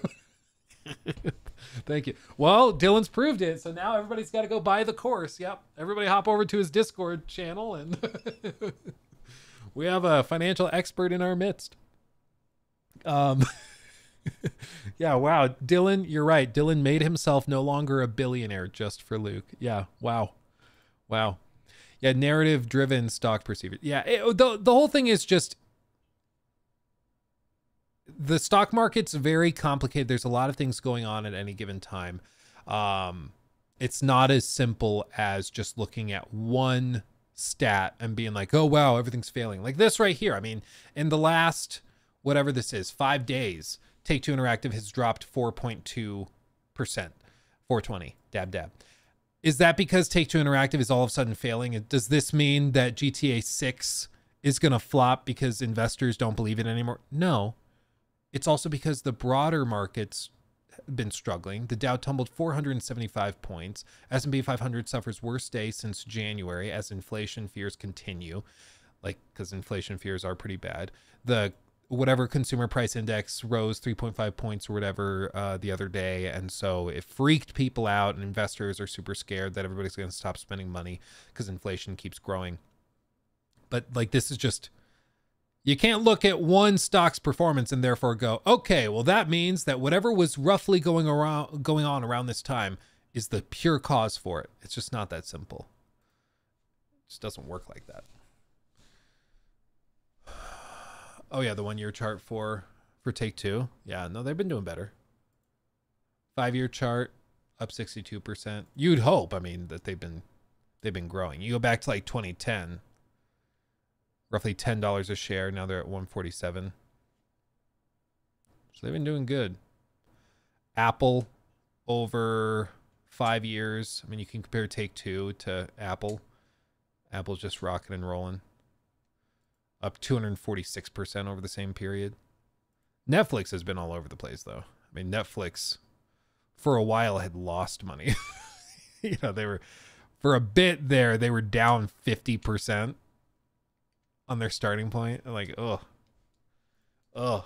It's almost like when you invest in really solid, strong businesses, you'll get more returns than when you invest in struggling businesses. That's weird. Who would have thought? Who would have thought? Oh, and then if we had the S&P 500, I can probably add. Do do do do do do do do.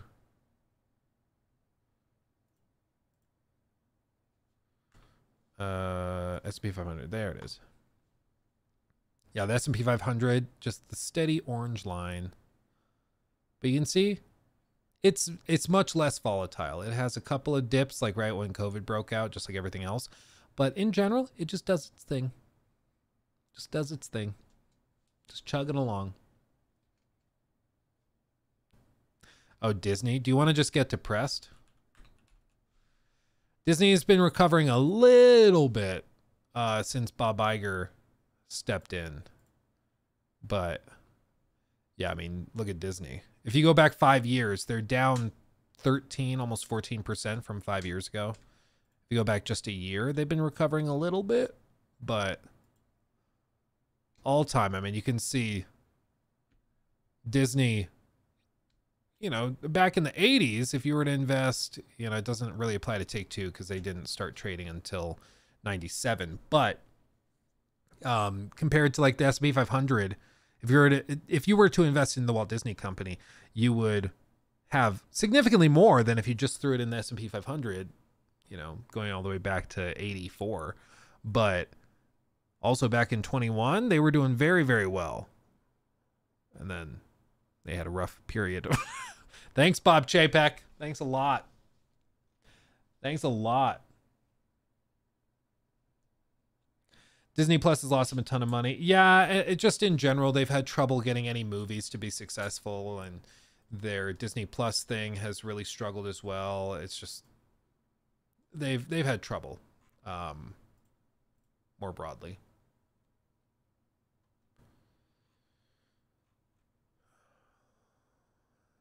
Do, do, do, do.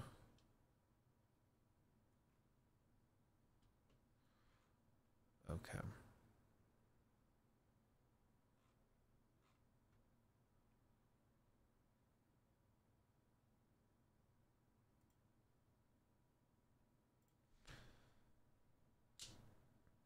But they're onto this new trend called gaming. yeah. No, I I really think Bob Iger shutting down their whole like um yeah.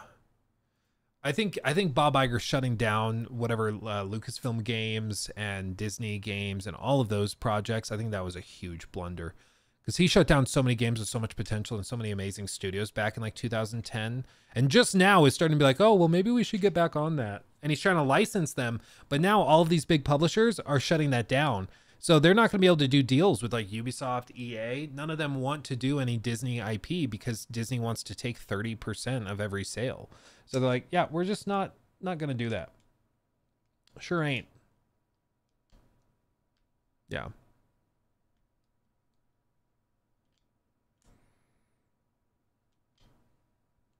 Yeah, there's a whole thing. Um, this is also crazy. I didn't realize this, but just shout out to Larian. They've made history officially.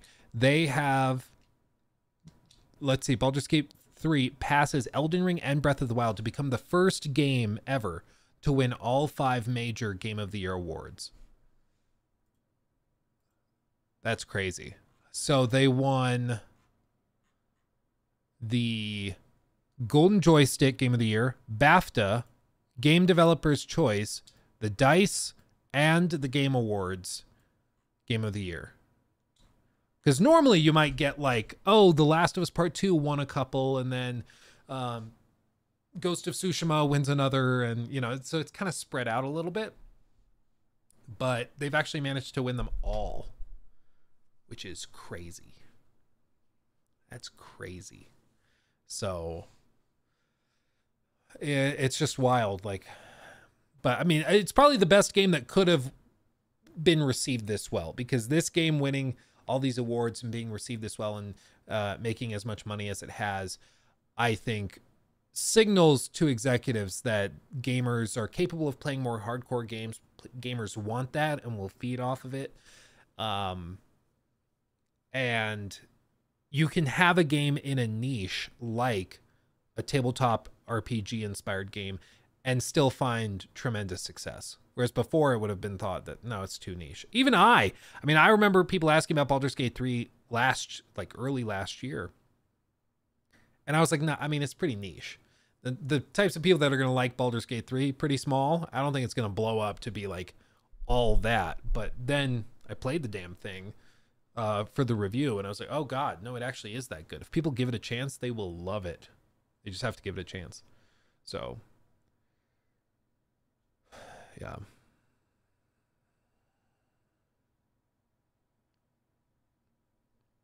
It was broken for like seven months after launch. I, I, mean, there were a couple of bugs. I've actually, I've got on one of my save files one bug that's pretty bad. Um, where basically, I guess to avoid spoilers, I'll just be vague. There's a a vampire that you go after as part of like your party's, depending on who you have in your party, but as part of a storyline for a party member you might have and if you, after you do like the big boss fight at the end of the quest line towards the end of the game, you can, uh, you're, you're prompted to like kill him or, um, settle his fate basically. But my game on that save will just not resolve the quest line.